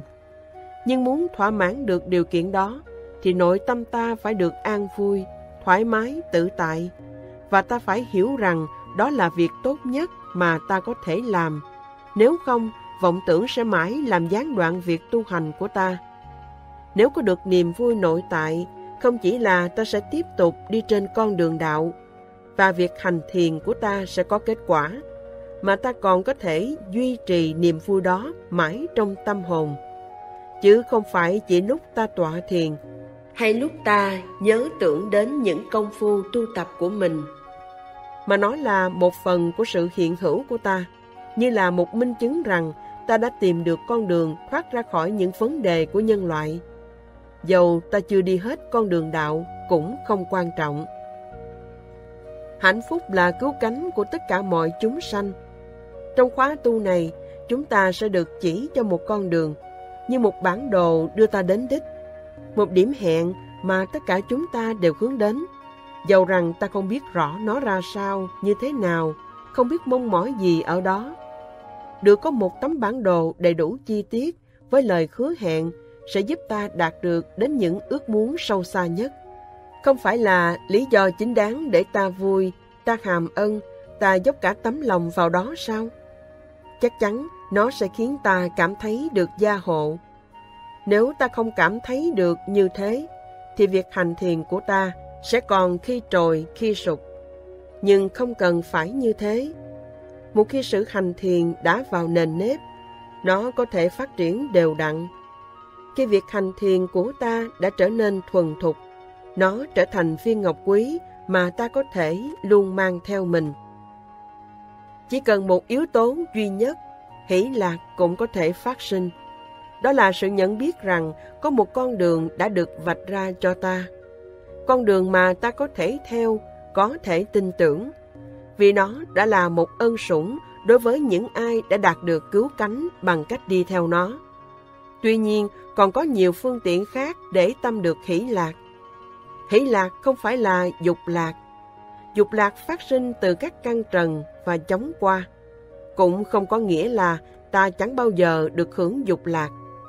Chúng sẽ phát sinh khi có sự xúc chạm của các giác quan, trừ khi tâm buông xả đã được thiết lập vững chắc trong ta. Nhưng dục lạc và khỉ lạc là hai cảm thọ hoàn toàn khác nhau. Chúng ta có thể tự giúp mình trên con đường đạo bằng cách tạo nên hỷ lạc bằng những việc thiện như là sẵn sàng phục vụ người khác.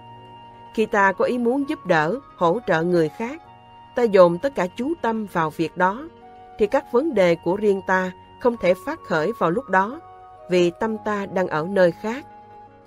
Có thể làm gì cho ai đó, dầu có được đền ơn hay không, khiến tâm ta sinh hoan hỷ. Sự an nhiên tự tại đến từ việc nhận biết rằng mình đã cố gắng hết sức mình. Đức Phật đã nhắc đến 10 điều thiện ta cần phun trồng. Trên tất cả là tâm bố thí. Bố thí bao gồm bố thí thời gian, sự quan tâm, tình thương, lòng bi mẫn, mong đem lại hạnh phúc cho người khác. Khi ta có thể thực sự thấy những điều này xảy ra, thì tâm phát sinh hỷ lạc là chuyện đương nhiên rồi. Ngay nếu như hạnh phúc đã không thực sự đến với người đó, ta cũng biết mình đã cố hết sức lực. Do đó, không thể nào trong lòng ta lại không có niềm vui. Tâm hỷ lạc cũng phát sinh khi ta tự biết mình đã giữ được kỷ luật, những kỷ luật mình đã tự đặt ra cho mình. Kỷ luật do áp đặt khiến ta cảm thấy khó chịu như đeo gông. Do đó, tự động ta sẽ phản kháng, chống cự, cảm thấy bị quấy nhiễu. Bất cứ kỷ luật gì chúng ta đang giữ đều là do ta tự đặt ra cho mình và ta có thể cảm thấy vui trong lòng vì ta đang tự chiến thắng chính mình. Đức Phật đã nói, kẻ thắng một vạn quân hằng vạn lần cũng không bằng người tự chiến thắng mình. Thật vậy, bản năng của chúng ta là đi ngược lại với sự tự thắng mình. Lúc nào ta cũng tìm mọi cách để được hưởng những lạc thú do các căn mang đến. Làm bất cứ điều gì, trước tiên ta cũng nghĩ đến việc thỏa mãn các căn của mình. Có thể chiến thắng một số các phản ứng bản năng này cũng đủ khiến ta vui mừng được làm một chiến sĩ trên con đường đi đến giải thoát. Nói thế không có nghĩa là chúng ta phải thật sự tham dự một cuộc chiến, là điều đau khổ, đáng sợ. Nhưng chỉ để chứng tỏ rằng ta cần can đảm, tự dựa vào bản thân, trung thực với chính mình. Sự can đảm và lòng trung thực giúp ta sức mạnh để có thể tự đặt ra những kỷ luật cho chính mình. Tất cả những việc làm này mang đến cho tâm ta thỉ lạc. Niềm vui biết được rằng ta đang thật sự thoát ra khỏi những vấn đề tầm thường của cuộc sống thế nhân, là những thứ ta từng nếm trải, nhưng chưa bao giờ tìm được sự thỏa mãn biết được rằng mình đã tìm ra được một hướng đi khác tràn niềm vui, giúp chúng ta tiến bước không ngại ngùng. Có câu chuyện kể về Đức Phật trước khi Ngài thành đạo, khi Ngài vẫn còn là Bồ Tát. Ngài đã không ăn và đã nhận ra rằng sự khổ hạnh thái quá không giúp cho tâm được thanh tịnh. Vì lẽ đó, con đường đạo của Đức Phật thường được gọi là trung đạo. Câu chuyện kể rằng Ngài đã ngồi dưới gốc cây bồ đề ở một nơi giờ được gọi là Bodh Gaya, phía bắc Ấn Độ. Trong vùng, thuở đó, người ta tin có một vị thần sống trong cây bồ đề, có khả năng giúp những người muốn cầu tự. Một phụ nữ tên là Sujata đã cầu nguyện vị thần cây giúp nàng có con và lời nguyện cầu đó đã thành sự thật bà liền sai cô hầu sửa soạn các lễ vật để dân cúng thần cây như bà đã khấn nguyện. Khi cô hầu tới bên cây, thì thấy vị Bồ Tát ngồi dưới cây, nhưng cô lại tưởng là vị thần cây. Cô chạy về nhà để báo với nữ chủ của mình rằng vị thần cây đang ngồi dưới gốc cây. Sujata quyết định mang lễ vật ra tạ thần để được gặp vị thần bằng xương thịt. Câu chuyện kể rằng, trước hết bà vắt sữa 100 con bò và mang sữa đó cho 50 con uống. Sau đó, bà lại vắt sữa 50 con bò này, rồi cho 20 con uống. Kế tiếp, bà vắt sữa 20 con và cho 10 con uống. Rồi bà lại vắt sữa từ 10 con này để cho một con uống. Khi bà vắt sữa từ con bò cuối cùng này, sữa thanh khiết, đậm đặc như kem. Bà dùng sữa này nấu cơm, xong đựng cơm trong một chén bằng vàng. Bà mang cơm đựng trong chén vàng ra cho người mà bà nghĩ là vị thần cây. Bà dân cúng cho người cơm và chén vàng. Vị Bồ Tát đã dùng cơm, trong tiếng Sihalis gọi là Kiripat, có nghĩa là cơm sữa. Trong các ngày lễ ở Sri Lanka vẫn còn được người ta nấu. Khi vị Bồ Tát đã dùng xong bữa, Ngài mang chiếc chén vàng đến vứt ở dòng sông phía sau lưng. Ngài nói, nếu chán nổi và chảy ngược dòng nước, thì Ngài sẽ giác ngộ, trở thành Phật. Nhưng nếu chén chảy theo dòng nước, thì Ngài sẽ không chứng được giác ngộ. Hẳn là chén đã chảy ngược dòng, dầu rằng đó là điều người ta khó thể tưởng tượng. Dầu gì, đó cũng chỉ là câu chuyện ẩn dụ, nhưng là một câu chuyện khá quan trọng đối với chúng ta. Nó ám chỉ rằng tu theo Phật Pháp cũng giống như lội ngược dòng nước. Lội xuôi theo dòng nước thì dễ dàng hơn nhiều. Mọi người đều đã đi theo hướng đó. Khi lội ngược dòng nước, ít nhiều gì ta cũng đơn độc, cũng vất vả hơn, nhưng ta sẽ đến được thượng nguồn sạch sẽ, không uế nhiễm. Sông luôn bắt đầu ở thượng nguồn. Thật là duyên lành cho chúng ta được biết phương hướng, biết con đường đạo để đi. Nhưng chúng ta cần nhớ rằng, đi ngược với dòng chảy lúc nào cũng vất vả hơn nhiều so với thuận theo, làm theo như mọi chúng sanh khác. Vì điều đó cũng có nghĩa là chúng ta phải đi ngược lại với những bản năng của chính mình. Bất cứ khi nào các ham muốn, vọng tưởng khởi lên và niềm vui đi trên con đường đạo tạm thời biến mất, chúng ta cần nhớ rằng đó chỉ là những phản ứng bản năng tự nhiên của con người mà chúng ta đang cố gắng thoát ra. Mỗi khi ta thành công, dù là rất nhỏ, ta lại tìm được niềm vui mới trong việc tu tập của mình. Chúng ta biết được con đường đạo biết những kết quả tốt đẹp của con đường đạo đó, cũng như biết rằng nhiều người đi trước ta đã đến được đích bằng cách lội ngược dòng. Chúng ta càng cảm thấy như có thêm sức mạnh vì chúng ta đã không chịu thua cuộc. Mỗi người chúng ta đều có những khả năng đặc biệt có thể sử dụng trong việc tu tập. Có người dễ trở nên trầm lặng, kẻ thì giỏi về phân tích, người khác có trí nhớ tốt, người khác nữa có tài viết. Chúng ta cần phải sử dụng tất cả những khả năng mình có và phát triển chúng tới tột cùng. Đức Phật đã dạy ta cần giữ ý, lời nói, hành động đơn giản vì tâm ta đã đầy uẩn khúc. Các quá trình suy tư phức tạp chỉ làm cho việc tu tập của ta khó hơn. Những lời dạy đơn giản của Đức Phật càng khiến cho cuộc sống hàng ngày của ta thêm vui. Vui vì được ở đúng nơi, đúng lúc và hành động đúng cách với tất cả tâm hồn. Có năm khả năng tâm linh mà nếu được phát triển toàn diện sẽ giúp ta thêm sức mạnh. Do đó, chúng cũng là những yếu tố đưa đến giác ngộ. Năm khả năng này, chánh niệm, tinh tấn, trí tuệ, tính tâm và thiền định, được so sánh với một đàn ngựa, gồm một con đầu đàn và hai cặp. Con đầu đàn có thể tùy ý đi mau hay chậm, nhưng hai cặp còn lại phải giữ thăng bằng, nếu không xe sẽ bị ngã. Con ngựa đầu đàn là chánh niệm, một khả năng ai cũng có. Nếu không, chúng ta đã bị xe ủi khi đặt bước chân đầu tiên xuống đường. Tuy nhiên, chúng ta cần phát triển chánh niệm hơn nữa để nó trở thành một sức mạnh. Đó là giới thực hành chánh niệm khi đi, đứng, nằm, ngồi, khi mở cửa, đóng cửa hay bất cứ hành động nào của thân tâm. Dĩ nhiên là có lúc ta cũng quên, nhưng khi tâm nói tôi quên hành chánh niệm thì ngay lúc đó ta lại nhớ.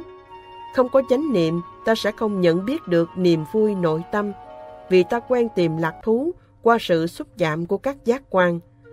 Ta biết một cách chánh niệm rằng ta đã có nhiều lạc thú do các giác quan mang đến trong cuộc đời, nhưng không có gì mang đến cho ta sự thỏa mãn, vì thế không cần phải tìm kiếm chúng nữa.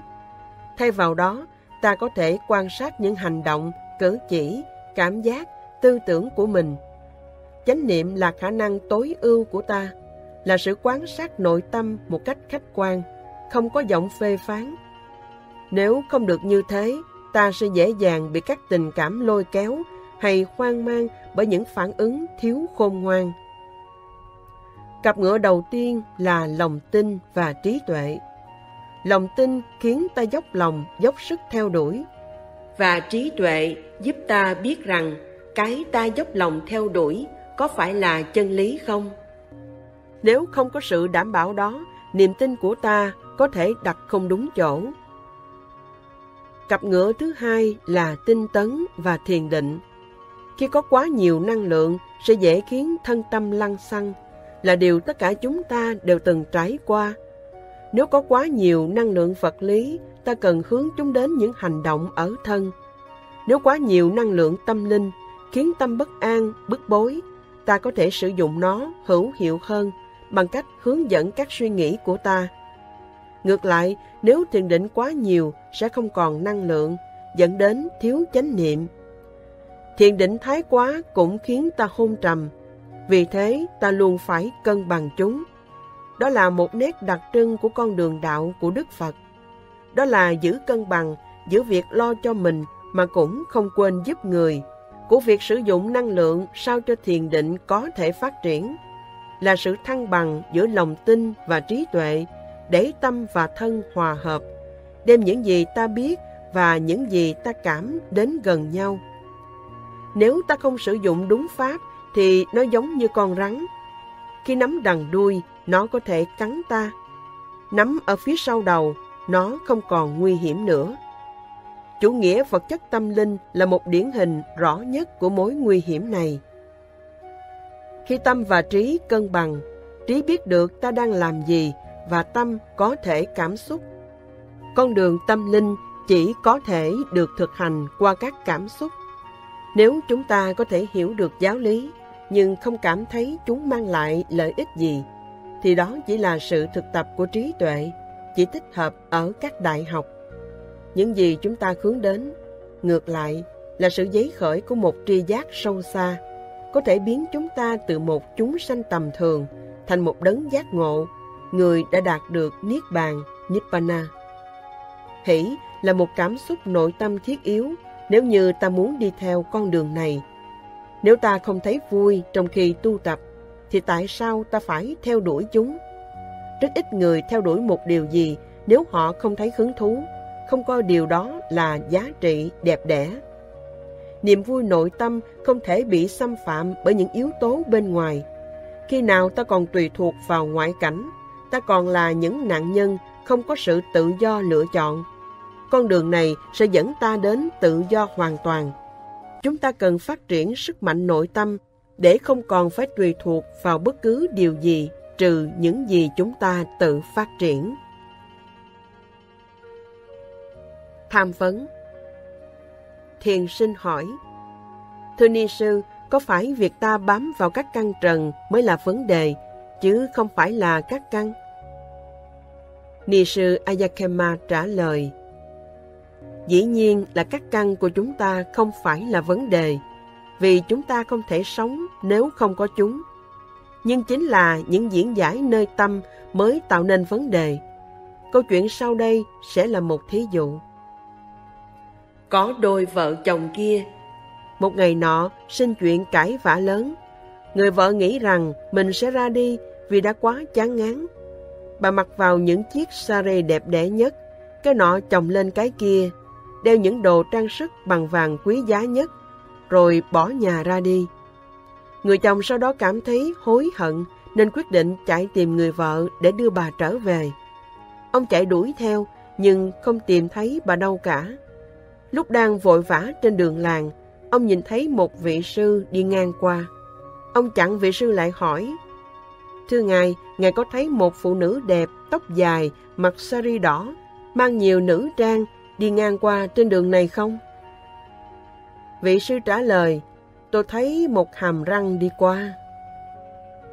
Dầu vị sư đã nhìn thấy người phụ nữ, ông không muốn bắt đầu tự nhủ rằng đây là một người phụ nữ đẹp với mái tóc đen dài, áo sari đỏ, nữ trang vàng chói. Ông đã biết làm sao để thanh tịnh các căn, đến nỗi ông chỉ thấy một hàm răng đi ngang qua. Không phải các căn của ta là vấn đề, chúng ta rất cần chúng. Không thể sống thoải mái mà không có các căn. Thật vậy, cuộc sống của ta sẽ rất khó khăn nếu ta bị mù hay điếc. Vấn đề là ở các suy nghĩ của ta. Thiền sinh Con nghĩ là nếu chúng ta dựa theo quan điểm chánh niệm đó, quá sát sẽ khiến ta thiếu sự tri ân, ngưỡng mộ. Thí dụ, niềm vui của con là con cảm thấy mình tri ân mọi thứ hơn lên. Chim chóc, biển cả, ánh sáng hình như đẹp hơn. Đó không phải là chấp, mà là một cảm giác an lạc, hưng phấn trước cái đẹp của muôn vật, muôn loại. Con không biết phải diễn tả thế nào. Ni sư Tôi hiểu điều em muốn nói. Tuy nhiên ở đây, điều chúng ta muốn nhấn mạnh đó là ta có thể có được niềm vui ở nội tâm mà không cần có sự xúc chạm của các căn. Sự xúc chạm của các căn là điều không thể tránh khỏi. Qua đó, có thể khiến ta tăng thêm lòng ngưỡng mộ cái đẹp. Nhưng hãy cố gắng đừng để phải tùy thuộc vào các vẻ đẹp bên ngoài để tạo niềm vui cho nội tâm. Đừng đợi một động lực nào đó mới phát sinh hỷ lạc. Vẻ đẹp có hiện hữu, nhưng ta cần phải biết các cảm giác xúc chạm sẽ chóng qua, cũng như nhận thức được rằng cuộc sống của chú chim kia cũng đầy đau khổ. Hỷ lạc phát sinh từ sự hiểu biết trong nội tâm rằng vạn pháp đều vô thường, không có gì để ta phải chấp, không có gì để ta lo lắng, không cần phải đi đâu, không cần phải đạt được điều gì. Đức Phật trả phí sự xúc chạm của các căn như là một con bò bị lột da sống, với đàn ruồi luôn bu trên da thịt. Con bò phải khốn khổ luôn vì chúng. Cũng thế, sự xúc chạm của các căn cũng quấy rầy ta luôn, vì tâm ta lúc nào cũng phải cố gắng giải mã chúng. Tiếng chim hót không có gì hơn là âm thanh, nhưng tâm lại vẽ vời ra những câu chuyện khi nghe các âm thanh đó. Nhận thức được sự giới hạn của các căn, chúng ta sẽ quay trở vào tìm niềm vui ở bên trong, chứ không phải ở bên ngoài. Thiền sinh hỏi, Thưa Ni Sư, thế có gì được coi là sự cảm nhận thuần khiết không? Ni Sư trả lời, có một người tên là Pahia, ở vào thời Đức Phật còn tại thế. Pahia là một nhà truyền giáo đã hơn 30 năm và ông tin rằng mình đã giác ngộ. Một đêm kia, một vị Phạm Thiên đã hiện đến ông và nói, Pahia, ông không phải là người giác ngộ, ông còn không biết phải làm thế nào để được giác ngộ. Vị Phạm Thiên đây có thể là tiềm thức. Pakia cảm thấy bối rối, ông nói, tôi không giác ngộ, tôi không biết phương pháp, làm sao tôi học được điều đó? Vị Phạm Thiên trả lời, ông phải đi tìm Đức Phật, Ngài sẽ chỉ cho ông làm sao để được giác ngộ. Pakia lập tức bỏ nhà ra đi tìm Đức Phật. Buổi sáng hôm sau, ông đến được ngôi làng nơi Đức Phật đang có mặt và tìm đến Đức Phật đang trú ngụ. Đức Phật đã đi khất thực. Người quanh đó bảo Bahia, đừng thư hỏi với Đức Phật bây giờ. Ngài đang đi khất thực và sẽ không trả lời ngươi đâu. Nhưng Bahia quá nóng lòng muốn biết làm sao để được giác ngộ, nên ông không nghe theo những lời khuyên này. Ông chạy tìm Đức Phật và gặp Ngài trong làng. Ông đảnh lễ Đức Phật rất trang nghiêm rồi nói Thưa Ngài, con có điều muốn được tham vấn. Đức Phật trả lời Ông đã đến không đúng lúc, ta đang đi khất thực. Nhưng Bahia không thối chí, lại hỏi Đức Phật và lại bị từ chối. Bahia hỏi đến lần thứ ba. Theo truyền thống Ấn Độ, một vị thầy không thể từ chối lời thư hỏi về tâm linh ba lần. Đức Phật trả lời, Thôi được, ông muốn biết điều gì? Bà Hià thưa, con muốn biết làm sao để được giác ngộ. Đức Phật trả lời, đối với người bà Hià, chỉ thấy cái thấy, chỉ nghe cái nghe, chỉ biết cái biết. Bà Hià lễ tạ Đức Phật rồi lui đi. Buổi chiều khi Đức Phật đi cùng với các vị đệ tử, thì thấy thi thể của Bahia ở ven đường ông đã bị một con bò hút phải. Thế thế Đức Phật nói, Bahia đã giác ngộ trước khi chết. Chỉ một câu nói của Đức Phật cũng đủ cho Bahia, người đã tu tập trong 30 năm, nhận thức được giác ngộ là gì. Nhận thức được rằng chỉ thấy cái thấy, chỉ nghe cái nghe, chỉ biết cái biết, có nghĩa là không coi sự xúc chạm của các căn là quan trọng, không coi chúng thuộc về ta, không cần phải phản ứng theo chúng, mà chỉ nên coi chúng như một vở tuồng đang diễn ra. Phật dạy, duyên đến nên quý, duyên hết thì nên buông. Nhân sinh như mộng, buông để an vui. Khi duyên đến, hãy trân trọng. Khi duyên hết, hãy buông bỏ. Cuộc sống như một giấc mộng, để cho tâm hồn được an vui và nhẹ nhàng. Duyên đến, đem theo những giá trị quý báu. Khi duyên tan biến, hãy để nó đi. Như hoa nở mang theo sắc thái tình cảm, hoa rơi mang theo những kỷ niệm không thể cầm trên tay. Người đến đánh thức những hy vọng, người đi để lại những hạnh phúc đã trải qua. Duyên sâu kết nối những tâm hồn, trong khi duyên mỏng chỉ là những sợi tơ mỏng manh. Tất cả đều do duyên gắn kết, tất cả đều phụ thuộc vào duyên. Trong quá trình cuộc sống, chúng ta đôi khi gặp đau khổ và tuyệt vọng. Tuy nhiên, điều quan trọng là chúng ta cần hiểu rằng cuộc sống con người tuân theo những quy luật tự nhiên. Nắm vững những quy luật này sẽ giúp chúng ta sống thông thả, nhẹ nhàng hơn và có thể buông bỏ. Việc buông bỏ cũng chính là quy luật trong cuộc sống này.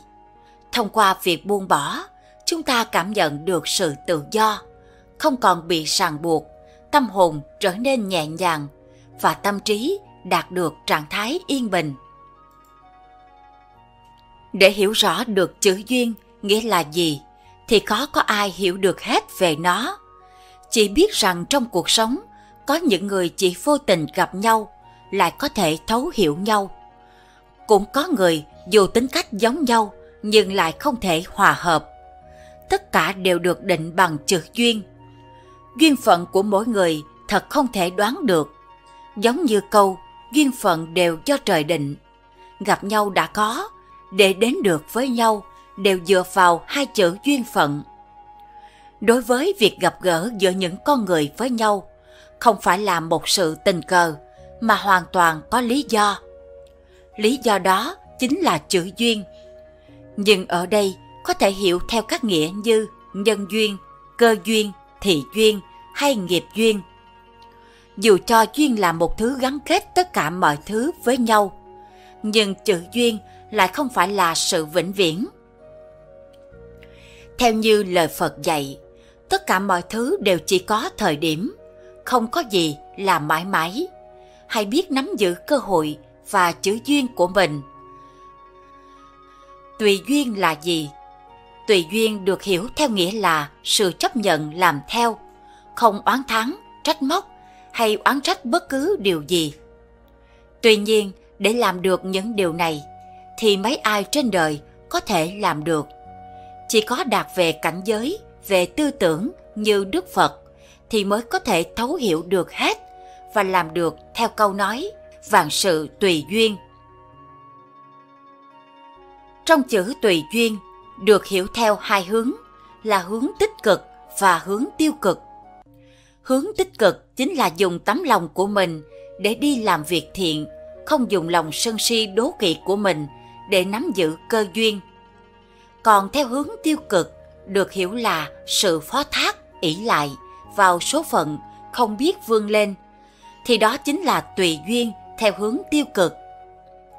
Cũng giống như trong tình yêu, nếu chúng ta thích một người dù có làm cách nào đi chăng nữa trong hạn mức quy định người đó cũng không thể yêu mình thì nên buông bỏ điều này chứng tỏ mình và người đó không có duyên với nhau còn nếu cứ tiếp tục làm quá lên gọi là ép duyên thì tất cả mọi thứ đều trở về con số không và còn khiến bản thân mình đau khổ hơn.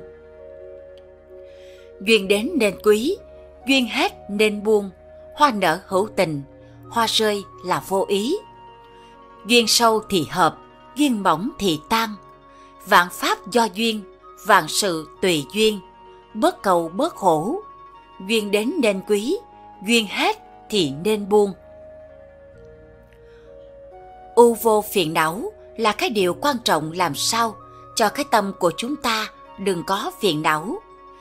Tại vì mình nhớ cái tâm phiền não thì sau cùng mình sẽ bị phiền não. Cái tâm mình vui thì sau cùng mình sẽ vui. Đạo Phật là đạo tiên khổ đắc lạc, khổ là sầu khổ, là phiền não, phải tự mình đi cái này ra.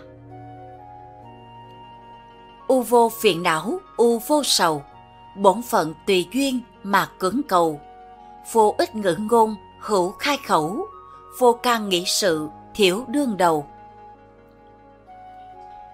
Như vậy, gặp một cảnh giới nào mà chúng ta sợ, nay không sợ. Gặp một cảnh trạng nào mình buồn, nay nhất định đừng buồn. Tất cả những cái đó, đừng để nó chui vào tâm ưu vô phiền não. Đừng để nó chui vào trong tâm ưu vô phiền não, u vô sầu hay vô cùng. Bài thơ này gói gọn cả trong lời khai thị tuyệt vời, giúp chúng ta giữ tâm an tĩnh. Như vậy, gặp một cảnh giới nào mà chúng ta sợ, nay không sợ. Gặp một trận nào mình buồn, nay nhất định đừng buồn. Tất cả những cái đó đừng để nó chui vào trong tâm. U vô phiền não, u vô sầu hay vô cùng. Bổn phận tùy duyên mà cưỡng cầu. Khi một mình làm một việc gì, lúc nào cũng coi có thuận duyên hay không. Nếu thuận duyên thì làm, không thuận duyên thì niệm Phật, chớ nên ráng quá sức. Vì khi ráng quá sức quá đáng khi làm việc gì ngoài bổn phận của mình thường tạo ra phiền não cho nên bổn phận phải tùy duyên. Vô ích ngữ ngôn ngữ khai khẩu câu này cũng thật sự là hay tổ nào cũng nói như vậy hết. Vô ích ngữ ngôn là những lời nói vô ích. Hữu là chẳng đừng đừng có nói đừng khai khẩu. Vô trong đạo tràng khi muốn nói một câu gì mà thấy rằng nói câu này vô ích thì đừng nói. Chính vì vậy, những đạo tràng trang nghiêm thượng như chưa tỏ nhắc nhở rằng nói chuyện thì bỏ đi, đọc kinh thì bớt lại, còn niệm Phật thì thêm nhiều một chút. Những đạo tràng trang nghiêm thường có tổ chức những ngày tĩnh khẩu. Tại vì tĩnh khẩu như vậy, tức là hữu khai khẩu, là đừng có khai khẩu, khai là mở, khẩu là miệng, đừng mở miệng ra nói. Nhờ vậy mà tránh được những chuyện thị phi chấp trước. Nói người này xấu, người kia tốt. Nói những chuyện của thế gian ra. Chính những cái chuyện của thế gian này, nó trói chúng ta lại. Nó trói triết, nó trói triết, trói đến lúc nào nằm xuống rồi thì gặp toàn là những chuyện đó. Tất cả đều do chính cái tâm của mình đã làm sai để chính mình chịu chứ không ai chịu cả vô ích ngữ ngôn là những ngôn ngữ lời nói vô ích không có ích sự gì không có giúp ích cho mình trên con đường vãng sanh thì đừng có nói học cách buông bỏ một người trong tình yêu phù phiếm xa hoa nào rồi cũng tan tình yêu nào rồi cũng nguội lạnh và cảm xúc nào rồi cũng chai sạn có cho một thứ hư vô nào đó là vĩnh cửu. Cuộc sống luôn chật vật giữa yêu và buông. Bởi có yêu thì mới có buông, rồi có buông mới biết mình có yêu. Buông tay không phải là hèn nhát, sợ hãi hay chạy trốn, cũng chẳng phải vì bạn cao thượng nhường tình yêu của mình cho người khác. Đó chỉ đơn giản là vì yêu bản thân của mình và yêu người khác vì thế, nếu cần phải buông tay một người vốn không thuộc về mình và mãi mãi sẽ không thuộc về mình, thì đừng chần chừ, hãy thả tay ra thôi. Đừng để cho tâm lý con cá mất là con cá to trở thành chướng ngại vật lớn trên con đường tới hạnh phúc của bạn. Con người ta cần ngã để học cách đứng dậy, còn đau khổ để biết mình phải buông tay. Đừng níu giữ mãi những thứ làm mình đau, để rồi cả ngày than vãn và u sầu. Hãy mạnh mẽ và học cách buông tay. Có những ngày tháng tưởng chừng như tim đã chết lại, tâm hồn buộc nát, có thể sống như một cái xác. Có những ngày tháng không còn biết nỗi đau thể xác là như thế nào, vì nỗi đau tinh thần đã quá bi thương. Có những ngày tháng sống không còn là sống, mà sống đơn thuần như một kiểu tồn tại. Đời người ngắn ngủi, cho nên đừng đem tuổi thanh xuân quý giá của mình mà lãng phí và nhầm người. Nếu như người khác cần bạn, họ sẽ dành cho bạn một khoảng không gian. Nhiều lúc chúng ta không cần phải dạy dụa trong đau khổ, mà thay vào đó hãy học cách buông bỏ, tìm lối thoát cho riêng mình, học cách buông bỏ phiền não. Cuộc sống hàng ngày vốn nhiều áp lực và pha đập, bạn có thể khó tránh khỏi những bất đồng, va chạm trong công việc, sinh hoạt hàng ngày và các mối quan hệ gia đình, công việc. Khi xảy ra tranh cãi bạn có thể không kiềm chế được bạn nổi nóng hay nặng lời. Kết quả là bạn có thể thắng hoặc thua cuộc, và làm tổn thương người khác hay chính bạn cũng bị tổn thương. Bạn sẽ thấy đau đớn vì những mặc cảm thua cuộc yếu thế.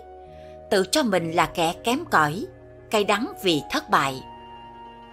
Thậm chí, nhiều người trong chúng ta cảm thấy ân hận trên chiến thắng, bởi đằng sau cái gọi là được mất, hơn thua chiến thắng thất bại đó là những xa cách đổ vỡ và cái tôi ngạo mạn cư xử không có trên dưới, thiếu tôn trọng nhau nếu con người biết buông xả trong đời sống hiện tại, buông đi những danh lợi, những hận thù chấp nhặt, đồng thời xả đi những mưu cầu tính toán cho bản thân, xả đi những tham sân si trong cuộc sống thường nhật, sẽ tự tìm thấy cho bản thân mình niềm an vui và thanh thản trong tâm hồn. Có buông xả thì lòng ta mới rộng mở. Ai nói gì cũng có thể bỏ qua mà không chấp nhận. Nếu ai xúc phạm có thể dễ dàng tha thứ. Nếu có tức giận buồn bã thì cũng chỉ một vài phút, vài giờ, rồi lòng có thể cân bằng bỏ qua. Để rồi khi qua một đêm thức dậy, có thể quên hết để tâm an vui. Nhưng bạn cũng cần biết buông xả, không có nghĩa là bỏ cuộc, dẹp hết tất cả chỉ để lo cho bản thân mình. Buông xả không có nghĩa là chối bỏ, trốn tránh trách nhiệm. Buông xả nhưng phải luôn giữ trọn trách nhiệm của một con người. Khi tâm hồn trong sáng vui vẻ, là bạn đang tiến dần đến mục tiêu thành công của cuộc sống mà chúng ta mong đợi chúng ta sẽ làm việc tốt hơn, sống đam mê hơn, nhân hậu tha thứ và rộng mở, học thêm được nhiều điều. Hạnh phúc, bình an, nhận được nhiều yêu thương khi biết buông xả cũng là một nghệ thuật sống mang lại bình an cho mọi người. Buông bỏ để trở về chính mình. Đôi khi ta cúi đầu là để nhìn cho rõ con đường mình bước đi. Rất nhiều người nhận thấy bản thân mình có quá nhiều thứ đều là những thứ không cần thiết, không như ý, tuy nhiên lại không muốn bỏ xuống được, thể diện khiến họ không buông được. Cuối cùng chết vì thể diện. Mệt mỏi hay không mệt mỏi là phụ thuộc vào cái tâm của bạn. Trong căn phòng tâm hồn, nếu không được quét sạch thì sẽ bị bụi trần bao phủ. Quét sạch bụi trần mới có thể khiến cái tâm ảm đạm trở nên tươi sáng, đem lại sự tình, làm rõ mới có thể từ giả mọi buồn phiền để một vài thống khổ vô vị mà ném xuống hạnh phúc sẽ tràn ngập không gian. Trong lòng còn hoài nghi, làm việc rất khó thành. Dùng người thì không nghi, đã nghi thì không dùng người. Không nên lấy sự hoài nghi của mình để nhận định suy nghĩ của người khác. Không nên ngờ vực người khác một cách vô căn cứ. Nếu không, sẽ ảnh hưởng đến tình hữu nghị lâu dài. Lập tức hành động thì thành công không giới hạn. Nhận biết rõ sự tình rồi thì không nên nhu nhược, thiếu quyết đoán. Nhìn rõ một con đường rồi cũng nên chỉ biết bước đi, đừng nên quay đầu nhìn lại. lập tức hành động là đặc điểm chung của những người thành công buông bỏ quá khứ lòng bạn mới có thể đón nhận niềm vui mới có thể thay đổi tâm trạng của bạn học cách bình tĩnh đón nhận sự thật học cách thuận theo tự nhiên học cách bản thân mình bình thản đối mặt với mọi khó khăn. Học cách nhìn cuộc sống với con mắt tích cực. Học cách nhìn vào chỗ tốt của mọi sự việc trên đời. Quyết tâm thay đổi số phận. Bí quyết tuyệt vời nhất chính là đem mọi việc bạn làm dù đơn giản, bình thường, cũng khiến nó trở thành thành thục. Luôn nhớ nhắc nhở bản thân mình rằng bạn nên tiến về phía trước.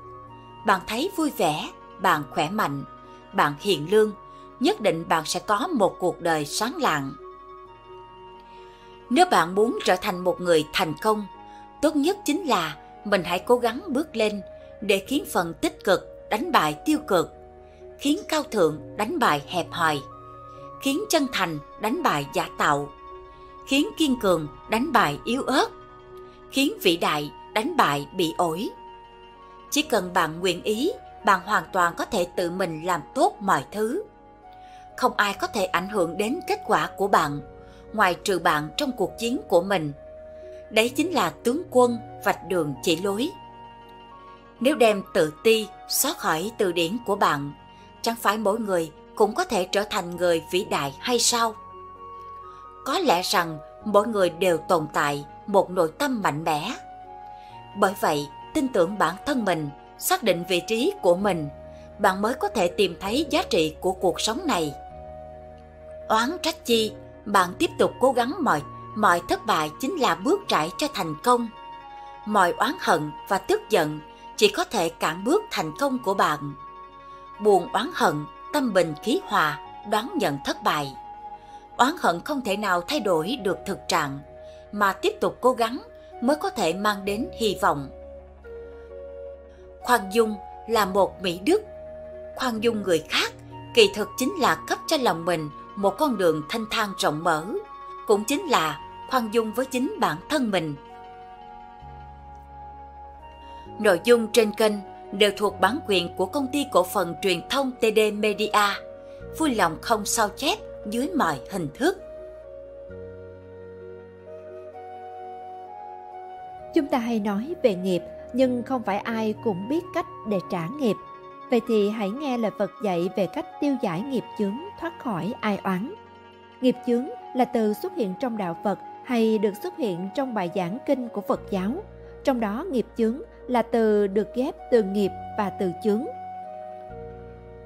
Ở đây, nghiệp có nghĩa là khởi đầu, tạo sự nghiệp, còn tùy vào hành động và từng trường hợp để phân định.